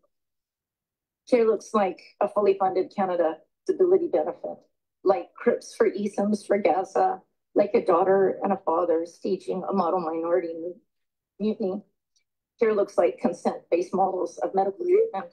Care looks like defunding, disarming, dismantling, and then rebuilding from the ground up. Thanks, everybody.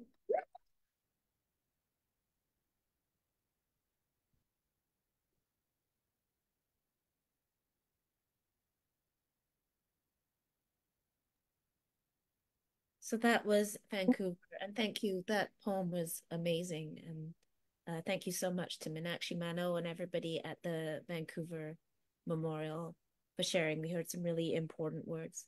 Um, we are coming to the end of our broadcast. We want to shout out everybody across the country who has been holding events both inside prisons and outside the walls, um, the various vigils, protests, uh, memorials that have been taking place. Um, so we're moving towards the end of our broadcast now um, I want to just thank everybody and remind us what we have listened to throughout this broadcast. We want to thank all the people that we interviewed, um, so including Sandy Pitzel, who spoke at yesterday's Tracking Injustice press conference, Vicki Chartrand from the Center for Justice Exchange, who spoke with a Cree man imprisoned at Archambault. We heard from Faith Eagle Live, who was involved in hunger strikes around the conditions of confinement in Pine Grove Correctional Center in Saskatchewan. Fallon Obby, who was recently in re, who was recently released from prison and has fought for transitioning people and women in prison. We heard from Fadi Ennab on the plight of Palestinian political prisoners, as well as also hearing from the Palestinian Political Prisoner Solidarity Project. We had a reading of Abolition is Love by Syrus Marcus Ware, illustrated by Alannah Fricker, which is a children's book that also includes scenes familiar from Prisoner Justice Day. Rachel from CFRC Prison Radio speaking about the importance that prison radios had in organizing inside and outside prison.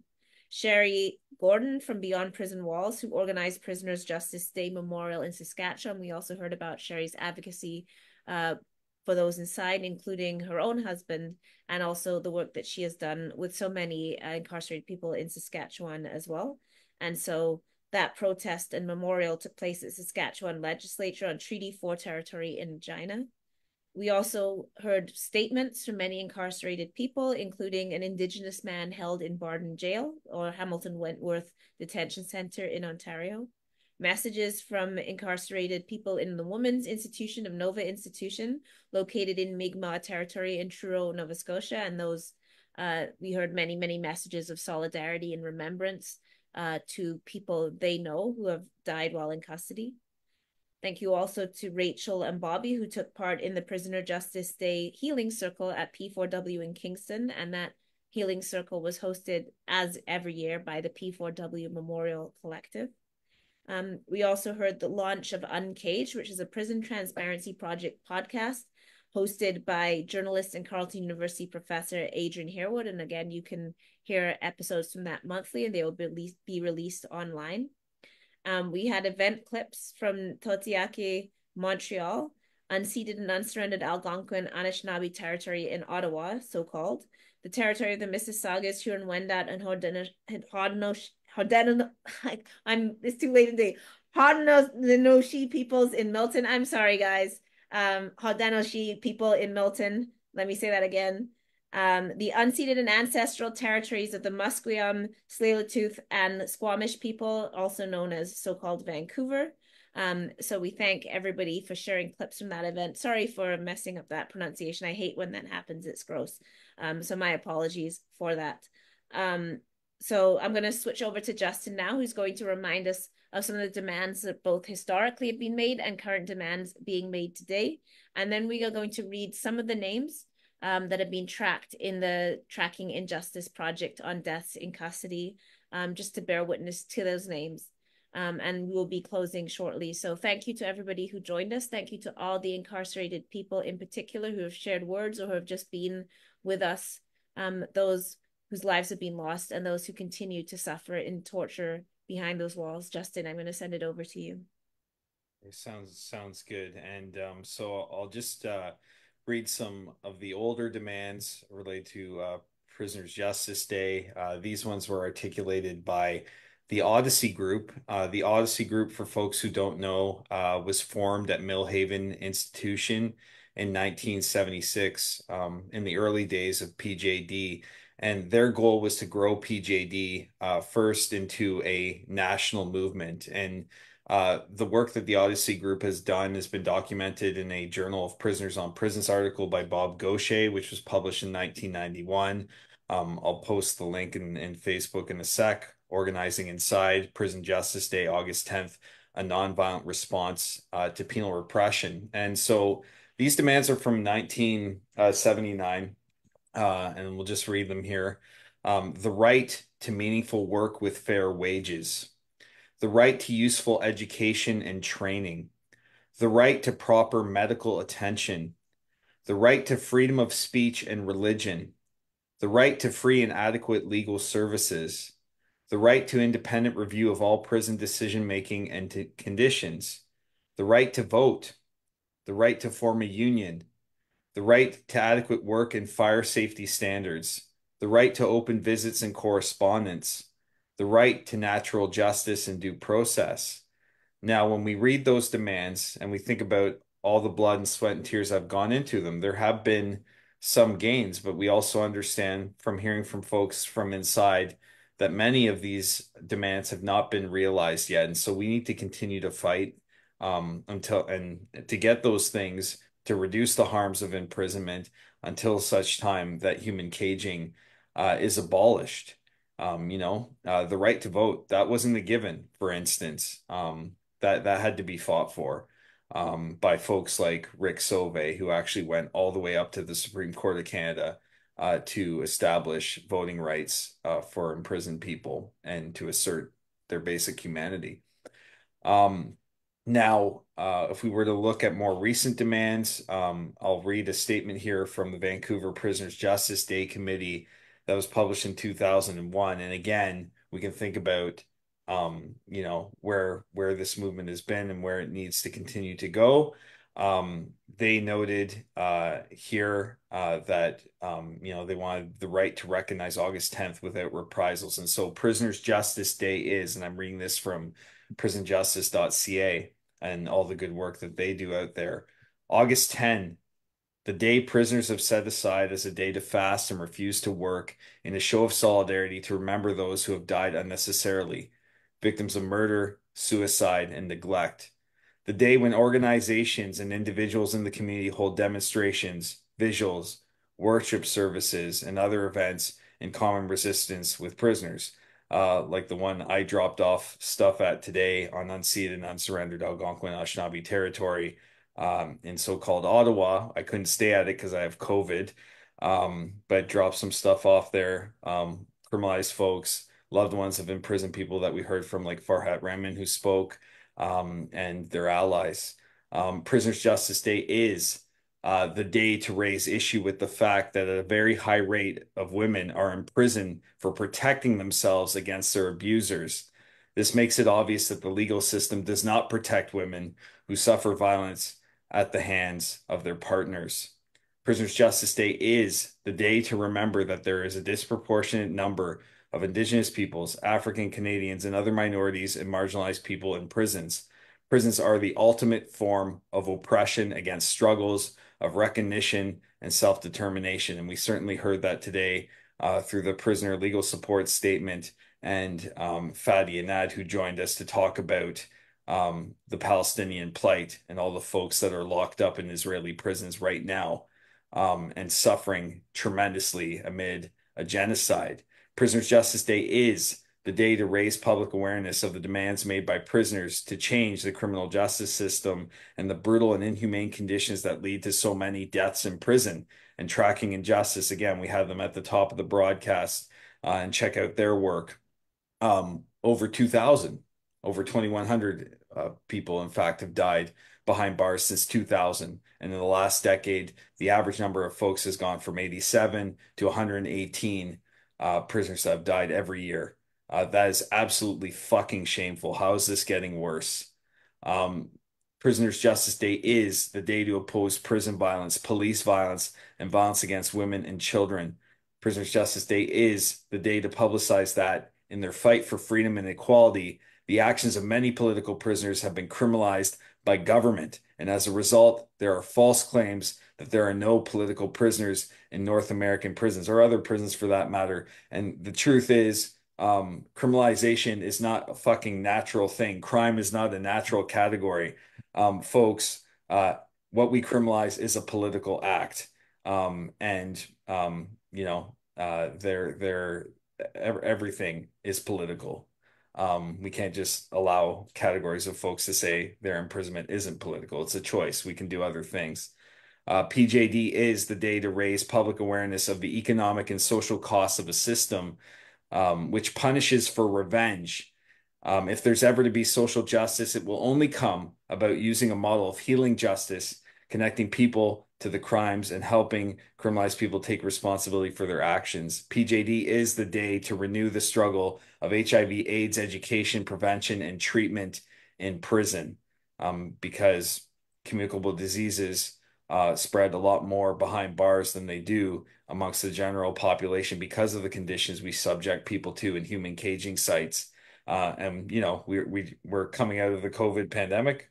Uh, I, well, I'm not today, anyways. Um, but we know that COVID spreads. COVID spread way more in, in prisons and other um, sites of of uh, where humans were grouped together uh, in large numbers um, during the course of this crisis um, and uh, remains the case uh, for HIV/AIDS.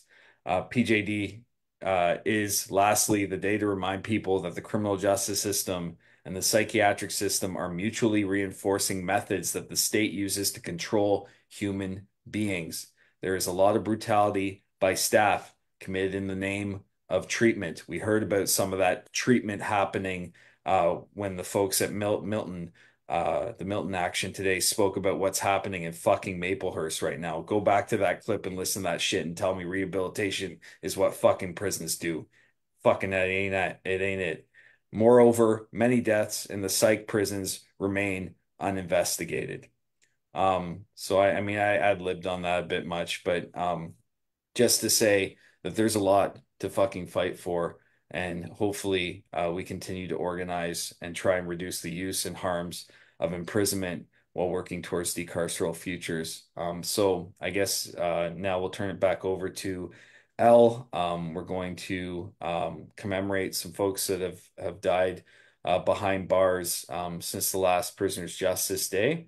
Um, and uh, I'll be following along if you need me to spot you off there, El.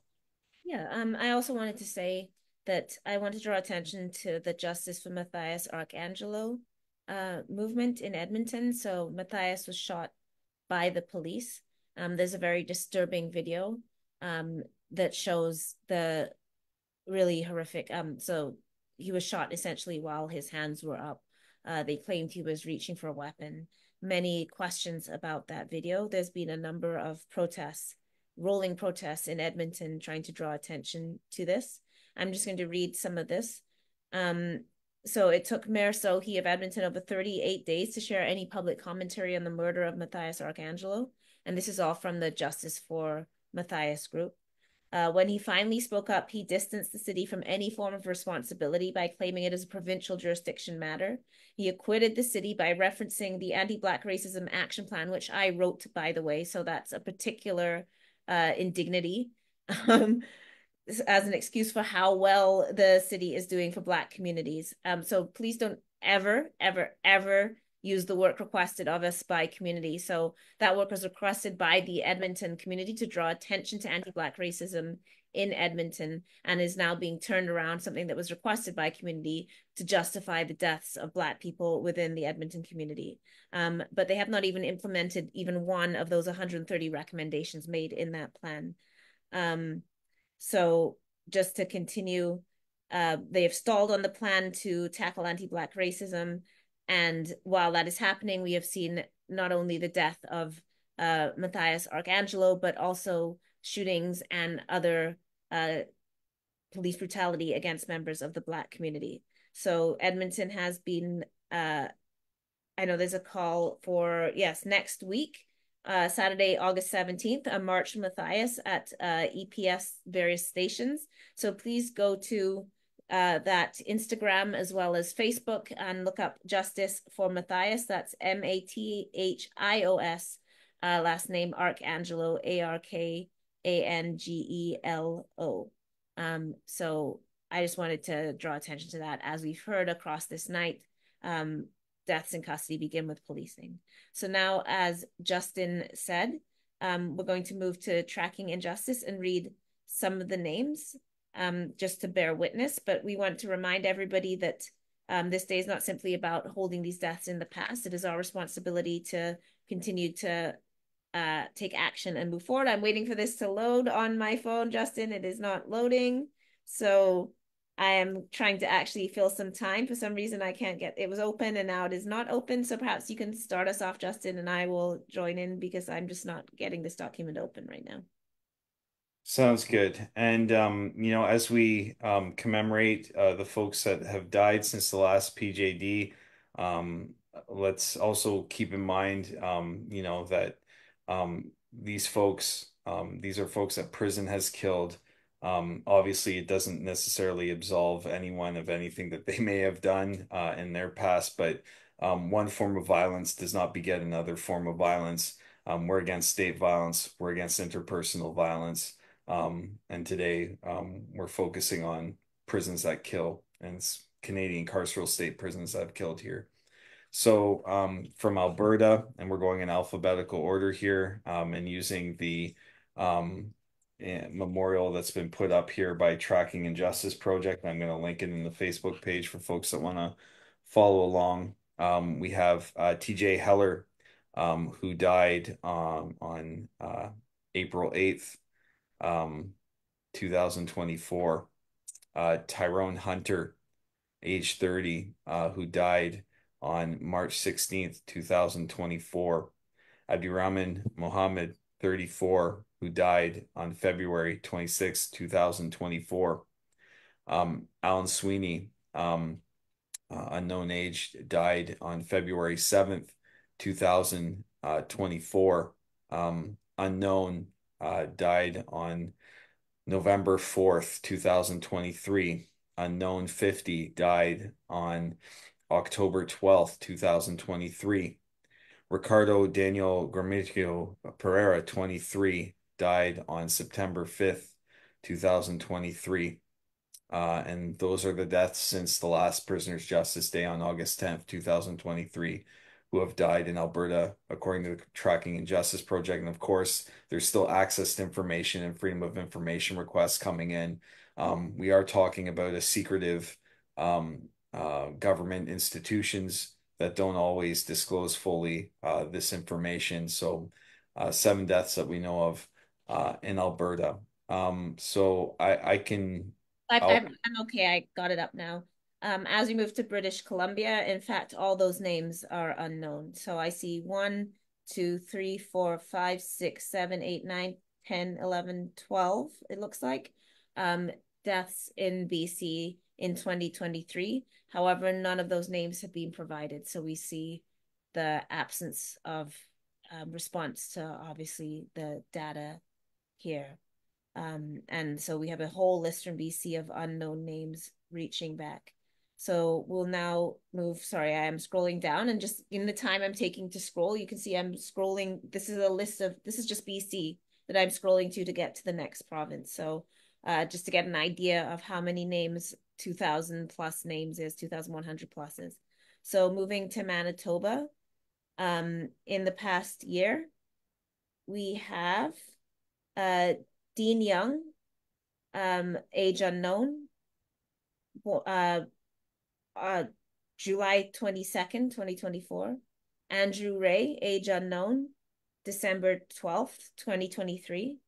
Bolton Pachinos, age 33, July 17th, 2023. Unknown, unknown, unknown, so no information known uh, on May 29th, 2023. Oliver Murdoch, age unknown, April 12th, 2023. Another unknown person, uh, March 4th, 2023. Robert Hughes, age 65. Oh, sorry. No, that takes us back. And then we're into 2022. So we have six, six deaths in custody tracked from Manitoba in the past year. Justin, do you want to take us to New Brunswick? Yeah. So, uh, unknown, age 48, died on December 14th, 2023. Matthew Marshall, age 30, died on September 24th, 2023. And that's uh, two deaths since the last Prisoner's Justice Day on August 10th, um, 2023. Uh, and if I go to Newfoundland and Labrador, I see three unknown unknown deaths in 2023. Um, Northwest Territories, nothing uh, Nunavut, uh, nothing in the past year. Um, and then uh, how about you do Nova Nova Scotia? You did it earlier in the broadcast, but you can go ahead again. In fact, there are some names on here that were not listed in our um like press releases. So Charles Mangapi, age unknown, July 13th, 2024. Wade Mandy, age unknown, June 6th, 2024. Sarah Rose Denny, age 36, March 26, 2023. Peter Herman Robert Varick Paul, age 27, January 28th, 2023. And then there's a gap. So we have four names. We have uh, six, I believe, in the past year on our list. So we can see here that how difficult even lining up this data is. There's some names on our list, there's some names on this list that we didn't have. So again, it should not take this much effort just to find out the state is responsible for these people. They're in custody, which means they are responsible for them, and then you can't even find a name. Uh, moving to Ontario. Um, I'll get this one. So there's uh, there's eight unknown unknowns in 2023. Um, big shout out to Ministry of SolGen in Ontario. Um, I've dealt with you all in your FOI offices um, and can certainly speak to the degree of se secrecy with which uh, SolGen operates in Ontario, and we see it right here pretty clearly. Eight unknown unknowns. Um, you've erased people's names as you erase their humanity behind bars. Um, no surprise there. Um, Prince Edward Island. One unknown, age 65, uh, on February 7th, 2024. Um, Quebec, we have Jacques Dumont, age unknown, June 24th, 2024. Robert Pickton, age 74, uh, May 31st, 2024. Uh, Roland Lachance, age unknown, May 31st, 2024. Jean Brousseau, age unknown, 2024, uh, May 26th. Stephen Belanger, age unknown, May 21st, 2024. Real Longley, uh, age unknown, May 3rd, 2024. Robert Rousseau, age unknown, uh, April 15th, 2024. Kevin Brisson Duquette, uh, age unknown, March 3rd, 2024. Joey Bruin Lamontagne, age 34, April 18th, uh, sorry, February 18th, 2024. Carol Bujold, age unknown, December 13th, 2023. Lawrence Steve Perron, age 40, December 11th, 2023.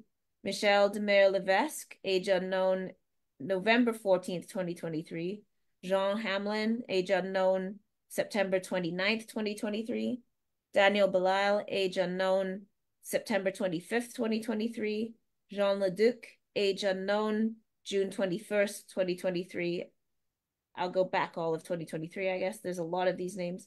Serge Gagnon, age unknown, June 8th, 2023. Sylvain Duquette, age 57, May 22nd, 2023.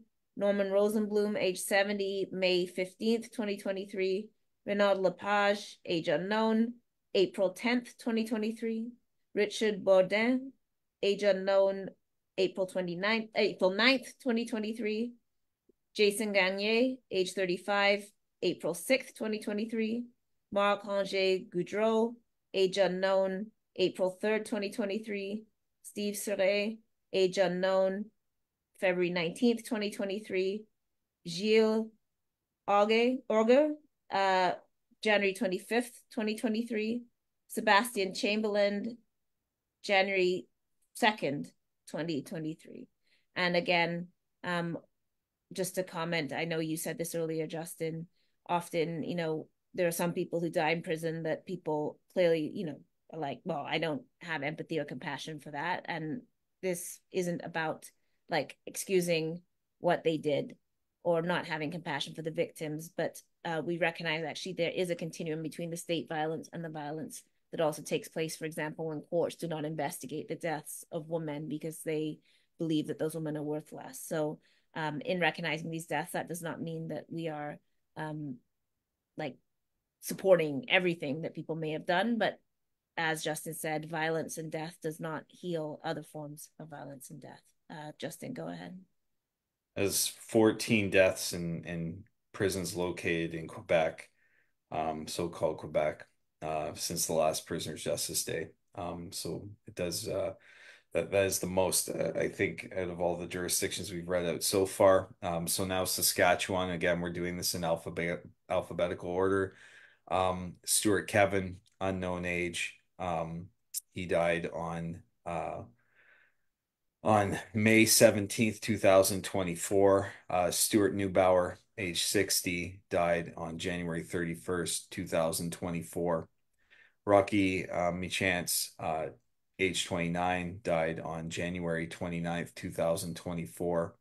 Joseph uh, Thoberger died at age 81 why is someone in 81 in, i mean why is anyone in prison but why is someone who's 81 in prison um december 12th 2023 um so that's four deaths since the last prisoners justice day at least uh, in prisons located in saskatchewan uh, there are none uh, in the yukon um, and uh, that is uh, the end of our uh, memorial list today. And thank you to the folks at Tracking Injustice for doing all the heavy lifting um, on that. Um, it's very difficult, very difficult work. Um, so good, good on you for keeping up the good fight and at least holding the state accountable for who they kill.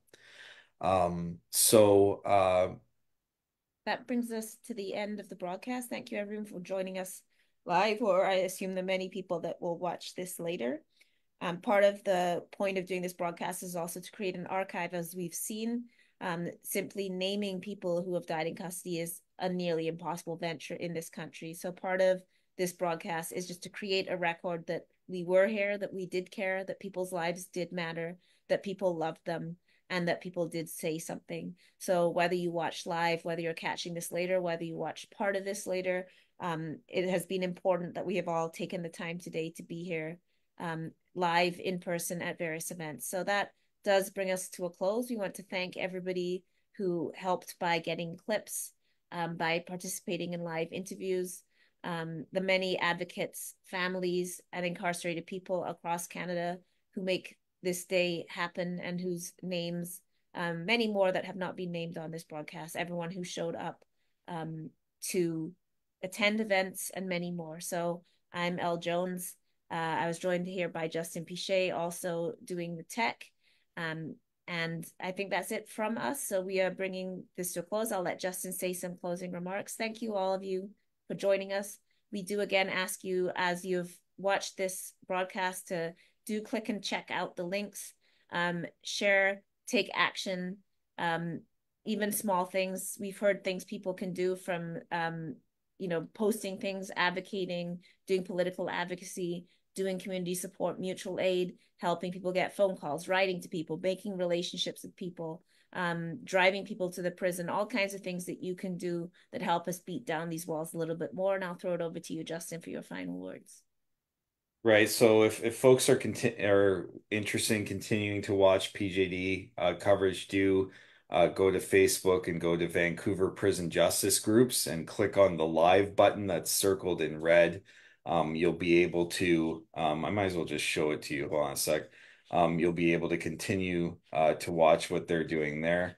So if you can see my cursor right now, you click on this live button and that will bring you to uh, their broadcast so you can continue watching there. Uh, just to say that um, next year, uh, this year was the 50th anniversary of the death of Eddie Nalon, um, who really spurred this movement. He died alone in solitary confinement on August 10th, 1974. Um, the first PJD was held at Millhaven, uh, August 10th, 1975. Um, next year, August 10th, 2025, um, is going to be the 50th Prisoners Justice Day. Um, so everyone who's watching uh, from across the country and other places in the world, if you're watching it live or watching the recordings, um, this is a bit of a call to action. Uh, 15 year, 50 years of PJD um, let's think about how we want to organize and and do some actions around that. Uh, perhaps maybe we should bring the fight right to Millhaven next year, or you know, Parliament or whatever. We can think about bringing us all together to to do uh, stuff to support uh, folks on the inside, get their demands out there, um, and do that work early, often, and hard. Um, so hope to see you all uh, next August 10th um, whether it's virtually or or in person. I sure as shit hope I don't have fucking COVID this time next year. Um, anyways, I hope none of you have COVID now or this time next year either. Um, anyways, um, thank you, Jeff, for joining us with COVID. Um, so on that note, again, thank you for joining us for this broadcast. Do uh, keep abreast of all these events. There's many, many links, and we do ask you um, to visit those links. Take a minute just to visit the different um, resources and also movements that have been shared. Uh, so on that note, we're going to leave you. Um, take care of yourselves. I know we've shared some really heavy material tonight, so um, do take some time to, um, you know, um, when we encounter these horrors, it has an effect on us. So take some time to reflect on that. Um, take some time to find some space to heal with others and then we keep moving forward and pushing for those behind bars who live in these situations 24 hours a day so um, justice to all prisoners we are not free till all of us are free. Thank you for joining us and have a good night